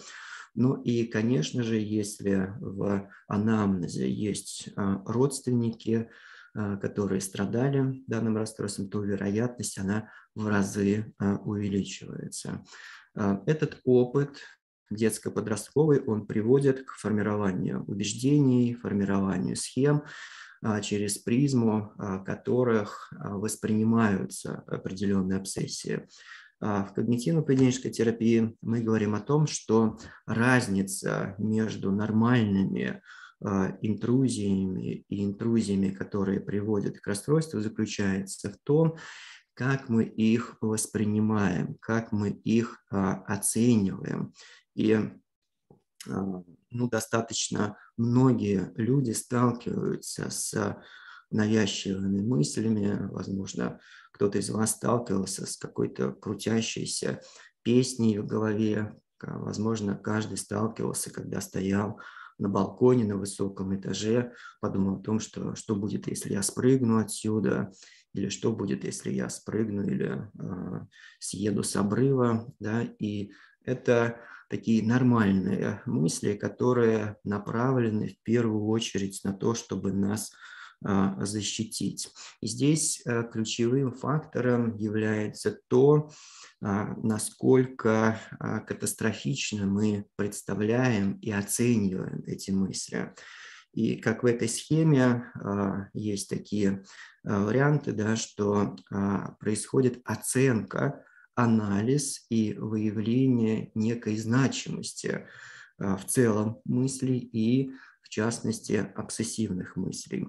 И условно, такое условное разделение, что а, если мы не говорим про а, расстройство, то какие-то мысли навязчивые, например, что я там могу знаю, спрыгнуть с балкона, они могут попасть, ну, условно, в такой спам. Мы можем к ним отнестись, спокойно подумать, ну, что у нас тут возникает, да, но имея определенные предрасположенности в виде убеждений, схем, прошлого опыта, эти мысли могут а, быть оценены с высокой значимостью да, или средней значимостью, и, соответственно, уже возникнет очень много значений их, которые и будут приводить а, уже в дальнейшем к неким ритуалам для того, чтобы справиться с этими состояниями, с этими последствиями, которые вырисовывает нам а, мышление.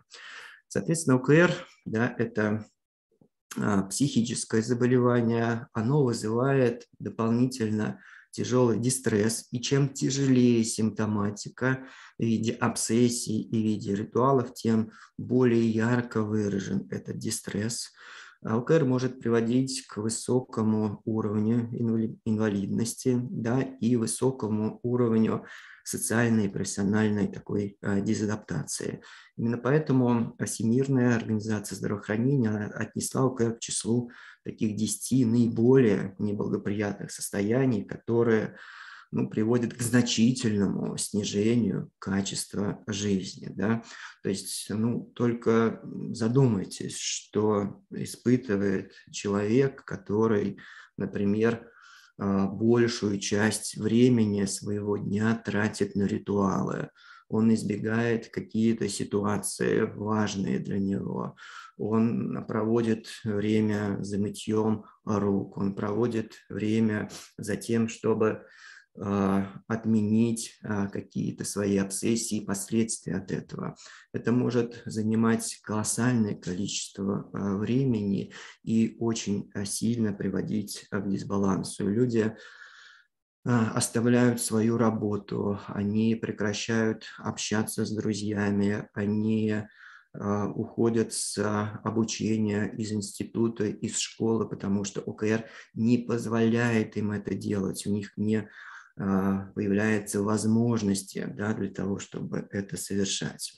А, поэтому вот этот высокий уровень а, дисбаланса, социального взаимодействия и как следствие психологического дискомфорта, который с этим, в с этим возникает, является такими важными предикторами возникновения суицидального поведения. Да?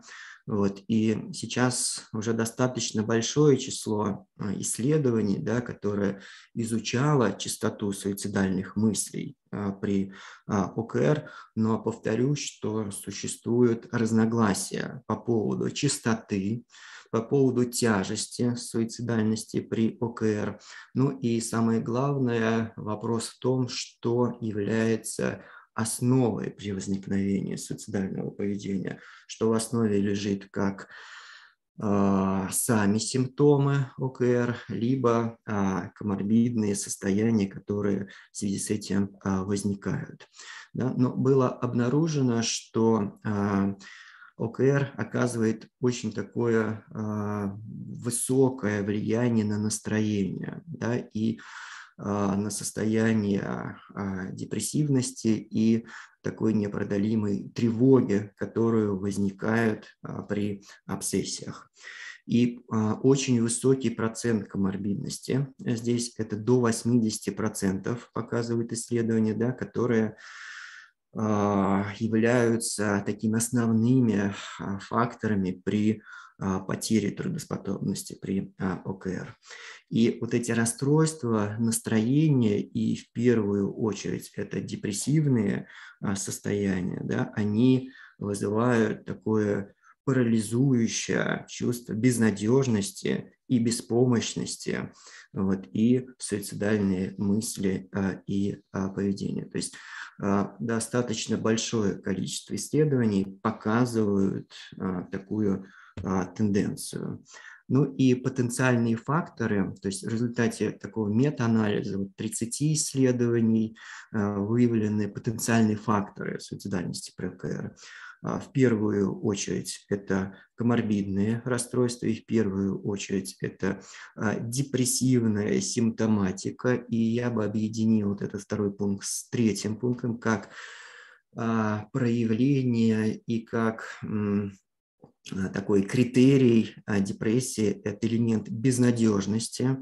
А, они показывают такие высокие а, увеличения а, в рисках возникновения суицидального поведения по сравнению с группами, где нет депрессивного состояния и где нет компонентов безнадежности.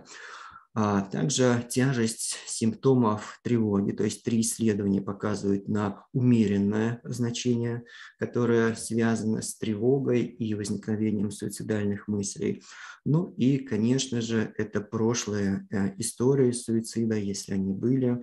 И три исследования также показывают, опять-таки, умеренные да, а, показатели в том, что риски возникновения, они здесь а, могут а, присутствовать.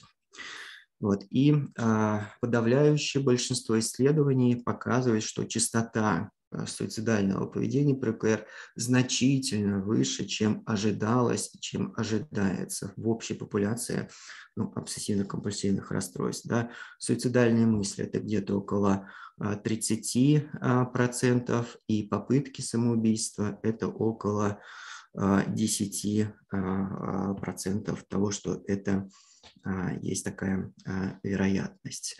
Ну и повышенные риски, если немного резюмировать, они, как правило, сосуществуют вместе с коморбидными расстройствами, вместе с общими рисками, фактами, такие риски, факторами риска суицидальности, это суицид в прошлом, например, да, это эмоционально-когнитивные факторы, безнадежность, безысходность и беспомощность, и неблагоприятные факторы, это тяжесть симптомов, а, и в первую очередь здесь выделяется тяжесть а, обсессии. Коморбидность депрессии очень высока. Ну, по разным исследованиям это 12-70%, но а большинство исследователей, они а, сходятся в таком мнении, что где-то а, одна треть, одна четвертая да, всех обращений с ОКР, она уже коморбидна с депрессией. И здесь мы можем это объединить как в некую систему, что снижение социальной поддержки, что есть некое непонимание, непринятие, социальное неодобрение людей, которые страдают данным а, расстройством. Это снижение эффективности терапии э, и не очень высокий показатель эффективности этой терапии. А, это те а, дисбалансы социальные, которые возникают у клиентов, пациентов с УКР. Они будут приводить как раз к возникновению этой триады как безнадежности, безысходности, безвоспомощности, и как присоединение этой депрессии, и как некие вот эти спирали, которые будут приводить к хронификации состояния. И все это является такими предикторами а, суицидального поведения, на которые нам стоит э, и нужно обращать внимание на этапе диагностики. Поэтому, когда мы а, диагностируем, когда мы исследуем ОКР, то а, обязательным пунктом включаем исследование суицидального поведения, предикторов, которые могут быть, и неких а, элементов, которые могут а, этому способствовать. И здесь мы выделяем как раз такие, как элементы, как руминации, как негативная фиксация на каких-то переживаниях, как гиперконтроль, как такая фокусировка на негативных событиях, элементах, которые здесь присутствуют. Это будет все являться такой прекрасной почвой для нарастания напряжения псих, а, психической деятельности, да, и будут возникать сложности в том, чтобы переключиться. И такие вторичные, по сути, попытки для того, чтобы уйти от этих размышлений, чтобы даже как-то отвлечься от этих размышлений, они будут усиливать тревогу, с одной стороны, но с другой стороны они будут усиливать элементы безысходности и безнадежности, что будет приводить к еще большей такой э, напряженности в нашей психике и, соответственно, к возникновению суицидального э, поведения. Да? Ну и такой очень важный вопрос, которым э, задаются исследователи, что сопутствующее заболевание является ли таким основным элементом или все-таки а, таким сопутствующим а, э, процессом, который а, объясняет повышенный уровень риска суицидального поведения, что нет ли того, что сами симптомы ОКР без, а, например, коморбидности с депрессией могут приводить к суицидальному поведению. Но здесь есть разные а, мнения и разные да, представления. Есть идея о том, что а, вот эта безнадежность и беспомощность является как неким таким ну, новообразованием в системе убеждений а, пациента и клиента, как некие такие дополнительные элементы, которые вызывают напряжение и, соответственно, постепенно приводят к этим а, суицидальным а, попыткам и поведению. Но рядом исследователей было обнаружено, что обсессии в первую очередь, не компульсия, а именно обсессии, они а, могут, ну, особенно тяжелые обсессии, могут действовать как такой специфический для ОКР механизм, который приводит к суицидальности. То есть мы говорим о том, что отношение к суицидальным мыслям, вероятно, без этой триады может а, приводить к размышлениям о суицидальном а, а, поведения. Да? И вот как раз эти исследования показывают, что как при коморбидных расстройствах, так и при отсутствии коморбидных расстройствах показывают высокий риск а, суицидальности. И выделяют именно значимость, именно катастрофичность и именно то содержание качественное обсессий, которое будет приводить к суицидальному поведению. И вот здесь такое процентное соотношение того, насколько это вероятно. Но а, вот если немного поделиться своим опытом, то а, мне достаточно часто попадались клиенты, у которых были сексуальные негативные обсессии, в частности, связанные с педофилией, у них возникал очень высокий риск а, суицида и были суицидальные мысли, а, у которых было некое значение, что это недопустимо в системе их ценностей, мировоззрения, их поведения, и опас, опасение того, что это может произойти, приводит к тому, к тем идеям, что лучше мне вообще не жить, нежели чем быть таким, как, как транслируют эти обсессивные а, мысли. Поэтому гипотетически мы а, и в результате вот этих исследований мы можем а, говорить о том, что а, без коморбидности и сами обсессии, они также могут приводить к формированию а, суицидального а, поведения. Поэтому нам очень важно не упускать вот это из виду, да, когда мы сталкиваемся в клинической практике в работе с клиентами с ОКР. Да, и также вот такой метаобзор показал, что вот когнитивно-поведенческая терапия, она снижает суицидальные, эти навязчивые а, мысли или поведение, независимость от того, что есть ли коморбидные расстройства или их нет, и есть некое значение этих а, обсессий, о которых а, транслирует нам наш клиент. И крайне важно отличать именно суицидальные мысли и поведение как риск суицида, ну и так называемое суицидальное обсессивно-компульсивное расстройство. Это один из подтипов ОКР, а, который связан с нежелательными мыслями, образами, а, какими-то импульсами, фантазиями относительно самоубийства. Вот. И а, это, этот подтип, он очень тесно связан с ОКР с причинением вреда. Да? И мы можем отнести ОКР с суицидальными обсессиями как раз к типу ОКР причинению вреда. Но в любом случае к этим мыслям стоит относиться, относиться достаточно серьезно и а, именно четко диагностировать а, вот, различия между этим. А, и люди вот в суицидальном ОКР, они не являются более склонными к самоубийству, чем люди с другими подтипами ОКР. Что если у клиента ОКР там симметрии или ОКР связанный там с мытьем рук или ОКР связанный с суицидальными мыслями, то риски, они здесь а, примерно одинаковые, зависят уже от тех факторов, которые мы а, проговорили ну, чуть ранее.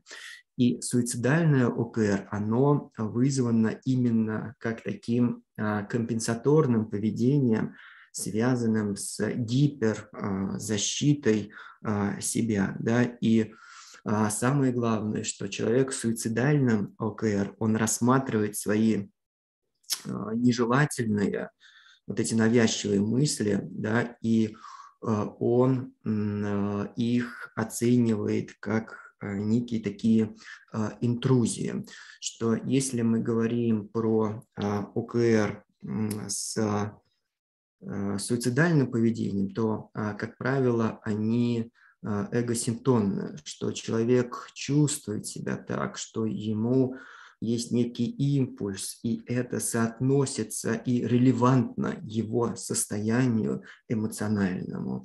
И если мы говорим про мысли обсесси... А, навязчивые, связанные с а, ОКР, то, как правило, они эгодистонные, что а, это как некое внедрение, что это вызывает тревогу, и как следствие это вызывает определенные ритуалы для того, чтобы а, с этим а, справиться.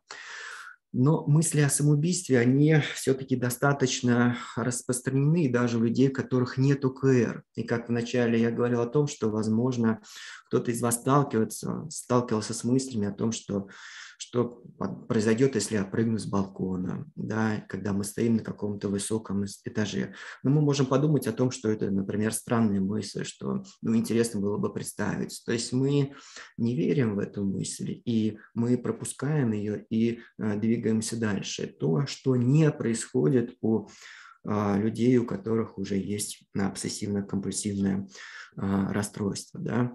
И как раз они а, чуть по-другому их оценивают и считают, что от этих мыслей нужно избавляться и что невозможно в то же время от них избавиться. Да? Вот. И они придают им некое значение, что у меня только могла быть, что я хотел спрыгнуть, что это значит, что это сделаю. Да, иначе почему я так подумал? То есть у них возникает как такое патологическое сомнение, а действительно ли это не произойдет, а зачем тогда я об этом подумал? То есть есть некий элемент недоверия к себе, у них нет желания, и наоборот, они выстраивают свое поведение на то, чтобы это а, предотвратить. И дальше у них возникают такие вторичные уже мысли относительно этого, что как я мог поступить, что подумают обо мне мои близкие, родственники, если у меня это возникают. Да? И здесь выделяют ну, разные мысли, это навязчивые какие-то картинки, образы, которые связаны с причинением себе вреда. Это желание спрыгнуть там с балкона, с горы, с моста, еще с каких-то высоких а, объектов. Это, например, а, выехать на встречную полосу, на полосу встречного движения, может быть, съехать с обрыва. Это, а, например, что я могу прыгнуть под перед поездом, перед машиной и так далее. То есть различные мысли, которые направлены на то, что может а, быть связано с этими попытками а, суицида. Но и, соответственно, ОКР, компульсии, они здесь не заставляют себя ждать, и существуют разные варианты, то, как люди с этим справляются. Ну, во-первых, это поиск заверений, что Человек может беседовать со своими близкими, друзьями, спрашивать у них, есть ли у вас такие мысли, нормально ли это или ненормально. Это некий мысленный обзор да, того, как это происходит. Они могут переосмысливать каждый раз, что они уже были на этом походе, например, и не прыгнули с этой горы. Они уже стояли на этом балконе и не прыгнули с этого балкона и так далее. То есть некие такие размышления, обзор того, что это не произошло. А, ну, классика – это избегание, человек не сталкивается с теми стимулами, которые может, могут запустить это, он не ходит на балконы, он не ходит рядом там, с трассой, он не поднимается на высокие этажи и так далее. То есть все то, что поможет не столкнуться с этим. Ну и как некие такие а, сравнения. Он изучает прошлый опыт и сталкивается, ну, сравнивает его с настоящим да, что вот он может там посмотреть, и там была какая-то история, что человеку было 27 лет, когда он это сделал. И сейчас, например, клиенту 27 лет, означает ли это, что это в опасности? Означает ли это, что я тоже могу совершить а, какой-то а, суицид? Да, такие сравнения, они могут быть достаточно тяжелыми, и а, люди с этими расстройствами могут достаточно сильно попадать в это, ну и, соответственно, тратить на это очень много времени здесь. Поэтому, немного резюмируя, да, скажу о том, что нам важно в первую очередь, когда мы сталкиваемся с клиентами, у которых обсессивно-компульсивное расстройство, во-первых, определить э, риски действительно суицидального поведения и если это суицидальное поведение продиагностировать, определить, что это является действительно таким истинным суицидальным э, поведением э, или это является обсессивным таким компонентам, которые связаны с ОКР, да, и уже отталкиваясь от этого, ну, а, выстраивать а, саму терапию. Да, и это было бы очень важно для того, чтобы для того, чтобы снизить риски суицида при ОКР, потому что статистика тоже есть по этому вопросу, который говорит о том, что если мы не обращаем на это внимание, то мы можем пропустить, к сожалению, этот момент. Поэтому я призываю э, к тому, чтобы все-таки на это обращать внимание. Да, спасибо за... Спасибо большое, Максим Александрович. Есть ряд вопросов. Можно их тогда воспроизвести. А, первый вопрос Анна Шкекина. А, как по степени выраженности проявляется хроническое течение ОКР? А, ну, по степени выраженности в первую очередь мы говорим о двух критериях. Первое – это социальная дезадаптация, второй критерий – это то, сколько времени тратится на а, ритуалы. То есть чем а, больше на это тратится время, чем больше социальная дезадаптация, тем больше мы можем говорить о степени тяжести и, соответственно, о степени о таком хроническом течении. Но бывает хроническое течение и на таком а, среднем а, уровне. Да? То есть это средняя симптоматика, среднее а, такое дезадаптация, но это существует на протяжении э, длительного времени. Как правило, это уже более года, и люди находятся уже, как правило, десятилетиями даже в этом состоянии, но на разных степенях тяжести. И здесь особое внимание, опять-таки, мы уделяем вот, проявлению, выявлению этих суицидальных а, проявлений. Спасибо большое. Эльнара Мустафина спрашивает, а могут ли деструктивные мысли проявляться как ОКР? У меня мастер по мебели рассказывал про то, что порой, находясь с людьми, он крутит в голове мысли о том, как он причиняет людям физическую боль. В скобках хочет ранить инструментом. А, ну, насколько я понял вопрос, да, что здесь не связаны, наверное, мысли с именно суицидальным поведением. Здесь мы а, видим а, такой подтип ОКР, как с причинением вреда. И если мы говорим про суицидальный ОКР, то оно тоже относится к причинению вреда, но только при суицидальном ОКР это вред себе, а при причинении вреда это вред а, кому-то другому, то есть другому человеку. Да? Соответственно, по сути, подтип один и тот же, но разный вектор направленности здесь будет. Спасибо большое. Э, и благодарит а, ну, автор предыдущего вопроса. Я, наверное, добавил, что все равно есть риски перехода того, что а, вот этот подтип причинения вреда, он может и переключиться в какой-то момент человек и на себя, если будут соответствующие какие-то предпосылки, ну или такая хорошая почва для этого прорастания. А, Анна Филиппова спрашивает, может ли самоиндуцированная рвота быть симптомом ОКР?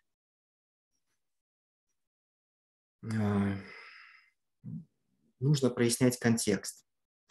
А, если это ритуал, ну, судя по всему, мы видим, что это, скорее всего, ритуал, да, потому что это вряд ли будет обсессия. Тогда нам нужно понять, что за этим стоит.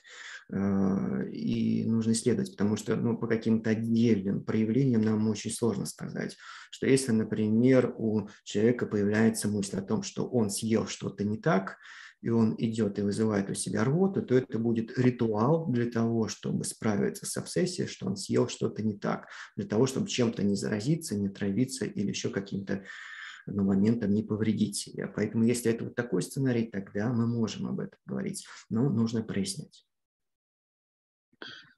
А, спасибо. И а, вопрос Никиты Лукашова. Подскажите, пожалуйста, если клиент боится, что его тревожные мысли и симптомы доведут его до суицида, при этом в скобках он хочет жить, высок ли риск суицидального поведения? Да, как мы уже с вами говорили, что здесь, э, в этом случае, скорее всего, будет суицидальный УКР, но мы все равно придаем значение да, этим мыслям и а, систематически мы, ну, условно так, мониторим, не переросло и не появляется ли дополнительно да, вот эти суицидальные мысли, которые связаны уже с тем, что человек, например, при этом столкнулся с беспомощностью, с безысходностью, у него какая-то негативная оценка этих обсессий, которые вызывают у него этот дистресс, да, и, соответственно, это может привести. То есть теоретически это может быть, как показывают исследования, поэтому нам нужно обязательно обращать на это внимание и не думать вот таким образом, а, это суицидальный УКР, ну и ладно, забываем про суицид и больше к этой теме не возвращаемся. Не стоит этого делать и стоит мониторить об этом. А, ну, очень много вопросов. Я постараюсь еще на несколько озвучить, на несколько, я надеюсь, Максим Александрович сможет ответить, иначе мы сильно выбьемся из графика нашей конференции. А, Дмитрий Олейников спрашивает, так, сейчас съехал у меня чат, а, пардон, сейчас вернусь на поч... а на почве чего возникают подобные обсессии. Ну, судя по времени 14.24, шла речь о э, суицидальном ОКР. Есть ли какой-то общий знаменатель у таких клиентов? Да, ну, есть тоже, я сталкивался с некоторыми исследованиями, которые вот этот вопрос поднимают, но если поделиться немного своим опытом, то а, но чаще всего я сталкивался с тем, что а, у кого-то а, из какую-то историю клиент слушал, слышал о попытке суицида. И, соответственно, вот эта история очень часто является таким важным элементом в том, что у клиента при а, суицидальном ОКР это а, возникает. Это достаточно распространенная такая история.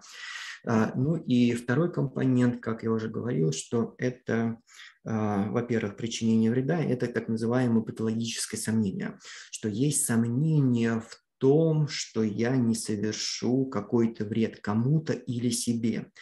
И уже на почву этого сомнения присоединяется вот этот элемент, да, потому что, как мы уже с вами говорили, что какие-то мысли, похожие на суицидальные, не спрыгнуть ли мне там, не выехать на встречку, они могут быть и у людей, у которых нет УКР. И, соответственно, у людей ОКР, если они возникают, а так как это большая вероятность, то, соответственно, э, вот эта структура мышления, она зацепится. И вот этот подтип ОКР, связанный с э, причинением вреда, связанный с логическим сомнением, он сразу же зафиксируется, и эта тема будет культивироваться и развиваться в дальнейшем. Спасибо большое. Ну, пара-тройка, к сожалению, чуть больше вопросов, чем мы можем ответить. Э, э, Ангардоров Фармон спрашивает, ОКР может иметь хронический, запятая, прогрессирующий или эпизодический характер? Все три варианта могут присутствовать. И второй вопрос э, тут же, а какие главные убеждения у людей, страдающих этим расстройством? Ну, здесь я бы, э, здесь есть очень э, такая уже концепция когнитивная относительно когнитивной терапии ОКР, и есть такая хорошая книга по отношению к этому вопросу. Пол Сальковскис, да, а, он как раз исследовал этот момент, он выделяет несколько таких категорий убеждений и глубинных убеждений, и связанных с ним промежуточных убеждений, которые связаны с гиперконтролем, которые связаны с тем, что есть элементы недоверия себе, которые связаны в первую очередь это с непривлекательностью, что если это совершу, то как это воспримется сообществом, как меня оценят, что будут обо мне думать. И, наверное, вот в моей практике тоже я проводил как некий такой анализ ну, для себя лично. А, ну, в процентах, наверное, 70-80 я сталкивался именно с категорией непривлекательности. Если мы говорим про категорию Джудит Бек, то какая будет оценка а, социума, общества а, того, как это проявляется.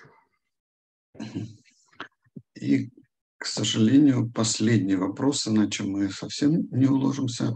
А, Светлана Шурон, суицидальный ОКР – это всегда коморбидность депрессии или последствия ее? А, здесь дело в том, что если мы говорим про суицидальное ОКР, то оно может вообще не быть э, ни с чем коморбидно, оно может быть как такое единичная нозология, но обсессия, они будут иметь суицидальный характер.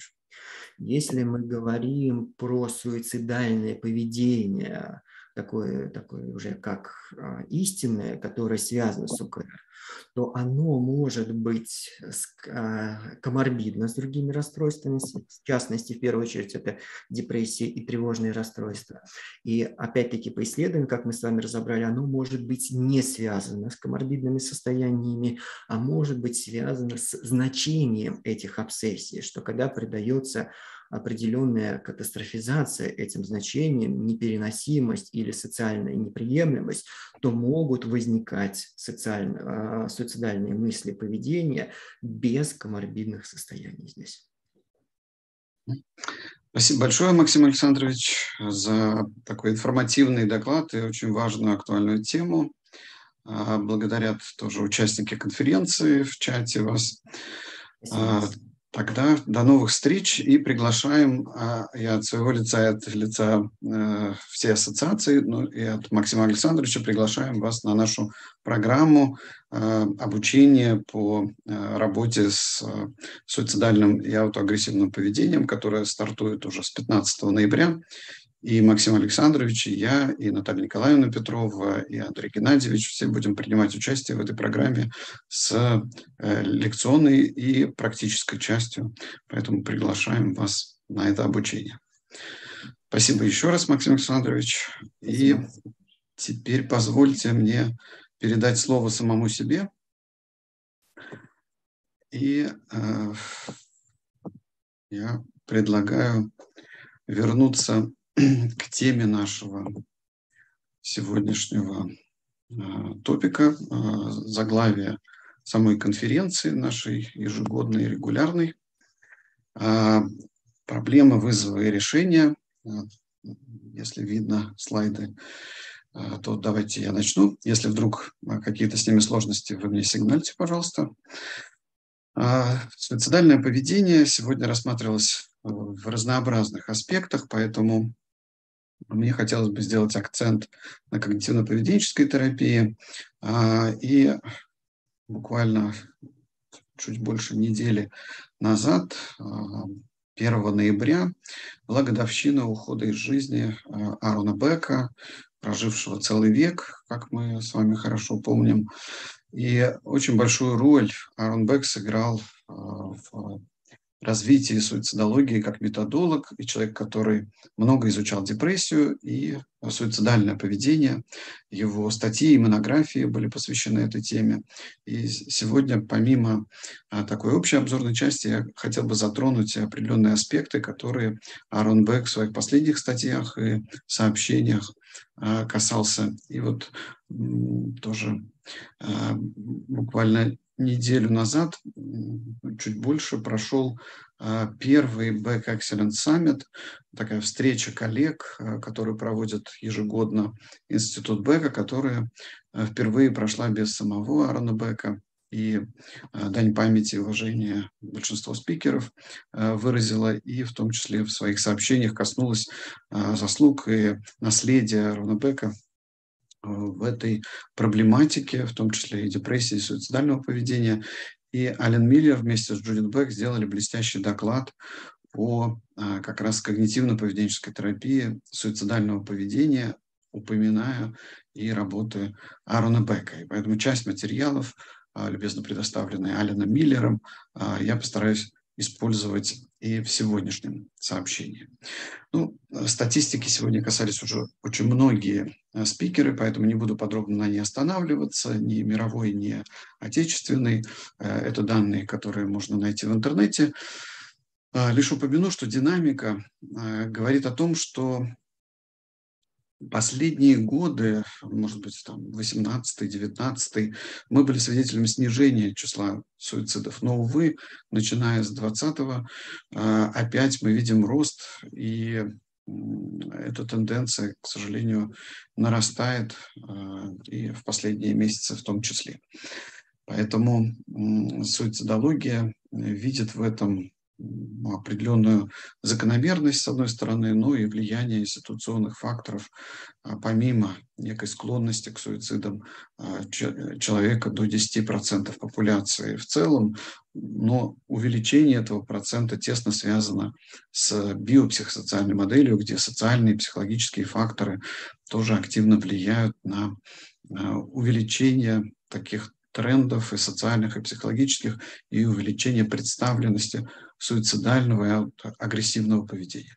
Наиболее подробные исследования а, за последние 2-3 года проводились в Соединенных Штатах, поэтому а, здесь некие данные, которыми с нами поделились наши американские коллеги. И вот они тоже отмечают рост а, сначала снижения до 2019 года и начиная с 2020 и 2021 года рост суицидального поведения и аутоагрессивного поведения. И, конечно, все возрасты затрагивает э, эта проблематика, в том числе и даже детско-подростковые суициды, как мы знаем, и касается это, конечно, в первую очередь такого трудоспособного населения, но большой проблемой является и для пожилого контингента. А, по возрастам и по полу мы знаем такие проблемы а, распределения, что а, завершенные суициды у мужчин чаще представлены.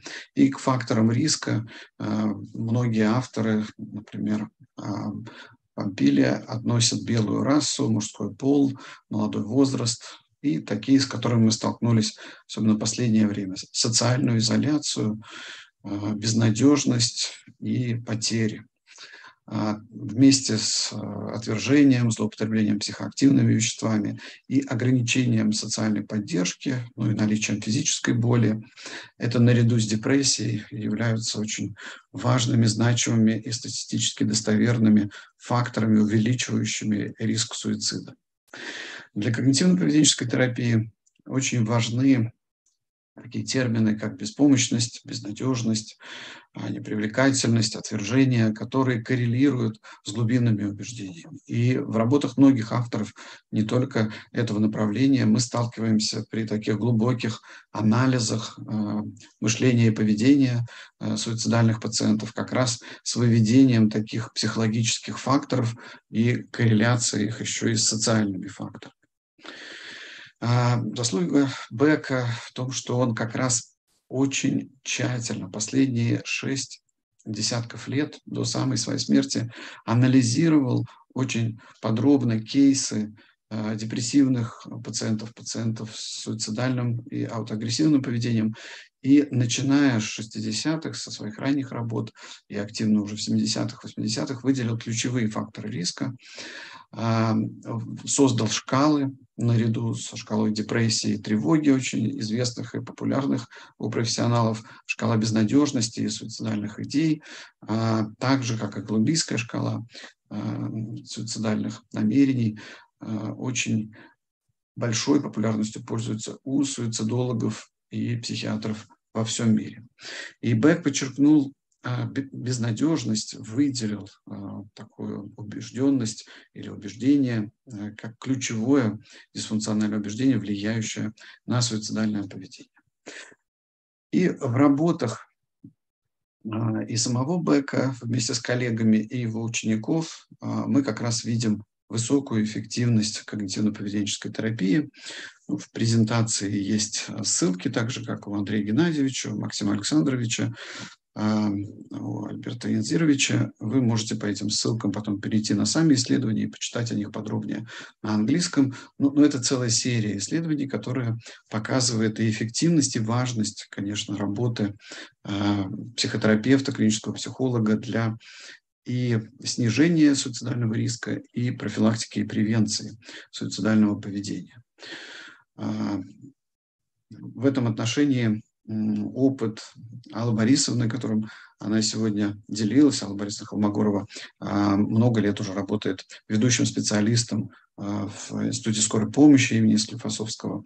А, он коррелирует как раз с опытом наших зарубежных коллег, которые показывают, как вот необходимые буквально такие краткосрочные вмешательства Э, в амбулаторной помощи и в такой стационарной практике, куда привозят э, пациентов по скорой, э, очень важны, чтобы предупредить вторичную такую профилактику, использовать повторные суициды, очень грозный такой фактор ухода из жизни, если они превращаются в такие серийные суицидальные попытки.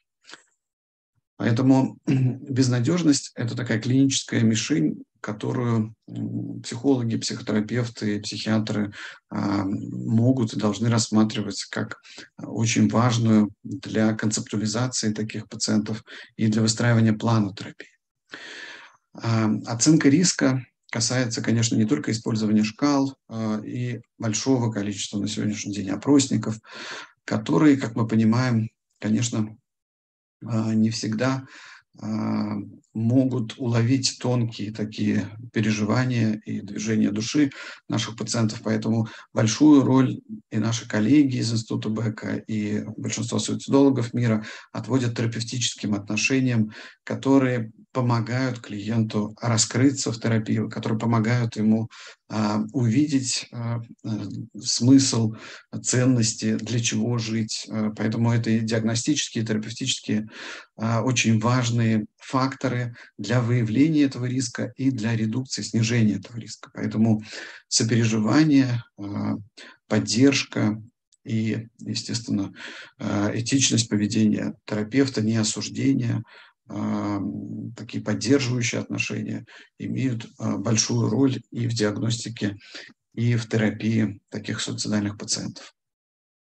Наша задача прояснить фабулу, раскрыть содержание идеи, прояснить, дифференцировать э, смутное желание как некую фазу и этап развития суицидального поведения и уже конкретный план, как более поздний этап развития суицидальности, серьезности, частоту этих мыслей и интенсивность этого желания, которую выявляют не только тесты и опросники, но и как раз терапевтические отношения и такой диалог которые помогают эти терапевтические отношения сделать более открытым и поддерживающим. А задачей терапии суицидального поведения, конечно, является изменение или такая когнитивная реструктуризация искаженной ценностной ориентации. То есть буквально фильтры депрессогенные, суицидогенные, которые мы вскрываем с помощью диагностики, которые мы раскрываем с помощью концептуализации, а, помогают нам увидеть э, глубину проблематики, где поведение становится такой верхушкой айсберга. И э, для того, чтобы такие э, факторы терапии были более конструктивными, более содержательными, более продуктивными, конечно, необходимо раскрывать э, как систему э, мышления и поведения суицидального пациента и видеть за деревьями лес, видеть какой кризис, чаще всего, опять же, системный кризис а, проживает наш клиент или пациент. То, о чем сегодня в первой половине говорила Марина Андреевна, в том числе такой экзистенциальный кризис, ценностный, смысловой. Поэтому необходимо задействовать резервы жизнестойкости, а, которые касаются, раскрывают даже специфику той темы, описанной а, Альбертом Муртазиным, Альбертом Низировичем в его докладе о когнитивной терапии, направленной на восстановление. А, это буквально такие навыки совладания с дистрессом, это возможности такой оперативной помощи для наших пациентов. Ну, здесь сложно описать э, всю палитру тех методов, которые CTR раскрывает для специалистов, но э, в рамках обучающих программ мы постараемся использовать э, обучение, в том числе и этим техникам и методикам. Конечно, то, что описала сегодня Наталья Николаевна э, Петрова, оптимизацию фармакотерапии, а, потому что вы видите, что для а, молодежи, для лиц такого возраста студенческого и подросткового, некоторые препараты, пусть незначимо, но увеличивают риск суицидального поведения, и мы знаем это из практики, и не только из таких аналитических статей. Ресурсы неформальной поддержки. Большую роль играет социальное окружение. Микросоциум семьи а, и как ресурс, который может оказаться негативным или суицидогенным, и наоборот, как ресурс, который необходимо использовать в терапии для поддержки. То же самое касается окружающей среды, а, какие-то для подростков компании, в том числе а, и такие пресловутые клубы суицидентов в онлайн-среде, на примере там, нашумевшего синего кита. И наоборот, группа поддержки, референтная группа, которая видит э, некие смыслы, ценности и помогает их а, транслировать человеку, находящемуся в кризисном состоянии, именно как помощь и поддержку. И велика роль здесь групповой терапии, где могут а, больший эффект получить наши пациенты наряду с индивидуальной терапией, которая, конечно, необходима на первом этапе как введение, но усиливать эту индивидуальную терапию а, большинство суицидологов как раз предлагает и такими адекватными и адаптирующими а, групповыми формами терапии. Много говорилось сегодня об эффекте надежды, много в CTR направлена на надежду. И, конечно, а, здесь безнадежность, как прямая альтернатива этой безнадежности, как ключевой предиктор, ключевой фактор, ключевое убеждение суицидальных пациентов, требует от нас уравновесить вот эти наклоненные в сторону безнадежности весы нашего пациента, который принимает решение, есть ли смысл продолжать эту жизнь, ради чего стоит жить. А, и вот усилить надежду – это не просто такой трюизм, но и задача, которую ставят перед собой когнитивно-поведенческие терапевты, опираясь сегодня на технологию, методологию, предложенную Институтом Бека. А, это, с одной стороны, та же беседа, которую мы видим а, в стандартной терапии, но направленная на прояснение вот этих ресурсов, несмотря на эти депрессогенные и суицидогенные фильтры, которые отсекают этот прошлый опыт, буквально туннельное восприятие и мышление, как описывал сегодня Алла Борисовна, формирует у наших клиентов и пациентов. И вот здесь э, психотерапевты становятся такой поддержкой, помогающей увидеть такой луч света в темном царстве, помогая вспомнить тот опыт, который обязательно был а, у нашего клиента, несмотря на его э, текущее игнорирование этого опыта и отрицание его. Поэтому мы можем прояснить, а, что было в опыте э, нашего клиента, что мы можем использовать в качестве ресурса.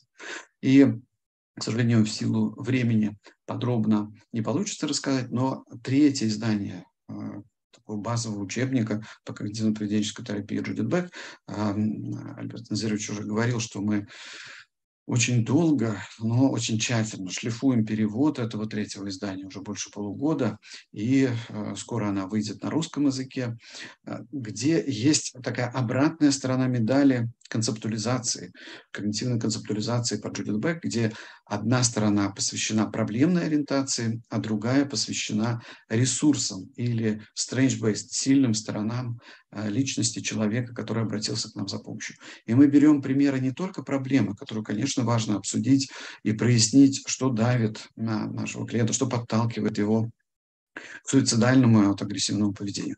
Ну и, конечно, мы проясняем те факторы, которые могли бы а, помочь ему склонить чашу весов а, в пользу жизни. И эти примеры точно есть у наших клиентов, и задача специалиста как раз помочь даже в этом сумраке депрессии, в этом отчаянии, в котором пребывает наш клиент, увидеть смыслы, вспомнить ценности и стараться следовать им а, с помощью терапии. Поэтому альтернативой тем глубинным убеждениям, которые мы хорошо знаем, и их категории, беспомощность, непривлекательность никчемность, получили э, свои такие альтернативы. Это глубина убеждения эффективности, где уверенность приходит на смену такой неуверенности и беспомощности, которая подталкивает человека очень часто к безнадежности, отвержение, которое стоит вот таким заслоном в голове человека, мешающему увидеть а, возможности общения с другими людьми. А, может быть изменена на привлекательность и глубину убеждения достоинства. Такой перевод мы выбрали. А, многокомпонентный, но это в первую очередь такое самопринятие. Принятие себя, безусловное самопринятие, как еще а, в 60-х годах говорил Альберт Эллис. Ну и а, Альберт Мустасин уже упоминал а, концептуализацию нашей ассоциации, и здесь мы а, раскрываем такой важный компонент потребностей, который хорошо известно а, и для схемотерапевтов, эмоциональные потребности, которые известны большинству психологов еще с работы Абрахама Маслоу, его такой пресловутой пирамиды, хотя, в общем, это уже последователи Маслоу рисовали эту пирамиду, иерархии некой потребности. Но мы больше опираемся здесь на биопсихосоциальную модель Рожа Энгеля еще в 1977 году он предложил видеть вот эти домены, такие ключевые аспекты биологических а, а, потребностей или биологической стороны феномена человека, психологической его составляющей и социальной. Поэтому часто наши слушатели или даже пациенты, клиенты спрашивают, откуда же берутся эти глубинные убеждения, с чем их дисфункциональность, например, связана. А, изучая очень много кейсов, а, работая над этой концептуализацией много лет, мы увидели а, такие протосхемы, ситуации, в которых выковывались эти схемы. Сегодня Олег Геннадьевич рассказывал об ПТСР. Вот травмы, которые пережили многие люди, не обязательно до уровня ПТСР, и дефициты которые они недополучили в жизни, могут служить такой кузницей, где выковываются дисфункциональные глубины убеждений. И наоборот, удовлетворение этих значимых потребностей а, в противовес их фрустрации а, помогает сформировать такую более адаптивную я-концепцию с функциональной системой убеждений. Представление о себе, представление о значимых других и мире, и системы правил, системы ожиданий, э, неких условных предположений, и системы а, отношений которые влияют уже как направляющие на автоматические и произвольные мысли, давая набор в одном случае дисфункциональных, в другом случае функциональных реакций. И с суицидальными пациентами это особо значимо, потому что буквально текущие актуальные потребности у этих клиентов, у этих пациентов жестко фрустрированы. Безнадежность ставит железный такой заслон на пути их удовлетворения. Я не вижу себя в будущем. А, это означает, что я не вижу смысла в этом существовании, я не вижу пользы от него, я не вижу возможности самореализации, или, как говорил Маслоу, самоактуализации. Поэтому важно, чтобы а, видение себя в будущем механизм антиципации а, вновь включился, потому что как только он отрезается, об этом говорил Бек на многих конференциях, в том числе на юбилее Института Бека, что важно видеть это будущее, несмотря на возраст и ситуацию. А, вот эта нить, связующая человека с сегодняшним днем, своим прошлым и будущим, важно, чтобы не прерывалась. И вот в этом году к сожалению, ушел из жизни Андрей Владимирович Гнездилов, а, замечательный психотерапевт, потрясающий мастер своего дела, человек, который, а, благодаря усилиям которого был создан первый хоспис в России, в Ольгино, и который большую часть жизни его курировал и помогал его работе, как практикующий и психиатр, и психолог, и психотерапевт вот он подарил нам такую блестящую метафору, прислав а, статью со своими коллегами на одной из конференций а, клинические павловские чтения, научно-практическую конференцию. Вот заголовок этой статьи был, а, казалось бы, не очень научный. Даже если нам завтра умирать, мы сажаем картошку. Казалось бы, банальность, такой трюизм, но в докладе Андрей Владимирович как раз раскрыл вот эту важность, для чего жить, какой смысл – а, какой посыл мы вкладываем в эту жизнь. И а, в работах Бека мы видим как раз а, корреляцию бессмысленности, безнадежности и беспомощности с суицидальным поведением. И поэтому Ален Миллер в своем докладе и выступлениях, когда он приезжал, проводил семинар по ПТСР у нас в Санкт-Петербурге, как раз показывал, как работает возможность увидеть этот луч света в, в темном царстве, возможности для оптимизма. Конечно, не в виде шапкозакидательства, не в виде таких голословных утверждений, но обнаруживая вместе с нашим пациентом, нашим клиентом его положительные личностные качества, его возможности. И вот он приводил такую метафору хрустального шара, что откуда ты знаешь, что точно ничего не получится? То есть такая альтернатива его убежденности или предубежденности, что я пробовал, все плохо, никогда ничего уже не выйдет. То есть такое сверхобобщение, дихотомическое мышление, а, черно-белое, а, предсказание негативного будущего, все то, что мы знаем хорошо из когнитивно-поведенческой терапии. Но здесь еще с таким посылом, давай попробуем, попробуем вместе. И, возможно, а, у нас получится, потому что есть надежный инструмент, у нас есть надежная методология и технология в виде когнитивно-поведенческой терапии, которая и научно обоснована, и практически а, многими исследованиями, которые сегодня тоже звучали, показывает свою эффективность даже в таких драматических ситуациях и тяжелых, которые кажутся безвыходными. Поэтому нам важно сделать нашу терапию такой понятной и прозрачной для наших клиентов, чтобы они видели, куда мы идем, чтобы они тоже увидели эту возможность, чтобы тоже загорелись а, этой возможностью, так же, как и мы, веря в то, что человеку можно помочь, что человек может с этим справиться. Даже когда он не верит в себя, наша вера может стать для него поддержкой. Поэтому как мы это будем делать, очень важно увидеть клиента, очень важно увидеть такой маршрут, а, пусть даже в виде сначала обзорной экскурсии, куда мы двигаемся, что нам может помочь, как мы сможем это исследовать. И такой фидбэк, как это для вас звучит, что вы об этом думаете, что вы в этом видите, а, очень важен. И это не только такое выстраивание рабочего альянса и терапевтических отношений, это действительно та ясность, прозрачность, которая тоже часть вот этой силы, помогающей клиенту двигаться в этом направлении. Поэтому на каждой сессии, предлагал Эллен Миллер и Джудит Бек, видеть хотя бы маленькие нюансы, которые, выстраиваясь в цепочку, могут показать э, эту надежду, могут показать определенный прогресс, могут показать определенные возможности изменений и даже уже текущие изменения. Поэтому важно чтобы мы видели вот такую абреакцию, релизинг, который испытывает клиент, когда какой-то хотя бы минимальный вопрос проясняется. И на примере вот этого облегчения, который, например, в Single Session терапии показывал Винди Драйден, недавно проводи, проводивший такой блестящий семинар, обучающий сертификационный а, по односессионной терапии, как это делал Элис во многих сессиях, как это делал Бэк, показывать, что это возможно, показывать, что это работает, чтобы у клиента формировался не просто кредит доверия, но опоры, а, которые выбиты были многочисленными травмами, стрессами и тяжелыми для него жизненными обстоятельствами. Поэтому помимо safety plan, а, очень известного инструмента, на котором я сейчас не буду останавливаться, помимо конкретных ступеней этапов, это отдельные разговоры, это обучающие уже семинары, как выглядит когнитивно-поведенческая терапия, как мы занимаемся реструктуризацией, а, Эффект надежды очень важен и во многих школах и подходах, и в стандартной КПТ, и в диалектико-поведенческой терапии, и в экзистенциально-гуманистической. А, мы говорим об этой надежде, и иногда буквально сегодня будет тоже об этом упоминание еще, формируем такие инструменты, как э, хопбокс, такая коробочка или шкатулка надежды, куда буквально технически мы можем собирать предметы, ценности, э, даже иногда в материальном смысле. Э, вещи такие, связующие нас с какими-то воспоминаниями, связующие наших клиентов с какими-то важными событиями в их жизни, ресурсными состояниями. И в духовной сфере, и в психологической и даже буквально физической, когда они чувствовали себя более энергичными, уверенными. И примеры, которые приводил Ален Миллер э, для этой коробочки, это фотографии таких важных моментов, значимых, ценностных из жизни. Для кого-то религия становится поддержкой, это отрывки из Библии или других э, религиозных книг.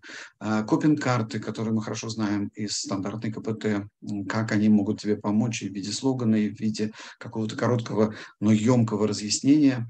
Но это и такие состояния, которые буквально связаны с нашей психофизиологией, то есть виды природы, какая-то музыка, музыка, которая поддерживала. Иногда вот этот маленький эффект или эффект последней капли в негативную сторону склоняет человека к суициду и наоборот может стать такой спасительной соломинкой.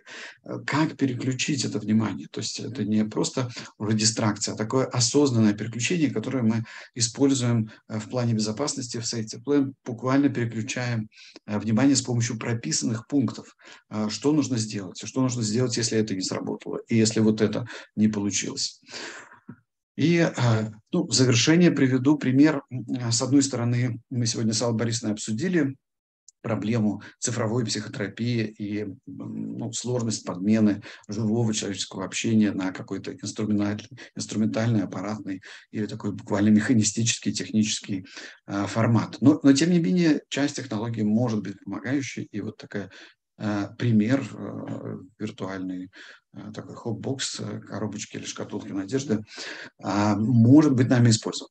Конечно, не стоит переоценивать влияние таких приложений, как уже говорила Алла Борисовна, вот такая обратная сторона медали, такая Э, излишняя вера в искусственный интеллект или в какие-то алгоритмы или в цифровые технологии, что исследования, которые проводили наши коллеги, они не показали, э, что существенно уменьшились суицидальные мысли. Они лишь показали, что некие методики совладания э, могут работать с помощью таких приложений. К сожалению, опять же, формат времени не позволяет мне подробно коснуться всех аспектов, но, надеюсь, на обучающих программах мы сможем их затронуть. И сейчас я готов ответить на некоторые буквально а, вопросы, которые есть в чате. И более эффективные антисуицидальные факторы могут активизировать у субъекта антисуицидальный барьер. Ну, в первую очередь, э, я уже упоминал, безнадежность является таким критерием а, тяжести состояния, и очень многие шкалы теста-опросника как раз выявляют эффект этого дисфункционального убеждения. Поэтому то, что дает этот эффект надежды, а, считается в терапии очень значимым и помогающим.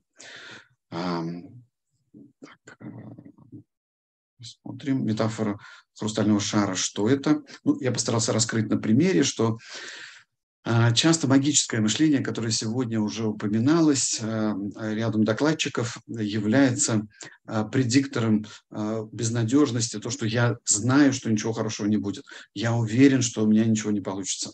То есть возникает такая ложная иллюзия тупика безвыходности. И поэтому Ален Миллер предлагает критически отнестись э, к магии, к тому, что ты точно знаешь будущее. Вот есть ли у тебя гарантии, что ты можешь это предсказать? Ну, как, не знаю, для страхов полета на самолете, можешь ли ты гарантировать, что твой самолет разобьется? А, да, вот Мартина Лютера Светлана Шурон тоже цитирует, что тоже пример такой надежды. А, I have a dream, как мы помним, говорил Мартин Лютер, у меня есть мечта. Спасибо большое, коллеги. А, я остановлюсь, чтобы а, было время и у следующих докладчиков, поэтому благодарю за поддержку и отклики и а, предлагаю слово передать Дарье Вадимовне Довбыш, старшему преподавателю первого медицинского, Московского государственного медицинского университета имени Сеченова Минздрава России, клиническому психологу психиатрической больницы имени Сухаревой, ее доклад «Представление современных подростков о смерти, способы формирования, виды и их влияние на причины возникновения суицидальных наклонностей». Здравствуйте, Дарья Мадивна. Спасибо большое, что присоединились к нашей конференции. Добрый день. Добрый день. Я благодарна за приглашение уже несколько лет подряд. Э, очень рада быть участником вашего форума и делиться каким-то нашим опытом, знаниями и слушать прекрасные доклады. Всегда классная возможность. Спасибо вам огромное за наше такое долгосрочное и многолетнее сотрудничество. Спасибо.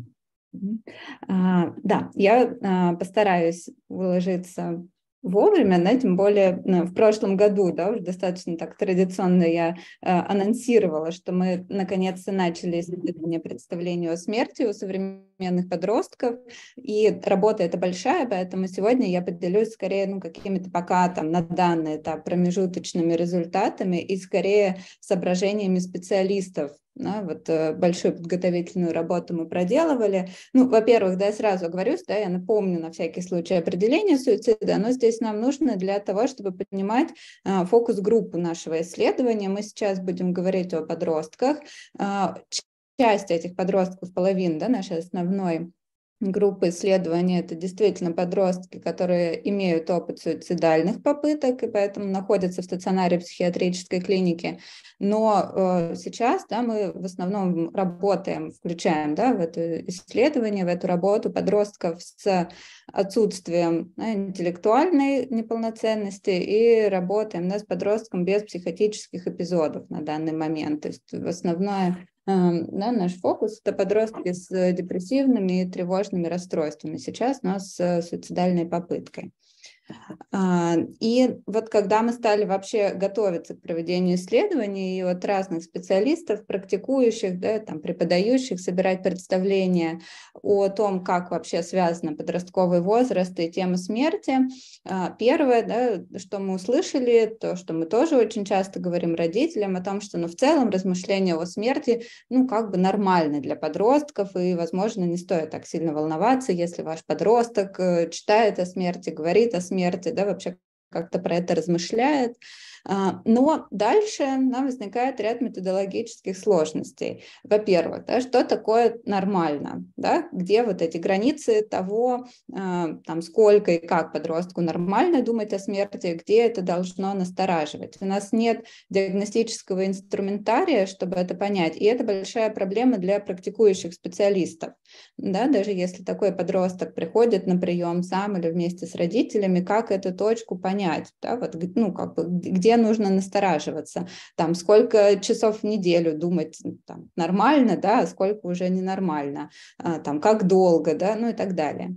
Э, второй большой методологический, да, тоже для нас ну, сложностью оказалось да, отсутствие э, или очень разные критерии нормативности, да, вот что значит вообще нормально думать о смерти. А, и здесь можно вспомнить да, статью Лычкова и Ракитянского вообще да, о норме и патологии. Но а, проведя опрос среди большого количества специалистов, в принципе, мы поняли, а, как большая часть да, психологов определяет, но все-таки да, вот интуитивно, с опорой на свой опыт и интуицию, что такое нормальное размышление о смерти, либо с опорой на свой имеющийся профессиональный опыт. Да, и тогда, например, я работаю с подростками с суицидальными попытками, и мне вообще кажется, что нормально для подростков очень много размышлять о смерти. На мои коллеги, которые работают в школах, в принципе, считают, что не очень нормально так много размышлять. Или мы опираемся на свой человеческий опыт. Да? Вот я в подростковом возрасте не думала много о смерти, и поэтому мне кажется достаточно настораживающим, да, что подросток много об этом думает. А, и третья большая сложность, собственно, отсутствие современных исследований, представления о смерти подростков.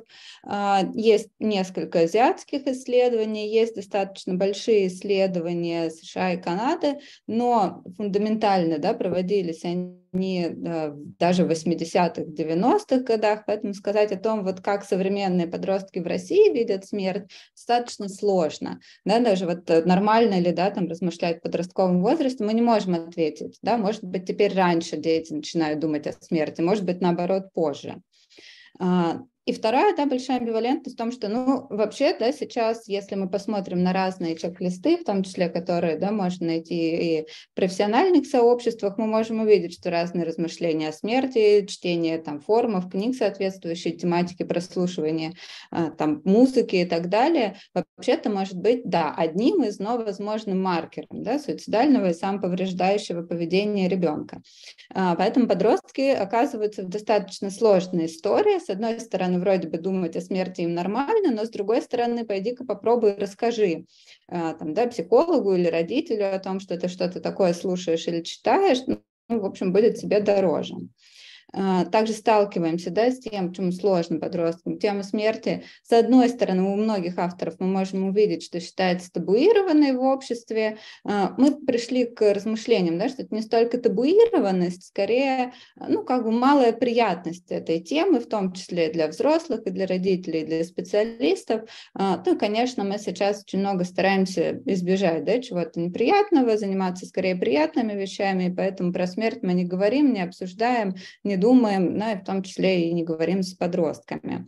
А, и отсутствие навыков у взрослых и у родителей, да, и у психологов, и у преподавателей, ну, вообще, как говорить, да, там, про смерть, э, про конкретную смерть, да, там, не знаю, родственника или друга подростка, или вообще там, ну, абстрактно, да, о том, что такое смерть, что нас ждет после смерти. А, обычно такие разговоры вести не приняты, и даже вот да, работая с семьями после суицидальных попыток подросткам, сталкиваемся с тем, что вот именно у нас там в кабинете, да, там на встрече а, вообще первый раз семья говорит о смерти, о том, что этот подросток мог умереть, и что бы тогда было, и что бы было с ним, и что бы было с его близкими, а, или даже у нас не готовы про это говорить, да, там на момент госпитализации, если мы амбулаторно продолжаем работу, то готовы вообще да, эту тему обсуждать там, ну, только спустя несколько месяцев после выписки.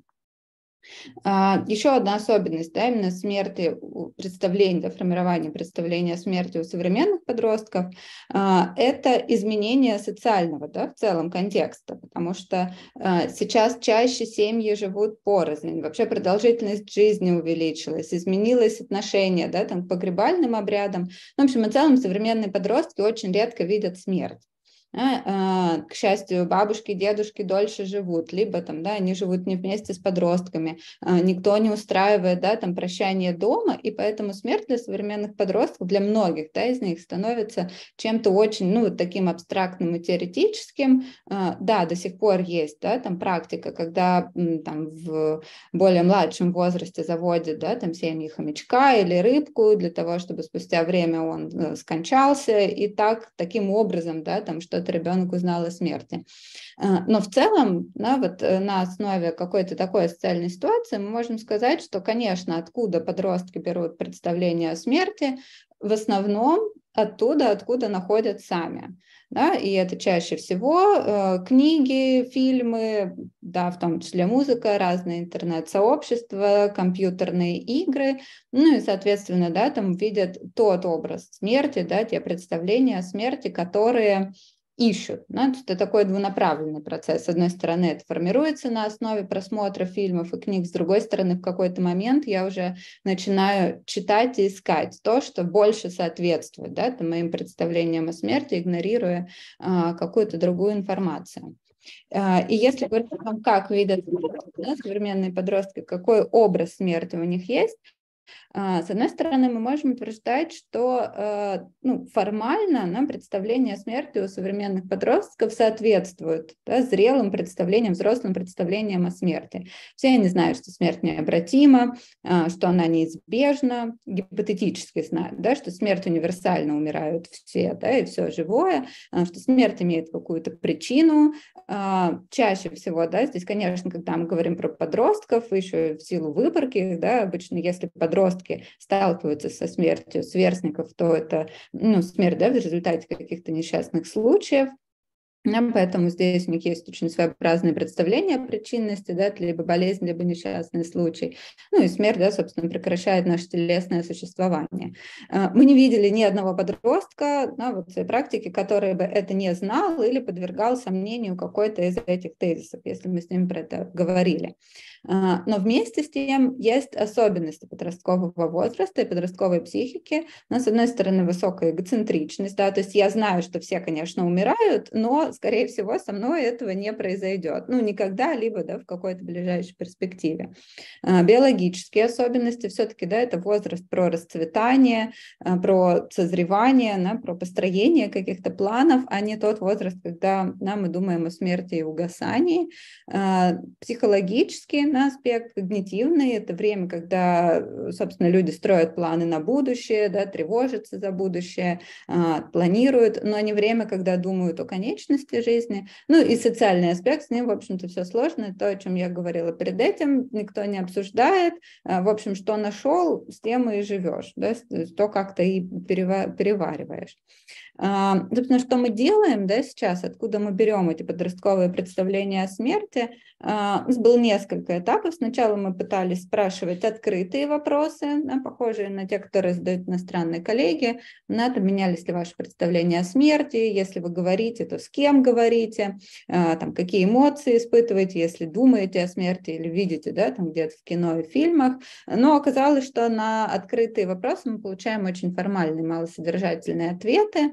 А, поэтому дальше мы перешли да, уже к устным интервью, исследованию ассоциации, ну и дальнейшем на контент-анализу того, что мы получаем. А, и, собственно, какие пока да, мы можем сделать общие выводы.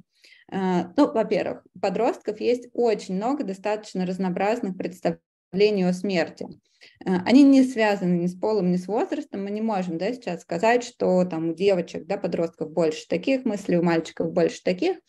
Э, не связаны, там, например, со способом эм, с выбором да, там, способа суицида, а, не связаны с каким-то да, там, личным опытом. Да, вот просто у подростков очень много разных, разных представлений о том, какая может быть смерть.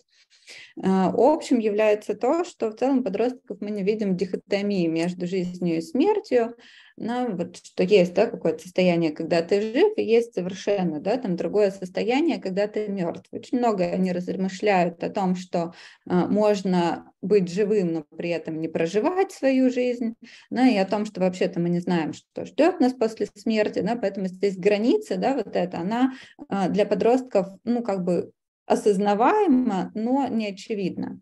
А, и большинство подростков имеет а, представления, да, там в той или иной степени размытые о том, что может быть какая-то жизнь после смерти. А, это не обязательно да, какие-то идеи о райской или о прекрасной жизни, да, возможно, о том, что это абсолютная пустота и чернота, в которой ты оказываешься, а, разные идеи да, о реинкарнации, перерождении, ну, в общем, о том, что что-то еще там дальше есть. А, есть дальше, да, если мы как-то попробуем вот на этом этапе разделить, какие есть представления да, о смерти, то а, мы получаем такие два глобальных направления. Первое – это наличие концепций, а, которые наделяют смерть ну, какими-то особыми да, там, параметрами, качествами или смыслами. Чаще всего это некоторые романтические представления о смерти, в ряде случаев героические представления на смерти, ну, иногда да, это какие-то такие мистические мистические ответы в духе того, что смерть, да, это что-то очень загадочное, это что-то, что может наделить тебя некоторыми особыми а, качествами, сделать тебя неуязвимым, ты сможешь всех видеть или слышать, при этом тебя никто не будет видеть или не слышать, ты будешь везде, но не будешь нигде. А, и вот для подростков с такими представлениями о смерти мы можем говорить, что суицид чаще становится, а, ну, суицид, при суицидальной попытке смерть может становиться одной из целей. Да? То есть я хочу, чтобы моя смерть ну, не просто завершила мою жизнь, но определенным образом выглядела. Да? И вот эм, там меня увидят, да, или то, как меня найдут, а, то, как там да, другие люди, в первую очередь сверстники, ну или близкие, будут переживать мою смерть, смерть, да, там, как они будут про это плакать и горевать, и как это будет красиво, она становится очень важной частью при совершении суицидальной попытки, так же, как да, какие-то мистические, героические концепции. А, и есть отдельная да, там группа представлений о смерти или образов смерти для подростка. Это такая смерть, как прекращение страданий. А, фактически при более подробных да, там, разговорах э, с подростками оказывается, что это не столько отдельный образ смерти, а, сколько, ну, скорее, способ решения проблемы. Да? А, я знаю, что смерть – это не что-то да, там, вот такое особенное отдельное, это просто способ, которым я могу решить те сложности, с которыми я сейчас сталкиваюсь, там, да, ЕГЭ, конфликт с родителями, разрыв там, да, каких-то любовных отношений и так далее. А, поэтому вот на, на этом этапе мы пока затрудняемся, является ли это да, какими-то отдельными представлениями о смерти или скорее ну, таким техническим да, там, моментом. Э, отдельно, конечно, очень много мы обсуждаем с ребятами про то, как влияет или может влиять да, современная культура а, на суицидальные попытки и вообще на их образ смерти. То, что больше всего волнует очень часто да, там родители. А, вокруг этого всегда есть очень много гипотез да, и у специалистов, и у близких, что вообще да, вот, суицидальная попытка происходит в основном в результате того, что подростки что-то читают, смотрят, там, видят и так далее. А, и здесь ну, сами подростки прекрасно приводят да, там примеры, которые мы можем сами да, тоже привести. Ну, о том, что вообще-то смерть появилась не в современной культуре. Да, и разные там, фильмы о смерти, разнообразные, да, там, героической смерти, романтической смерти, да, там, книги существуют уже очень давно, да, но при этом, э, если там, да, какие-то, например, э, аниме, да, там, подвергаются запрету, то Ромео и Джульетту, в общем, в целом никто читать не запрещает. Далее, ну точно так же, как, собственно, и про тему суицида, да, это вызывает очень много разных хихиканий, да, и смешков у подростка про то, что, да, там вот смотреть, да, там, например, сериал «13 причин, почему а, там родители или школы запрещают, а вот читать Анну Каренину можно всем, и никто не думает о том, что там вообще тоже а, описан прекрасный способ суицида. Безусловно, сами подростки э, более рефлексирующие, конечно, разделяют, да, что то, что они читают сами, выбирают сами, смотрят сейчас, но обладает для них более, большей привлекательностью, большей яркостью. И, конечно, да, там э, героиня из сериала «13 причин почему» в большей степени может стать для них ролевой моделью, чем Анна Каренина. Э, но ну, вот сама по себе информация да, о смерти, о том, что она может быть разной, да, о суициде, она всегда была доступна подросткам. Э, много мы говорим про группы смерти, которые, да, собственно, сами подростки сравнивают, да, скорее а, вот для, для них, да, это что-то похожее на страшилки, которые рассказывали, да, например, там в детском садике про гроб на колесиках, ну, то есть какой-то уже местный фольклор, скорее, который передается от одного к другому, который позволяет, да, ну, удовлетворить там некоторые потребности в автономности от родителей. В новых ощущениях, да, там, в рискованном поведении, но точно не а, добавляет да, там, новых идей о смерти или не добавляет там, да, ну, каких-то новых там, способов, например, как это можно совершить.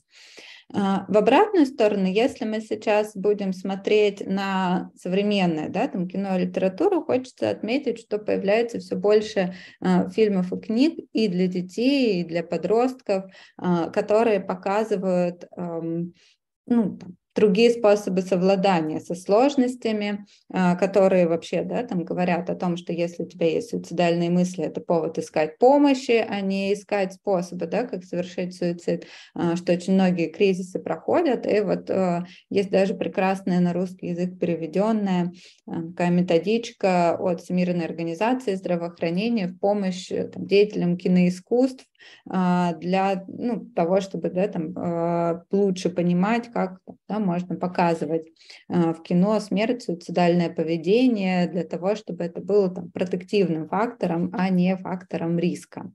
Ну и также мы проводили да, со студентами исследования, правда, были уже юноши и девушки 18+, ну, от 18 да, до там, 23 лет, которые очень активно включены в японскую культуру, очень много смотрят аниме аниме и манго, причем специально выбирали тех, кто смотрит да, аниме и манго, мангу читают, да, эм, такой тематики, да, суицидальной. И оказалось, что уровень да, там, суицидальных переживаний у них не выше, чем у а, да, там, юношей и девушек без подобного опыта просмотра, но выше уровень, правда, депрессивных и тревожных переживаний. Вот. И это, ну, тоже, да, достаточно интересно нам было посмотреть. Это, кстати, а, вопрос, да, почему проводили на юношах и девушках. Э, очень сложно исследовать у современных подростков э, представление о смерти, потому что как только, да, мы начинаем в каких-то школах, там, например, говорить о том, что а, можно мы у вас, да, проведем исследование, поговорим с подростками о смерти, а, нам, конечно, сразу обычно говорят, что нет-нет, не нужно, да, вообще не нужно с ребятами про это говорить, а то мало ли что случится, не дай бог. А, и на основе да, вот таких пока да, э, интервью с подростками мы можем сказать, что да, конечно, СМИ и культура могут влиять на образ смерти и на формирование суицидального поведения, но скорее они являются факторами-посредниками. Ну, да, то есть то, что может усилить те тенденции, которые уже есть у подростка, э, усилить да, там, те мысли, которые у него появились, там, например, до просмотра фильма, а не э, стать причиной да, там, этих мыслей. На первый план в плане факторов да, причин выходят скорее личностные и семейные особенности. А, да, и, ой, прошу прощения. А, ну, собственно, если мы будем говорить о том, ну вот на сегодняшний момент, да, какие личностные семейные особенности это могут быть, на первый план выходит такой фактор, как наличие безопасной привязанности. Да? Вот наличие безопасной привязанности оказывается лучшим и наиболее широким протективным фактором суицидального поведения и для формирования каких-то более развернутых на а, современных представлений о смерти. А, в основном да, это работает потому, что подростки, которые имеют безопасную привязанность да, в семье, а, могут более спокойно инициировать разговоры о смерти и со своими родителями, и со значимыми близкими, и со сверстниками, да, и получить ну, вот некоторый да, какой-то более такой сформированный а, образ смерти. Да, потому что то, то, с чем мы столкнулись, да, вот я несколько слайдов назад говорила о том, что есть у подростков да, какие-то романтические, мистические представления о смерти, да, есть идеи о реинкарнации. А, сложность в том, что это носит очень фрагментарный да, характер. Подросток может сказать, да, я верю в то, что возможна жизнь после смерти, но поскольку он думает это, да, там сам в себе, ни с кем не обсуждает, то ответить на какие-то дальнейшие вопросы, да, там сделать дальнейший шаг он не может, да, там не может рассказать о том, а как выглядит, да, там эта жизнь после смерти, а что это за перерождение, да, там, а от чего это зависит. И когда мы начинаем задавать эти вопросы, да, здесь начинается ну, как бы, как, какой-то процесс рефлексии, да, там, а, ну, а действительно, да, там, а как это будет, а если я предприму суицидальную попытку, то что дальше что меня ждет, да, вот эта там новая жизнь, она каким образом начнется? Вот. А, и те, да, у кого, собственно, уровень привяз... ну, привязанность да, более безопасная, а, да, там самооценка более устойчивая, они проще могут да, вот, э, такие разговоры вести вообще с разными людьми. Ну и на данном этапе, да, собственно, выводы, которые мы можем сделать, первое, да, а, там очень важно, да, особенно специалистам, ну и на самом деле да, родителям и близким, а, учитывать современный социальный контекст. Мы можем очень много говорить, да, что современная культура, там СМИ, э, книги, комиксы, все это формирует неправильные представления о смерти, но на самом деле сейчас, если мы активно читаем да, там, подростковую литературу, интересуемся тем, что подростки смотрят, да, читаем там, да, что-то из разряда Young Adult, мы можем найти очень много, наоборот, да, там ресурсные, поддерживающие литературы, предлагать, да, там обсуждать и читать ее, и наоборот, да, собственно, а, не просто зная, что где-то там э, в аниме, да, что-то такое ужасное про суицид, и вообще там все, да, бесконечно а, только и делают, что предпринимают, да, какие-то суицидальные попытки занимаются селф-хармом, да, зная, какая философия, да, там откуда это вообще берется, как это приходит, а, мы можем быть более компетентными более устойчивыми в разговоре с подростками да, для того, чтобы формировать вместе да, какую-то новую концепцию смерти для них. А, второе, да, это, наверное, самое важное, что мы можем делать, это говорить с подростками о смерти. Да, вот для того, чтобы у подростка был какой-то более или менее да, там, здоровый образ смерти, да, а, ему нужно про это с кем-то говорить. Ну, потому что иначе, да, то, то, о чем я говорила, какие-то очень фрагментарные, редуцированные представления на основе случайно найденной информации. А, для того, чтобы мы могли говорить, нужно, чтобы специалисты и родители сами умели говорить с подростками о смерти на разных уровнях. Ну, начиная от какого-то вот человеческого разговора об интересах, да, вообще откуда ты это берешь и что тебе интересно, да, до а, там, да, возможности использовать использования там, направляемого открытия, да, например, или э, других да, каких-то когнитивных техниках. А, и э, четвертое, да, наверное, что, что мы точно можем сказать сейчас, да, нам очень нужно проводить дальнейшие исследования а, того, как видят смерть подростки, причем особенно да, подростки без суицидального опыта, потому что вот методологически эти исследования проводить гораздо сложнее. Да, никто не хочет к своим подросткам пускать, да, вот поговорить о смерти. На этом, наверное, э, я закончу. Если есть вопросы, я готова ответить на вопросы. Спасибо большое, Дарья Вадимовна. Как всегда, очень информативный, насыщенный, э, профессиональный доклад и очень полезный, чтобы понимать, что происходит с подростками подростками, что происходит актуально сейчас. И, и вот эта проблематика э, манго, ани, аниме, таких клубов самоубийц, очень здорово, что вы все это осветили. А пока, видимо, переваривается эта информация э, нашими участниками. Спасибо вам еще раз большое, и мы переходим к завершающему нашему участнику ну, а, а с Дарьей Вадимовной прощаемся до следующей конференции. Мы надеемся на продолжение э, нашего сотрудничества. Спасибо большое. Благодарю за внимание. Спасибо. Да, всего доброго. Лиана Леонидовна Алавердова, наш коллега из Нью-Йорка, Леон Леонидовна, автор 11 книг стихов и документальной прозы, включая книги популярной психологии, и волонтер Американского общества по предотвращению самоубийств, ведущая группа поддержки для друзей и родственников людей, погибших от суицида. И ее доклад будет посвящен шестой стадии горевания, обретения смысла жизни после личной катастрофы. А, здравствуйте, Лиана Леонидовна. Спасибо большое, что вы с нами, уже не первую конференцию, и, как всегда, с большим интересом ждем вашего такого очень насыщенного и практикоориентированного сообщения. Спасибо. Сейчас я сделаю это скрин.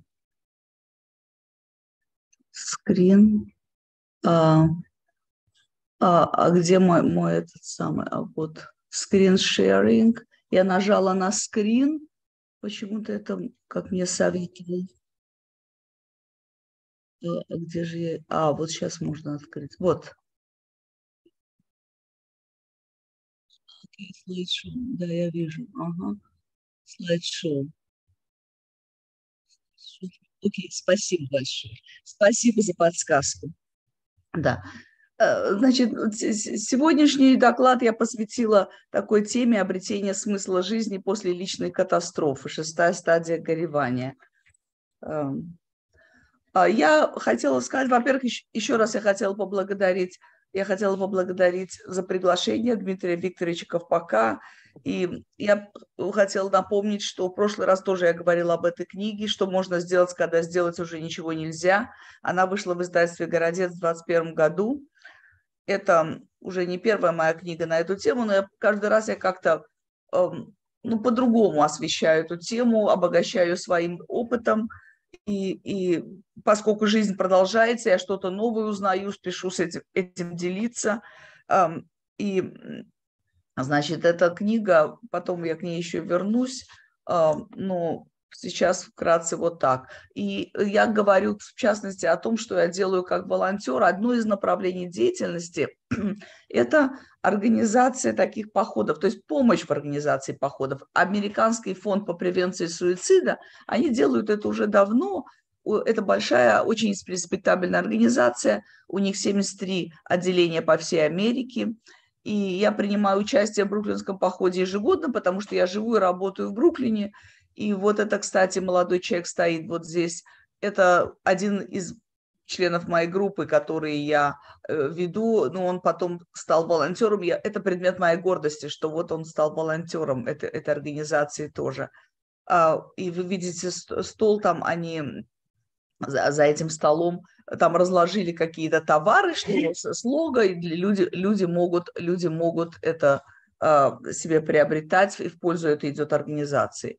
Вот это стол с разными бусами для участников. Оранжевый для тех, кто потерял брата или сестру, синий в поддержку борьбы с суицидом, белый для тех, кто потерял, вот белый, для тех, кто потерял сына или дочь, голубые в поддержку тех, кто страдает или пытался покончить с собой. Тут просто не вот сил такой цвет бирюзовый. Зеленые для тех, кто пытался покончить с собой.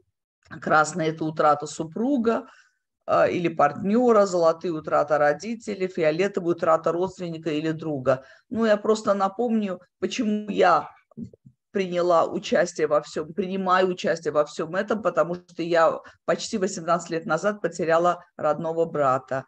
А, вот единственного моего брата, младшего брата я потеряла, он покончил с собой. Это было здесь, в Нью-Йорке. Вот. Вот слева вы видите Ам Эми Монаган, она директор Нью-Йоркского отделения ФСП. А тут вот на этом стенде обращения, записки. Э, ну, люди чувствуют, что им легче становится на душе, когда они напишут что-то, как будто посылая вверх, посылая в небеса обращение своим любимым. Вот. Значит, наша команда была одной из тех, кто собрал наибольшую сумму, и нам выдали транспарант с названием команды. Это сидит тоже одна женщина, которую я пригласила участвовать в этом походе из уча- участницы группы поддержки. Вот это тоже один из участников группы поддержки, его зовут Мел, он потерял сына э, почти два года назад. И я как капитан команды, ну, я просто себя объявила капитаном команды, потому что это помогает мне делать фандрейзинг, сплачивать людей, собирать их в этот поход это мы в одном из бруклинских парков, там это, конечно, люди, многие из которых я их не знаю вообще, они просто пришли, потому что или погиб кто-то из их близких, или они просто поддерживают, или у них самих суицидальные попытки, то есть они принимают близко к сердцу эту проблему. Вот. Значит, мы проходимся, тут тоже одна из членов моей группы, женщина молодая, у нее погибла мать, и мы идем вместе, ну, понимаете, это бодрит, это очень хорошо и полезно. И помимо того, что мы, мы идем, мы разгов... я обычно с кем-то разговариваю из участников похода. Да, если кто-то чувствует, что ему трудно пройти, это фактически мы ходим вокруг парка, несколько таких проходов. Каждый по желанию, сколько хочет, столько идет. Вот. А тут вы можете видеть, это другое направление моей деятельности. А я веду группу поддержки. Я веду уже долгие годы, ну как долгие, 7 лет я веду. Я вначале в одной библиотеке работала, потом в другой, э, и продолжаю вести. А, значит, группа – это значит, вы можете прочитать, я быстро переведу. Это группа неформальная, полностью бесплатная, группа поддержки тех, кто потерял близких. А, нет необходимости сражаться одному, пожалуйста, приходите и поделитесь своей историей с теми, кто пережил суицид для взаимной поддержки. Программа модерируется тренированным волонтером из American Foundation of Suicide Prevention, не требуется регистрации, пожалуйста, приходите вовремя. Если бы вы хотели присоединиться, то вот Лиана, вот ее email и э, информация, которой мы делимся, она конфиденциальная, и никому не разрешается смотреть, вот приходить в нашу комнату виртуальную во время нашей сессии. Когда-то это было лицом к лицу, мы делали раз в месяц, но потом началась пандемия, и поскольку пандемия ну, мы все были изолированы, библиотеки закрыты, все было закрыто, люди сидели дома изолированы. Это было ужасно для многих, которые только-только потеряли близких. И вот моя группа была одной из таких отдушин. А, они могли присоединиться к ней легко, и мы беседовали раз в неделю. Я сделала это раз в неделю. Я продолжаю теперь раз в неделю. Попробовала опять лицом к лицу, но что-то вижу, люди не, не хотят приходить. Это же город огромный, трудно добираться, вечером уже темно, страшновато, незнакомый район, если особенно. То лучше продолжать эти встречи по Зуму, что я и делаю. То мы встречаемся по средам, сейчас я стал встречаться по четвергам. В общем, я думаю, что это, что это удобно. Вот. И э, к тому же я хотела добавить, что а, участие, и что я еще делаю как волонтер, это healing conversations, то есть мы беседуем с теми, кто недавно потерял близких, а, по телефону. Раньше это было тоже, мы два волонтера ходили по домам, а теперь мы встречаемся лицом к лицу а, э, ну, то есть через Zoom, или Zoom, или, или телефон, face, face, э, по Facebook, в общем, разные средства, по скайпу это можно делать, беседовать с тем, кто потерял близкого, уже получается индивидуальная встреча. Стараются совместить, если человек потерял близкого, там, предположим, отца или мать, то чтобы он встретился с волонтером, который потерял отца или мать. То есть, то есть вот, вот так, вот по, по типу утраты стараемся совместить. И еще а, участие в Healing Conversation, вот это вот то, что я сказала, ну, вот последний, э, то, что делается, это вот проходит раз в году, а, в последнюю субботу перед Thanksgiving, Днем Благодарения, проходит, проходит э, такое, э, такое мероприятие, как Международный день для тех, кто потерял близкого человека от суицида. Это было организовано демократическим сенатором Гарри Рейдом, еще была по его, по его инициативе, и сейчас это проводится по всей Америке. А, в этом году это будет проходить в Колумбийском университете. Я принимала участие в организации в этом году, поскольку у меня семья, еще другие дела. Я сказала, что, наверное, я не буду фасилитейтер, то есть модератор. Кто-то другой будет, но неважно. Но это очень замечательное мероприятие. Оно проходит проводится с утра до, полу... до 3 часов дня, с 10 утра до 3 часов дня. И там люди собираются вначале все вместе, выступает какой-то спикер. Этот спикер обычно такая очень трогательная, очень прочувственная речь. Потом они э, смотрят вместе фильм документальный, посвященный теме утраты э, от суицида. Потом они разбиваются на группы по типам утраты и модерируются эти встречи и обычно это большие группы, потому что со всего города люди собираются, а потом они собираются опять вместе, там бывает какая-то заключительная церемония, обычно очень трогательная, очень милая, очень вызывающая слезы, и люди расходятся. А значит, и все это бесплатно совершенно, и завтрак, и ланч, все это включено. В общем, это очень благородное, хорошее дело. Вот в этом году, значит, э, нажму следующий слайд. Меня пригласили участие в конференции в Кливленде, Огайо, в июле 22 года, вот только недавно. Я была там как волонтер а, Американского фонда превенции суицида, и там у меня были очень яркие впечатления. Ну, не, я не могла присутствовать физически на всех семинарах, программах, но некоторые общие выступления, особенно некоторые встречи меня особенно поразили, оставили след. Одно из таких выступлений ярких было выступление Зака Уильямса. Это сын Робина Уильямса. Может быть, вы, вы его узнаете, это очень популярный американский актер. Робин Уильямс э, потряс весь мир несколько лет назад, что он покончил с собой. Зак Уильямс говорил о том, что когда погиб его отец, когда-то в свое время он тоже очень страдал из-за того, что погиб его э, двоюродный брат, э, мальчиком, подростком умер, и не с кем было говорить, как-то он все, в себе таил. И вообще культура вот этого, такая психотерапия, она же постепенно тоже развивается во всем западном мире, во всем мире. Вот. И э, постепенно он э, особенно когда погиб его отец, он старался быть крепким, он старался быть сильным, он как будто бы загнал это все вовнутрь, но это ему об... плохо обернулось. Он стал себя чувствовать ужасно, в общем, и э, когда он полностью уже стал психологически разваливаться, он обратился за помощью, и вот в основной, основной смысл его речи состоял в том, как важно, как он говорил, mental hygiene, да, гигиена психологическая, ментальная гигиена, как важно следить за своим здоровьем и физическим тоже, и движение, и медитация, и правильное питание, и журнал благодарности, и все это вот такое. В общем, хорошая была, замечательная речь. Вот после этой речи, я помню, все столпились, что получить автограф, сфотографироваться с ним, а я, наоборот, пошла э, к тому, кто э, возглавляет Америк, Американский фонд превенции суицида. Мне хотелось, потому что он выступал до этого, и никто, никто, за исключением одной женщины, не стоял перед ним. Я пошла к этому человеку, потому что я восхищаюсь этой организацией, я волонтер, мне хотелось лично его поблагодарить. Вот. А эта замечательная женщина, это значит, Ронни Уокер, я с ней познакомилась там на этой конференции, у нее был столик. Alliance of Hope – это еще одна организация а, именно for Suicide Loss Survivors, и мы с ней как-то взаимно проникли симпатией.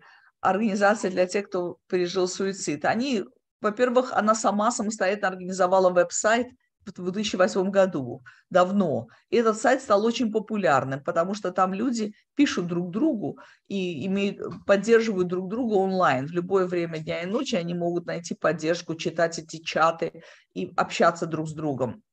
Ее а, покончил с собой ее пасынок, она уподобляет это взрыву бомбы. Вот кончину от суицида кого-то близкого, это все равно, что в семье взорвалась бомба это раненые, люди раненые, люди страдают, люди разбросаны. Это, в общем, это ужасно.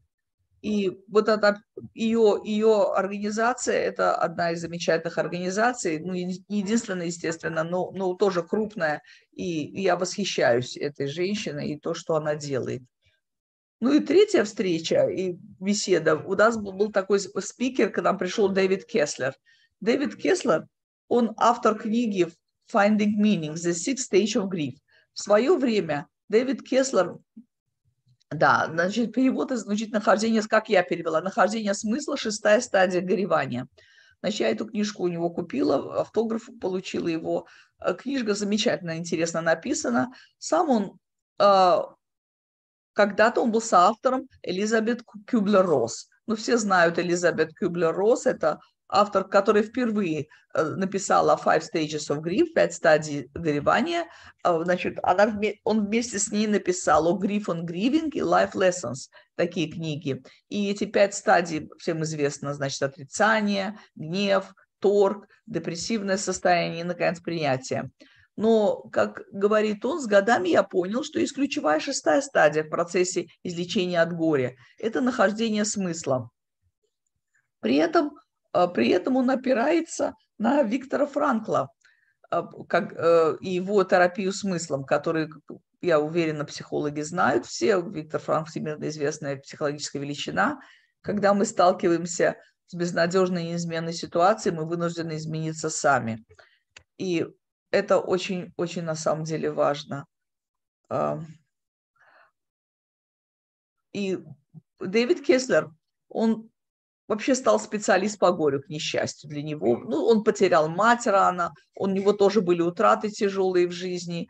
И он призывается, сам является как бы как скорой помощью, психологической скорой помощью. Вот когда было 11 сентября, когда бывает авиакатастрофа, его приглашают для того, чтобы он беседовал с теми, кто уцелел, кто потерял близких людей. Вот э, терапию смысла, вот он как бы формулируя ее вопросами, которые психолог может задать. Как вы можете почтить память своего любимого человека? Как вы можете создать иную жизнь, помня о них? Как вы можете использовать свой опыт, чтобы помочь другим? Вот. И, э, значит, теперь я хочу сказать о э, тоже еще одной знаменательной встрече, которая произошла вне рамок этой конференции. Это просто, ну, жизнь преподносит все время какие-то сюрпризы. Я, значит, до, до отъезда на эту конференцию вдруг мне звон, э, пишет по Фейсбуке месседжи какая-то незнакомая женщина и говорит, Лиана, вы автор книги «Что можно сделать, когда сделать э, уже ничего нельзя?» Я говорю, да, а, а что, почему? Она говорит, ну вот, вы знаете, я видела про вашу книгу в фильме Елены, Елены Погребишской мой муж внезапно убил нашу дочь, нашу собаку, и потом себя. Я говорю, да, что вы говорите, я понятия не имею. Во-первых, я не знакома была с Еленой Погребишской, своему стыду. Она, оказывается, очень популярный документальный э, режиссер, документалист. А потом я значит, э, ну, ну, стала смотреть, естественно, что там про книгу и что там, что вообще, о чем там вообще. Это, конечно, совершенно ужасная история это был как бы медосуицид, то есть убийство-самоубийство случай, когда муж, желая отомстить жене там и помешавшись от... Они были э, э, в сепарейте, разделились, стали отдельно жить, но она ему дозволяла видеться с ребенком, потому что она считала, что это ребенок и его, и ее. И вот он э, когда она была там на даче, оставила ребенка, маленького ребенка, которого она обожала, и муж тоже любил, все, по всем признакам он любил и вкладывал много души в этого ребенка. Он выбросил ребенка он выбросил ребенка из балкона, он выбросил с балкона их любимую собаку, и он, и он сам покончил с собой. И вот эта вот женщина, ну, немыслимое горе, совершенно немыслимое горе. Ее зовут Карина Кугель. Значит, она была просто в полном, ну, ну, я даже не могу описать, естественно, это никто не может представить и описать, в, в каком состоянии она была. И она у, на столе у своего психолога, она увидела мою книгу. Она говорит, можно я почитаю? В общем, да, дала ей. Или тот, я не знаю. В общем, она прочла эту книгу, и она говорит, она мне помогла в том плане, что я поняла, что мне делать, что мне нужно что-то делать. Я не могу вот так просто вот... И она стала она стала, в общем, заниматься таким проектом «Выжить», основала этот проект «Выжить». Ну, для меня это очень тоже было значимо, когда я узнала о том, что она примила. В принципе, для этого эта книга и была написана. Я просто привожу эту цитату, значит, вы видите, «Вам sticks and stones can break our bones, but silence break, break our heart». Значит, это популярная такая, такая фраза из стихотворения Филлис МакГинли, автор этого стихотворения – Stings and stones are hard on bones aimed with angry art. Words can sting like anything, but silence breaks the heart. То есть могут нас разбить какие-то камни и нас, а, а, какие-то палки, наши кости, и слова могут жалить, как сердитые пчелы, но молчание разбивает наши сердца. Это можно отнести, эту фразу ко всем тем, кто а, пережил э, смерть близкого человека от суицида, потому что на самом деле молчание, молчание замалчивание суицида, замалчивание трагедии, оно ничего хорошему не ведет. Вот. И, эм, значит, память об ушедших можно сделать очень много. Можно, как говорил Давид Кислер, Кеслер, о больших, мал, больших и малые дела – можно а, написать воспоминания о любимом человеке, можно поделиться этими воспоминаниями, посетить места, где были вместе, можно соблюдать традиции, которые были дороги для ушедшего, позаботиться о людях, которые были важны для него, стать волонтером. То есть на самом деле очень большой спектр всего того, что можно сделать в память и почитая любимого человека. И вот что, например, вот отрывок я перевела из Дэвида Кеслера. Люди часто думают, что нет способа исцелиться от страшной утраты. Я верю, что это неправда. Вы исцеляетесь, когда вы можете вспоминать о тех, кто умер, более с любовью, чем с болью. когда вы находите способ придать смысл вашей жизни таким образом, что он будет почитать память ушедших. Такой путь требует решимости и желания сделать это. Но найти смысл после утраты не нечто экстраординарное, но вполне обычное. Это происходит все время во всем мире. Вот Карина Кугель – это человек, она живет в Минске.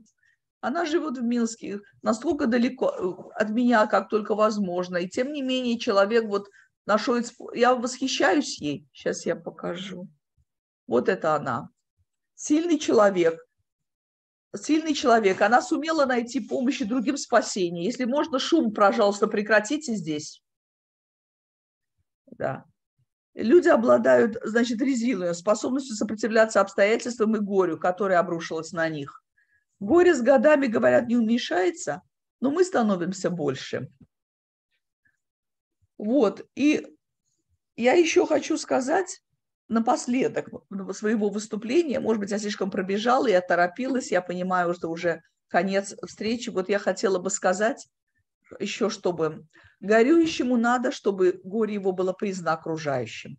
Ему надо, это вот не мои слова, не я такая мудрая, это слова Давид Кеслер, и я с ним полностью солидарна. Он, чтобы его поняли, чтобы мог излить свое горе, чтобы были свидетели того, как он горюет, чтобы об этом горе можно было говорить, и чтобы он был не одинок, но в окружении понимающих и сочувствующих людей. А дело в том, что дело в том, что, ну, как вы знаете, суицид – а, это табуированная тема, и во многих обществах она до сих пор остается табуированной темой. Очень некомфортная, люди не хотят говорить. А, так, и до сих, в Америке постепенно оттаивает общество, постепенно оно становится более толерантным в этом вопросе. Не то, что говорят, что суицид – это хорошо, никто этого не говорит, что это приемлемо, нет, это ужасно. Но, по крайней мере, родственники и друзья, те, кто потерял близких, от них перестают шарахаться, они не становятся как бы стигматизированные, как бы клейменные вот, вот эти трагедии. Вот это вот нужно, вот в этом плане нужно, конечно, много еще проделать, и много нужно помогать тем, кто говорит. И надо говорить, зачем он говорит об, о своем горе? Ну, не только касается суицида. Зачем? Кому это нужно слушать? Это нужно ему, чтобы люди слышали, ему нужно выговориться, это необходимо. Сколько бы раз он ни говорил, или она, это нужно. Это необходимый процесс исцеления. Да, потом один из семинаров был очень хороший, который я посетила. Энди Макнил, автор вот этого интересного зрительного образа, который там у него по-другому выглядела эта пальма, но суть не в этом. Суть в том, что он показал нам искривленные пальмы, которые, тем не менее, смотрят на а, смотрят в небо, смотрят к солнцу, обращены. Это во Флориде есть такие пальмы. Что это за пальмы? Это пальмы, которые пережили ураган. И вот пальмы, которые, некоторые пальмы, которые пережили ураган, вот они так навсегда искривлены, они будут расти так криво. Но, то есть это след этого урагана навсегда в них запечатлен. Подобно людям, которые пережили суицид близкого человека что-то в них навсегда изменилось. Но, тем не менее, они будут стремиться к свету, они будут стремиться, у них есть в надежда. Это не значит, что их надо похоронить себя и похоронить с, с тем, что они похоронили своих близких. Они могут помогать другим, и через это они могут исцеляться сами для своей души, для своей, для своей души, для душ других людей, которых окружают. Вот. Ну, я в конце привожу свой email, если кто-то хочет со мной контактировать, какие-то вопросы по email, пожалуйста, пишите, это мой личный email. В общем-то, меня Дмитрий Викторович, по-моему, уже не первый раз называет коллегой. Большое спасибо. Я не профессиональный психолог, но я волонтер, который много просто знает по, по этому вопросу, по, этому, по этой теме. Так что я очень вам благодарна. Спасибо всем, кто слушал. Спасибо большое, Лена Леонидовна. Я абсолютно искренне, э, с большим уважением и я считаю, на полном основании считаю вас коллегой, потому что вы делаете очень важное дело и также чутко и профессионально, и с большим опытом. Я думаю, что большинство коллег меня здесь поддержат. Мы уже не первую конференцию с вами общаемся и слушаем эти важные и замечательные доклады. И вот эта прекрасная метафора про влияние, э, как на пальму, этих жестких факторов среды и того, что происходит в нашей жизни. но тем не менее э, выбор в пользу жизни и желание жить, и возможность, которую черпает вот эта пальма из сложившихся обстоятельств, для нас это прекрасный пример, очень живой, яркий и важный. Поэтому э, ваша книга э, замечательная. Что можно сделать, когда сделать уже ничего нельзя, это, я считаю, что ресурс на уровне того же Виктора Франкла, и очень рекомендую всем ее почитать. Для этой темы это действительно важный ресурс. Это действительно видение, э, что вот за этой стеной утраты может быть жизнь дальше, что она может продолжаться, и что эти усилия, они оправданы, чтобы продолжать эту жизнь. Спасибо. Я очень бы хотела, чтобы э, у вас тоже бы существовали такие группы поддержки, чтобы люди, которые именно пережили суицид э, самостоятельно или под влиянием психолога, потому что у нас тоже есть платные группы, есть платные группы, есть группы, которые как бы по определенному сценарию ведутся психологом, по определенным этапам, у них есть план тоже. Это планированные закрытые группы, так называемые. Моя группа открытая. Я не могу сказать человеку нет. Поэтому у нас есть и новички, и те, кто давно ходит. То, то есть у нас такая смешанная группа. Ну, в общем, мы помогаем друг другу словом, там, поддержкой и все такое. Но, но вот если такого плана, и, и любого плана хорошо, чем отсутствие их. Да, спасибо большое. Вот Анастасия Пургина в чате э, дала ссылку на такие же подобные бесплатные встречи. Э, в этом старается и наша ассоциация принять участие, поэтому это ссылка именно на мероприятие ассоциации, которое будет проходить 19 э, ноября. Поэтому мы приглашаем тоже э, тем, кто э, пережил суицид близких, э, поддержать вот это мероприятие фонда превенции суицидов американского, э, чьи инициативы мы тоже поддерживаем здесь у нас в России. И большое количество благодарностей в чате вам, Леона Леонидовна. Э, есть и персональные приветы, которые э, вам хотят передать. Сейчас я постараюсь найти. Чат перемещается. А, а, я думаю, что организаторы вам скинут ссылку тоже, чтобы посмотреть. Сейчас я несколько э, постараюсь зачитать. Мария Ильич передает вам большой привет э, и благодарит вас за интересный доклад. Есть вопрос. Андрей Кашкаров. Скажите, пожалуйста, от чего, на ваш взгляд, недостаточно результативно работают государственные социальные органы, в уставных задачах которых профилактика суицидов? В США, там, где вы знаете эту ситуацию. В России тоже есть органы соцзащиты, однако они работают только в заявительном порядке, да и то, на мой взгляд, в нашей теме номинально. Кроме того, есть кризис доверия пациентов или представителей потенциально э, рискованной группы к специалистам.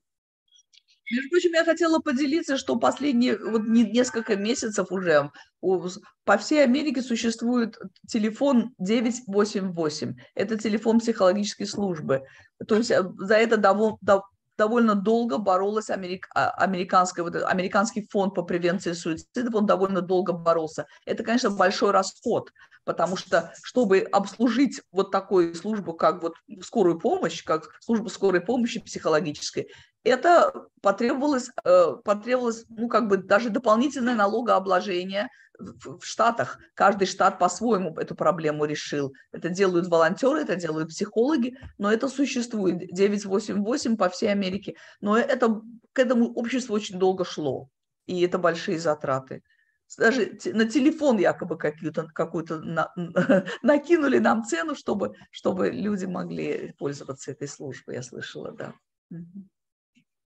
Делается много.